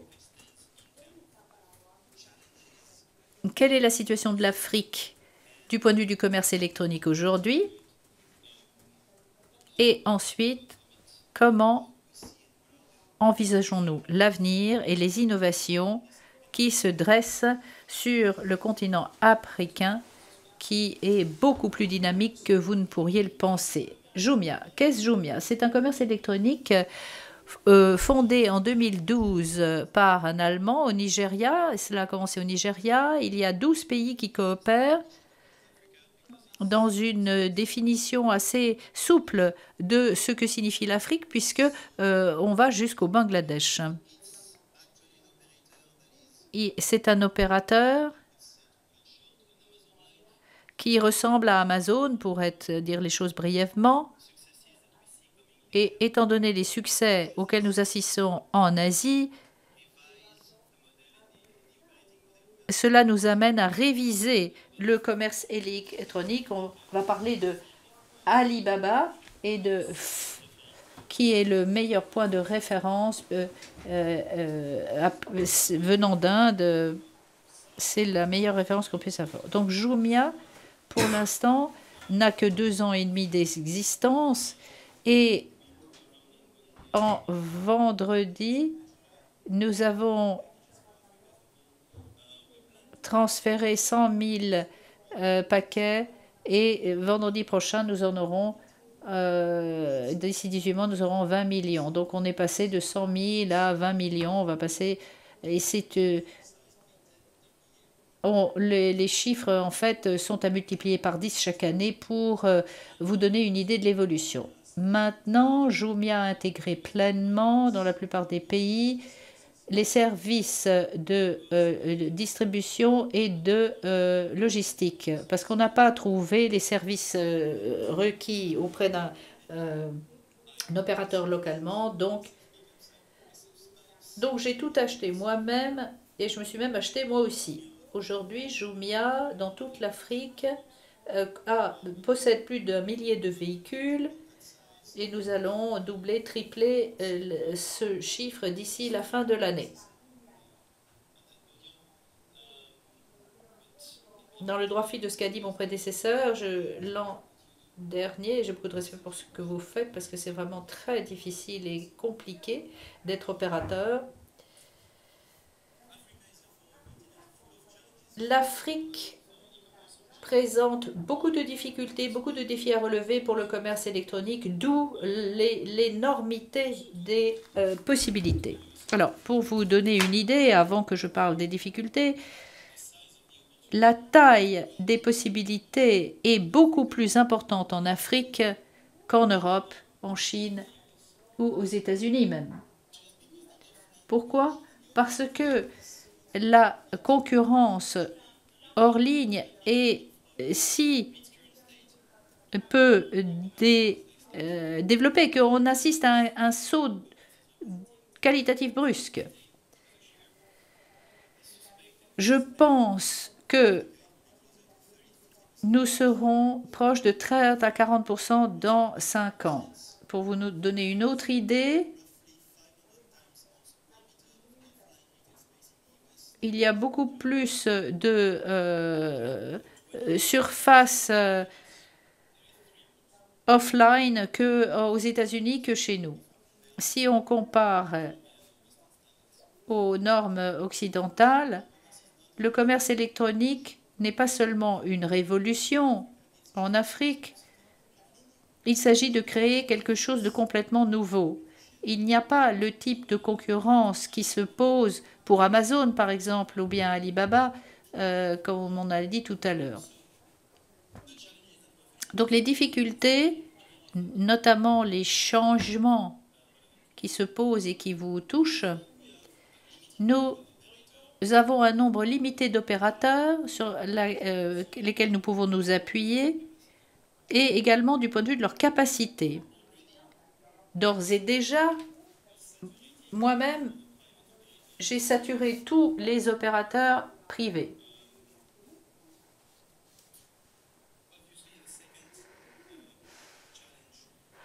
Deuxième difficulté naturelle, l'infrastructure. On l'a dit, et le système d'adressage en Afrique qui n'est pas aussi développé qu'en Europe ou en Occident.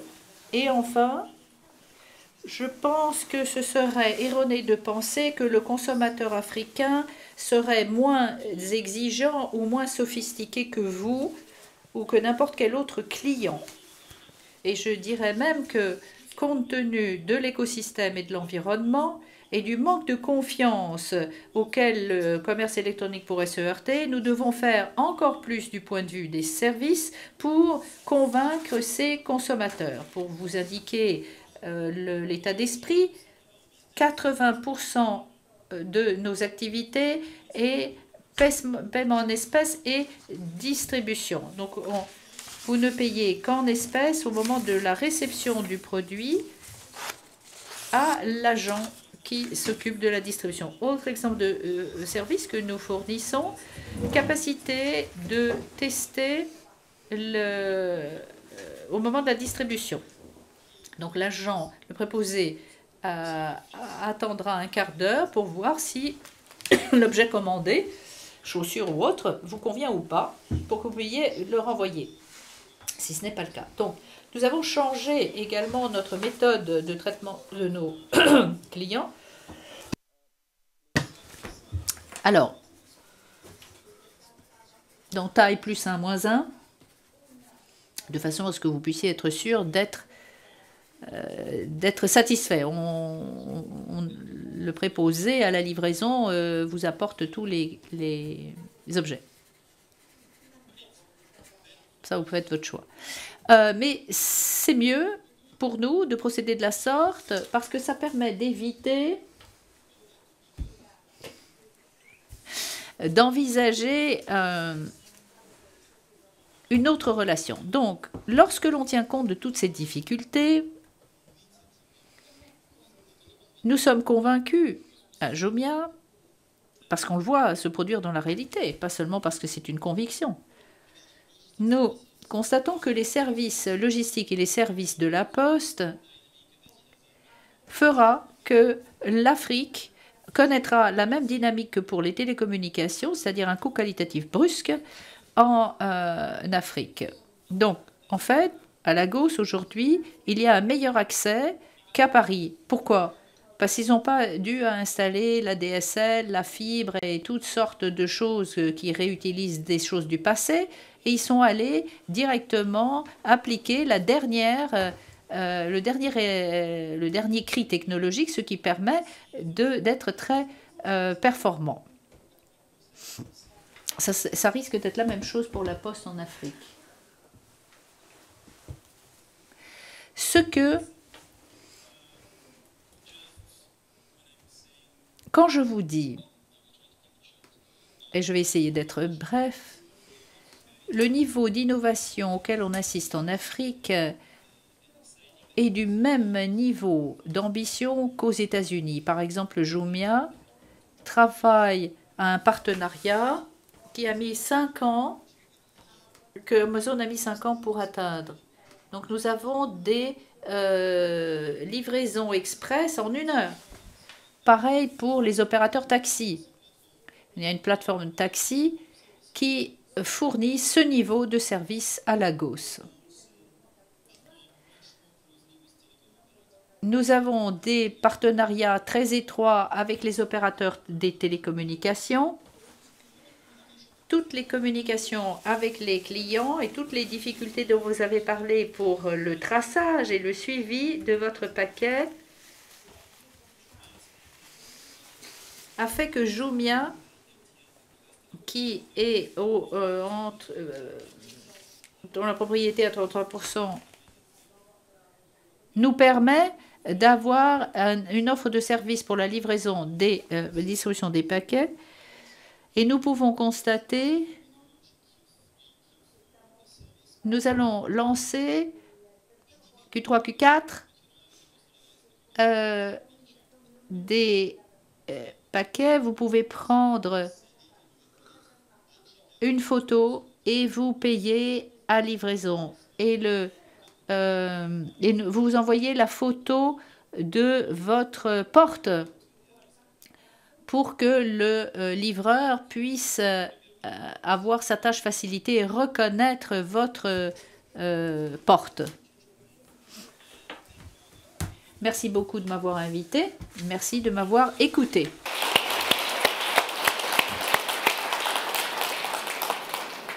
Thank you, Nicolas. Very interesting presentation and... Merci, Nicolas. Très intéressant. Nous avons encore du temps pour un débat qui va certainement être très nourri. J'ai plein de questions en tête euh, qui m'arrivent comme ça quand je vous écoute déjà. Je vais commencer par vous, Nicolas. Vous avez dit clairement que vous aviez réorganisé votre logistique de la distribution. Je crois que c'est un message très important pour notre salle. Ça veut dire qu'il y avait quelque chose qui ne marchait pas. Et quel était le problème euh, qui vous a poussé justement à vous réorganiser au sein du système postal et qu'est-ce qui a fait que vous vous soyez tourné tout de suite après sur la vers la distribution? Là, vous me mettez sur une euh, sellette qui n'est pas très confortable parce que vous avez déjà très sympathique de m'inviter. Maintenant, vous me mettez dans une situation plus compliquée. Pour euh, les questions de temps et de délai à la livraison, nous avons été un peu déçus. Parfois, il y a des ratios de quelques 40% de perte ou de perte de temps et des délais de 2-3 semaines parfois de euh, retard euh, pour euh, les colis. Donc, soit on fait les choses bien, soit on ne les fait pas. Je vais vous donner un exemple pour le Nigeria. Enfin, c'est un juste reflet de ce qui se passe à peu près dans tous les autres pays. Déjà, pour Lagos, Lagos, 2-3 jours d'expédition, de 3 à 5 lorsqu'on sort de Lagos, avec euh, en particulier euh, les envois contre remboursement, parce qu'il faut qu'on établisse un contact physique avec le destinataire. Donc, en matière de euh, prix, qu'est-ce que ça donne? Est-ce que les postes est moins cher que d'autres opérateurs? Pour les frais d'expédition, oui, mais si vous perdez 40% des paquets, c'est quand même ennuyeux. Oui, donc euh, ici, pour beaucoup d'opérateurs des postes africaines ici, si euh, vos performances ne sont pas euh, parfaites, c'est ce qui risque de vous arriver, ce qui va vous arriver. Deepak Chopra, s'il vous plaît. Vous aviez dit que vous aviez du rebut, c'est-à-dire des objets qui n'étaient pas réclamés ni euh, distribués. Euh, Je peux dire guère plus que ce qui a été dit sur Jumia. Bon, le commerce de l'e-commerce est en train de changer. Il y a 4-5 ans, on se disait, bon, c'est ça et ça va être comme ça. Et ça a pu être comme ça pendant un temps. Mais enfin, essayons de nous projeter un petit peu dans le temps. Euh, Jumia nous dit que dans les pays en développement, il y a une difficulté parce que le passage d'un pays à un autre pays est compliqué. Pas assez de sécurité, de traçage, de traçabilité, de fiabilité, de sécurité. Bon, ça c'est l'état des choses. Maintenant, maintenant, si euh, on euh, regarde vers l'avenir. Philippe nous parlait de vastes plateformes, Amazon et autres, qui font des livraisons, des acheminements en masse. Donc, alors, qu'est-ce que euh, risque euh, de euh, nous rester euh, les points qui sont injoignables dans les villages très loin? Donc, on a essayé de régler le problème de la postolette qui était en berne, et maintenant, nous arriverions à la même chose avec les colis. Parce que n'oublions pas la concurrence. C'est un marché extrêmement concurrentiel pour les postes. Et vous avez tous les opérateurs du privé qui sont là. Donc, si euh, nous ne repartons pas à zéro pour établir des bases saines, propres et sûres pour notre logistique, nous partons perdants. Alors, les échanges entre nos pays doivent être conformes aux critères fondamentaux de la qualité, du prix décent et de la technique. Et euh, ces trois éléments sont interliés chaîne d'acheminement, technologie et traçabilité. Donc, et il faut ces critères de base, il faut euh, qu'ils soient là, en particulier les prix raisonnables, en particulier pour euh, les euh, expéditions bon marché. Et il y a des gens qui veulent intervenir. La France voulait parler, je crois, et, et la France doit aller prendre son avion. Alors, s'il vous plaît, allez-y, droit au but. Brièvement, s'il vous plaît. Je voudrais tout d'abord euh, remercier les organisateurs de cette conférence euh, et saluer tout particulièrement euh, la présidence euh, ivoirienne de la conférence. Euh, je voudrais également en quelques mots souligner l'importance que, que la France apporte- accorde euh, aux travaux menés au sein de l'UPU euh, pour accompagner les mutations du secteur postal euh, et euh, tout autant en s'appuyant sur les valeurs d'universalité et de solidarité euh, qui permettent à tous les pays membres à la fois d'en être les acteurs et les bénéficiaires de ces changements. Alors, je voudrais maintenant, pour en venir au, commerce électronique, qui est le sujet du panel, beaucoup a été dit euh, par les panélistes, euh, avec des exemples très concrets, très précis. Je voudrais pour ma part apporter un, un court contrepoint sur les éléments qui peuvent être attendus des gouvernements en faveur du développement du e-commerce. Donc quel rôle attendre des gouvernements pour cela? Alors bien sûr, il y a euh, un point qui est la base de tout, qui sont les investissements euh, pour les réseaux eux-mêmes, les réseaux de communication électronique. Euh, donc investir et favoriser les investissements dans ces réseaux. Lutter contre la fracture numérique, ça a été évoqué. Et d'ailleurs, je dois dire que j'ai été très favorablement impressionné par les éléments et les chiffres donnés ce matin par la Côte d'Ivoire. Un second élément, c'est également quelque chose qui a été mentionné à de multiples reprises, c'est de jouer sur la confiance des consommateurs. Alors, beaucoup de, de solutions doivent être apportées par les opérateurs eux-mêmes, et nous en avons eu euh, plusieurs exemples très intéressants. Euh, notre conviction, c'est que les gouvernements doivent également jouer un rôle dans ce processus afin euh, Quel rôle Quel rôle? afin d'apporter un cadre qui soit connu de tous, qui soit à la fois clair et sécurisant, qui donne les règles du jeu pour les consommateurs. Alors c'est le rôle du régulateur. C'est le rôle des gouvernements et des régulateurs. Les gouvernements peuvent fixer les règles, le régulateur les met en œuvre euh, de manière, de manière plus précise et dans les cas concrets. Et donc ces informations, d'abord, sont les informations sur les services donnés, sur euh, la transparence sur les protections dont les consommateurs peuvent bénéficier contre des pratiques déloyales, sur les recours dont ils peuvent bénéficier. Et ça, ce sont des points euh, extrêmement importants pour construire euh, la confiance. Euh, pour, en citer, pour citer encore deux exemples et deux, deux secteurs clés. Parce que les données personnelles, les informations sur les données personnelles et la manière dont elles peuvent être euh, euh, préservées pour les consommateurs, c'est un point important. Euh, et puis des solutions d'identité numérique qui sont apportées par, par, les opérateurs, mais dans lesquelles aussi les gouvernements peuvent, peuvent, avoir un rôle pour fixer un cadre, là encore, et les faire connaître mieux de la part des consommateurs. Pour conclure, le dernier point, mais pas le moindre, c'est euh, que les gouvernements apportent leur soutien aux travaux qui sont menés au sein de l'UPU, car ces travaux sont absolument structurants pour euh, le développement des échanges, et notamment des échanges de commerce électronique sur le plan mondial. Et là, bien sûr, je veux saluer la, la mise en place euh, du, du, programme Ecom Pro, euh, puisque c'est un, un, point très important. Okay. Voilà. We will talk about Ecom Pro in a minute. Okay. Thank voilà. you. Thank you for this intervention. Merci beaucoup de votre intervention. Alors, euh, vous avez mentionné Ecom Pro. Oui, alors, euh, nous sommes un peu laissés de côté. On voit ce qui se passe en Afrique. Ecom Pro est euh, à un point euh, important dans l'ordre du jour de l'UPU. Alors, est-ce que c'est assez rapide? Est-ce que c'est ce qu'il faut faire? Est-ce que c'est la ce dont nous avons besoin. Donc j'aimerais bien que vous, euh, puisque nous avons des euh, présidents, directeurs généraux ici, présents, y compris de Chine, alors est-ce que Ecom Pro est la voie à suivre? Ah ben oui C'est tout à fait utile, il faut le faire maintenant. EPAC Quoi? Oui. Monsieur Ma. Oui, c'est le 政策的选择。oui, bien sûr. Et comme Pro est un service très sérieux. Et en tant que gens du gouvernement, nous devons promouvoir le commerce électronique. Ce ne serait pas sage de ne pas l'appuyer. De plus, les secteurs industriels se transforment et le commerce électronique est la voie de l'avenir. Par conséquent, il faut appuyer comme pro. Nous ne pensons pas que ces réseaux entraîneront des laissés pour compte. Nous devons être euh, dynamiques pour les innovations, ainsi que pour le rôle des gouvernements.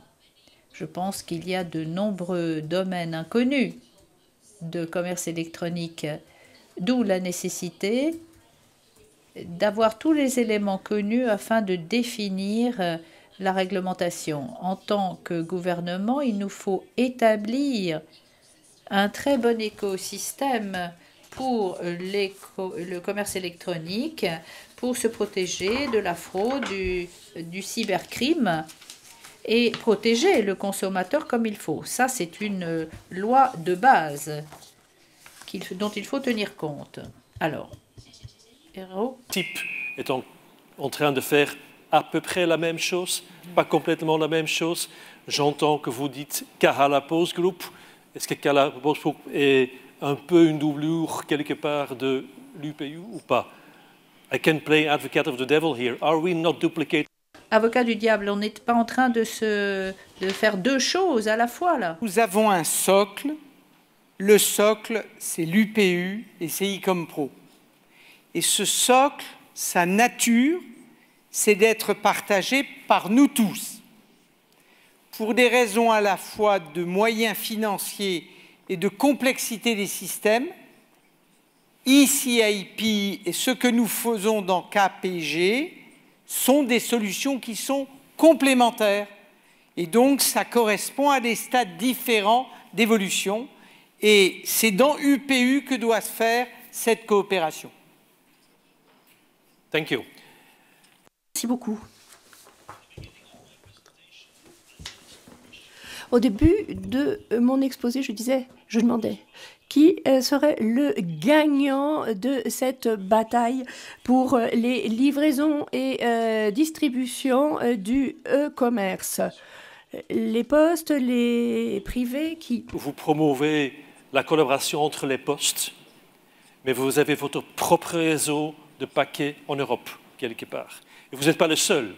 Deutsche Post a DHL et Royal Mail a GLS.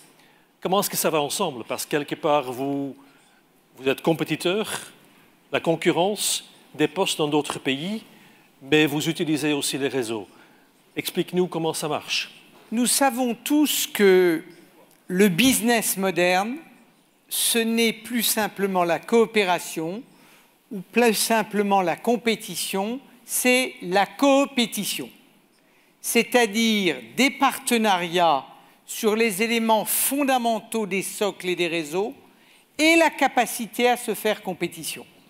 Et donc, je crois que ce que nous développons dans la pratique, la poste française, c'est la coopétition, coopération fondamentale, et je l'ai dit au directeur général de l'UPU, notre volonté d'être un membre très actif de la coopération, mais aussi notre capacité à développer le business et à être des compétiteurs. OK. One question. Une question. Qui sera le gagnant de la bataille? Une seule réponse est lapidaire. Qui va être le gagnant, vous? Les euh, services postaux intégrés, vous-même? Les Alibaba du monde Bataille? Je ne serais pas aussi, euh, comment dire, aussi euh, déterminée. Je crois qu'il y a encore un rôle pour euh, la, la, la, poste publique. D'accord, très bien. Monsieur Val? Pour moi, c'est très clair. Ce sont les postes réunis ici qui vont gagner la bataille si, si. les conditions de concurrence sont égales avec tout le monde. Parfait. Mr. Chop, Deepak? C'est trop tôt pour moi pour dire quoi que ce soit, mais je suis d'accord avec M. Ma. Il faut vraiment nous retrousser les manches, créer des réseaux qui tiennent la concurrence, qui soient fiables. Et à ce moment-là, nous pouvons gagner la bataille. En tout cas, pour un, une bonne part du gâteau. Pour la plus grosse possible, bien sûr, j'espère. Enfin bon. Et là, ce que je faisais, c'était un petit peu de vous titiller pour euh, faire euh, avancer le débat. Monsieur Ma? Très brièvement. Alibaba a ses propres réseaux. Oui, c'est une grosse présence. I don't want you to say anything. It's your choice what you say. Non, non, c'est votre opinion là que j'attends. Bon, je pense que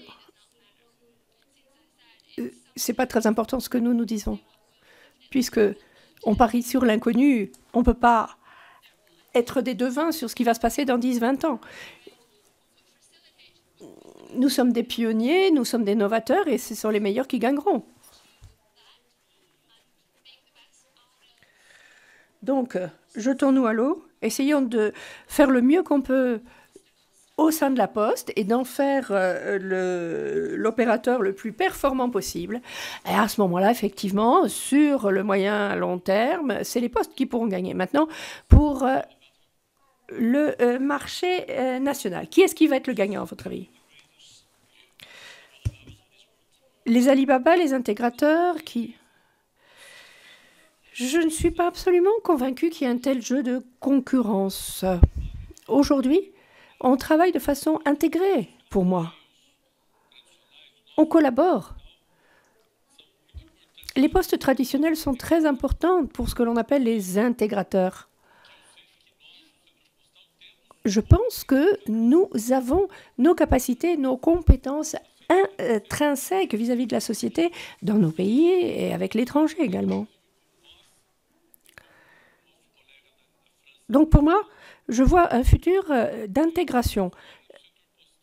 Je renvoie à ce qu'a dit la France. L'histoire du secteur euh, postal qui remonte à plusieurs euh, siècles. Alors les choses changent et les postes restent, avec intégrateurs et autres. Bon, maintenant, si bataille il y a, nous sommes armés, nous sommes équipés pour livrer cette bataille et même pour la gagner. Maintenant, qu'est-ce qui va se passer d'ici dix ans? Je n'en sais rien mais euh, les éléments fondamentaux sont là.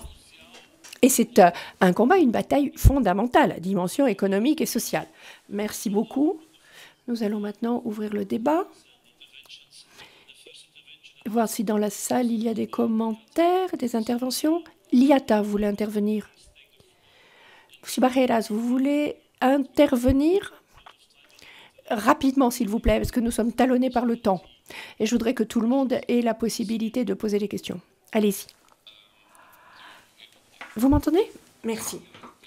Merci beaucoup de donner à l'IATA la possibilité de s'exprimer à cette tribune qui est très importante pour nous. Nous représentons quelques 150 compagnies aériennes, donc nous sommes un gros partenaire des postes. Nous aussi, nous nous réjouissons du développement du cybercommerce et nous rencontrons aussi tous ces défis. Le premier déjà évoqué, c'est la création des capacités. Déjà en volume, Aujourd'hui, on ne sait pas exactement quels sont ces volumes. Qu'est-ce qu'ils vont donner? Combien de tonnes cubiques allons-nous devoir transformer, transporter pardon. Avec l'avènement et le développement du e-commerce, les volumes gonflent et il faut essayer de prévoir, de travailler à l'avance, d'anticiper sur ces volumes. Nous euh, travaillons de très près avec euh, les services postaux les différents opérateurs pour euh, voir comment fonctionner et comment passer aussi par des plateformes externes accessibles à tous. Il faut faire du travail de prévision également pour arriver à prévoir les appareils, les avions, j'entends, les questions saisonnières. Par exemple, il y a eu, vous voyez, par exemple, le Black Friday à l'époque et les jours piquent pour les ventes à distance. En même temps, je voudrais parler aussi des retours. C'est ce qu'on appelle des volumes vides, ce qui est renvoyé. Ma femme est une maniaque des chaussures. Elle en achetait quatre. Enfin, en général, elle, elle achète quatre paires de chaussures, elle les essaye, elle en garde trois, et elle en renvoie une. Donc, dans la même boîte, la boîte qu'elle a reçue. Donc, vous voyez, euh, un petit peu une illustration du euh, volume vide. C'est-à-dire que cette même grosse boîte pour quatre paires de chaussures voyage de retour avec une paire de chaussures simplement. Hmm? C'est une illustration. Merci. Autre intervention, Costa Rica. Allez-y. Je vous remercie, Monsieur Sommers. Le commerce électronique est très exigeant en qualité et en prix, comme le disait notre collègue à propos de Jumia. Avec des euh, structures et des réseaux propres qui font que parfois les postes se sentent un peu euh, sur la touche. On parle de commerce électronique, on parle euh, d'Edcomco, mais on a l'impression en même temps qu'on a raté le train que beaucoup de gens ont raté le train, s'ils n'ont pas su euh, changer leur fusil d'épaule et s'adapter. Comment changer modifier euh, une structure traditionnelle pour euh, les colis, par exemple, ou pour les lettres, pour prendre, surfer sur la vague du commerce électronique? Ici, est-ce que au sein de l'UPU, nous n'aurions pas raté un coche? Et comment est-ce que l'on pourrait faire pour se mettre à jour des exigences actuelles du marché? Merci. Merci. Je vais essayer de répondre. Voici. Euh, Dipak, vous avez parlé des, de ce qui restait sur la touche et des laissés pour compte. Junia, Costa Rica en ont parlé. Effectivement, l'UPU constitue l'enceinte idéale pour aborder toutes nos questions. Je crois que nous avons les capacités intellectuelles, les capacités techniques. Beaucoup de personnes douées et euh, compétentes sont là, quel que soit leur pays d'origine. Et euh, moi, j'insiste ici euh, sur une sorte de sonnette d'alarme, en tout cas le bouton urgence. C'est urgent. Il faut vraiment faire démarrer certaines initiatives. Maintenant, est-ce qu'on a raté le coche? Il n'est jamais trop tard, je pense. Le commerce représente 50% des euh, bénéfices de, des ventes aux États-Unis, 2% pour euh, l'Afrique. Dans beaucoup de pays, euh, le train a été manqué il y a longtemps. dans d'autres pays, le train entre en gare. On a le temps. Enfin, c'est le moment de s'y mettre. Alors maintenant, quand? Pour quand pouvons-nous arriver à nous tenir prêts? Qu'est-ce que vous prévoyez? Qui euh, veut, euh, qui s'occupe de ce secteur? Qui euh, veut intervenir? Micro?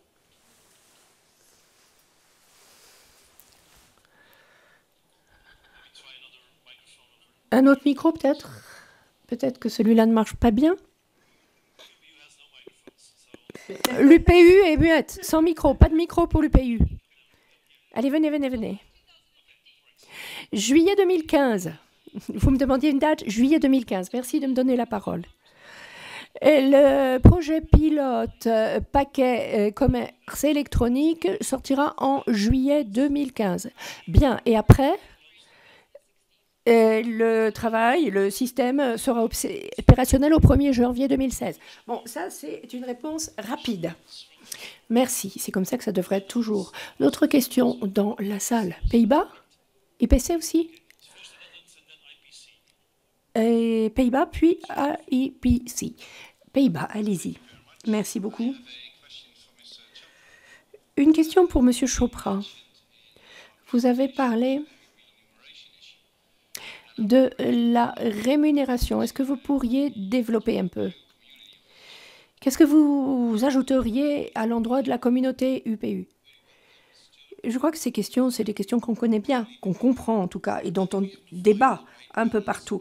Et il faut arriver à ce juste équilibre entre euh, le pays d'expédition et le pays de réception dans un jeu de bonne concurrence, non pas euh, l'espèce de course à l'échalote du premier de la classe, mais pour essayer d'améliorer, passer des services de niveau 0, 1, 2, 3 médiocre à un bon niveau de service. Et je crois qu'il y a un décalage dans la catégorie de produits, dans la gamme de produits. Et comme pro, c'est un très bon point de départ. Maintenant, il faut voir d'autres choses aussi la réglementation des redevances et des droits de douane qui sont mis sur pied à diverses fins. Ce débat est sur le tapis. J'encourage les différentes commissions à parler de ces questions et à essayer d'arriver à définir un juste milieu où tout le monde se sente ou sente qu'il peut sortir gagnant. Ça ne sera pas forcément euh, un ruban de soie, ce ne sera pas euh, facile, mais on peut peut-être avoir une progression par étapes, euh, un système glissant et ajustable. Chili, puis ensuite IPC. Chili. Lisbeth Enriquez, présidente des postes du Chili. Je voudrais ici parler d'un problème qui a été évoqué ici euh, à propos du Nigeria.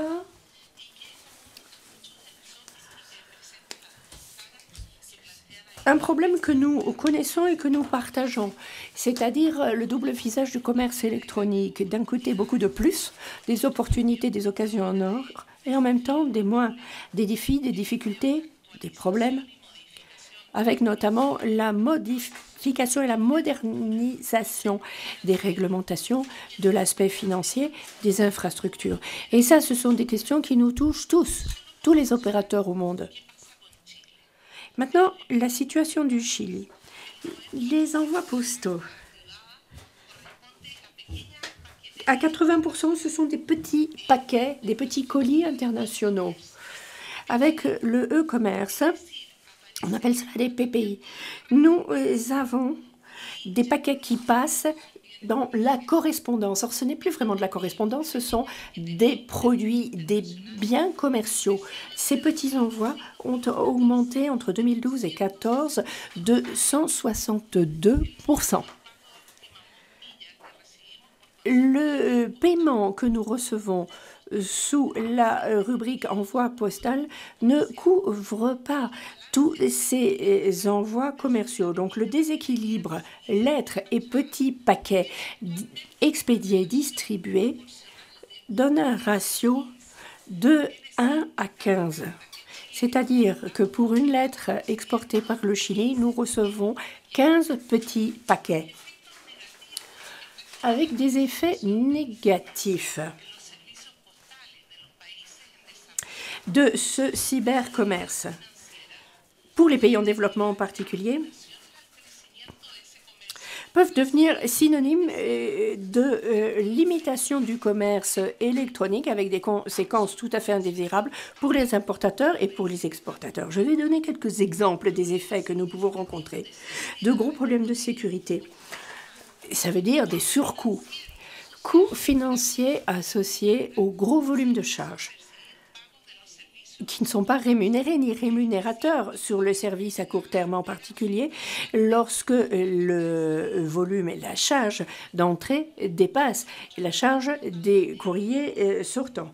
Ensuite, problème d'emmagasinage, de stockage et de douane nécessité d'infrastructures nouvelles, de logistique adaptée à ce type de produits, les euh, frais terminaux, qui euh, on applique le système lettres, mais pas le système produits commerciaux. Et euh, enfin, transformation du profil du destinataire final. Ce qui m'amène à faire une proposition. Au bout du compte, ce que l'on voit, c'est que il y a des exclusions et des déséquilibres dans les euh, volumes traités. Et, ces déséquilibres risquent d'augmenter comme les volumes vont augmenter également. Le e-commerce est encore géré par des règles traditionnelles, trois services fondamentaux, euh, conformément aux règles et règlements UPU. EMS, lettres, colis.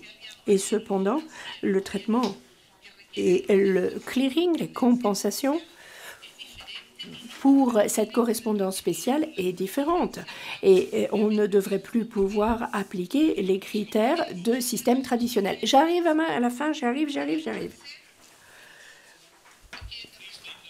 S'il vous plaît, madame, allez au fait et faites votre proposition. Oui, là, nous avons de gros progrès, c'est sûr. En tout cas, nous voyons l'initiative E-Compras et Compras du Brésil. Le Pérou n'a pas résolu la question des petits colis. Oui, madame, nous avons entendu tout cela, s'il vous plaît. Donc, mon appel à l'UPU. Devant cette nouvelle réalité du cybercommerce et ses effets, nous pensons qu'il est nécessaire de mettre sur pied un ensemble de normes spécifiques UPU qui réglementent à échelle internationale un service postal et qui répondent comme il le faut à ce nouveau phénomène de l'e-commerce d'aujourd'hui, avec des traitements spéciaux et différenciés pour les pays en voie de développement qui soient conformes à leur capacité économique. Bon, madame, si vous ne donnez pas votre conclusion, je vais être obligée de vous retirer le micro.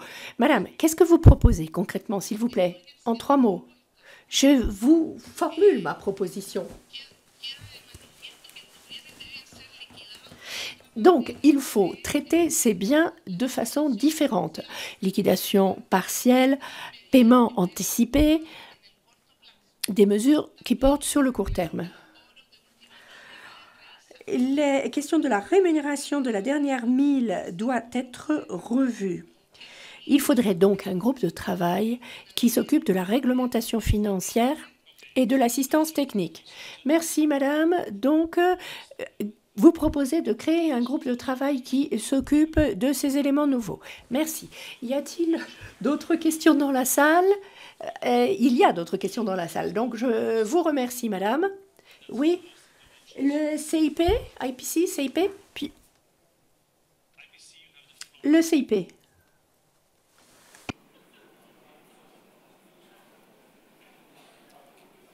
Je sais pas ce que c'est, je vais regarder.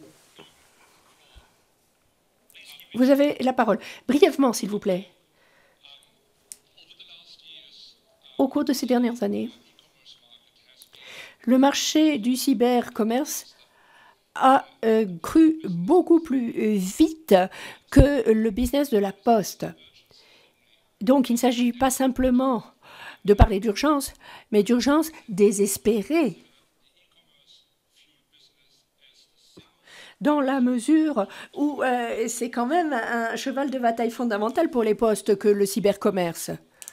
33 postes nous ont demandé de développer ce programme interconnecté e-commerce que nous avons euh, terminé à la fin de l'année dernière et, nous avons euh, les caractères de ce programme qui euh, tient la route et qui peuvent être traduits en pratique à titre individuel pour différentes postes, mais aussi dans le monde entier. Donc je propose ici de mettre en commun notre expérience et ce que nous avons conçu comme programme nouveau pour le bien de, des postes en général et des clients. Merci pour ces interventions. Le Chili, l'UPU me transmet un message. Vous pouvez envoyer votre proposition à l'UPI qui euh, l'utilisera et l'étudiera de très près. Désolé euh, de euh, vous juguler comme ça, de vous brider, mais nous n'avons plus de temps. Je voudrais commencer par remercier nos remarquables conférenciers et orateurs de cet après-midi. Bravo, un grand bravo s'il vous plaît. Donc, on, me demande de faire un résumé de l'après-midi Non, ça, je ne suis pas capable, je ne peux pas. Vous avez été là, vous avez entendu ce qui s'est passé. Quelques points saillants quand même. L'économie mondiale constitue un élément clé pour les postes et, et réciproquement. Et les postes sont aussi une des clés de voûte de l'économie mondiale, en particulier sur le segment dernière mille il Bon, enfin, que quelles que soient les transactions euh, par voie euh, de bétail, par cyber-transport, au télétransport ou tout autre, il s'agit de transmettre et il s'agit d'innover. Donc je crois que cette session fondamentale de cyber-commerce nous a permis d'entendre des messages fondamentaux. Ne pas rater le Koch. Merci beaucoup à M. Hussein de faire passer ces messages avec la plus grande vivacité et pour les années qui nous attendent et qui arrivent là. Merci à tous pour votre zèle, votre attention et votre patience. Merci pour cette belle réunion d'après-midi.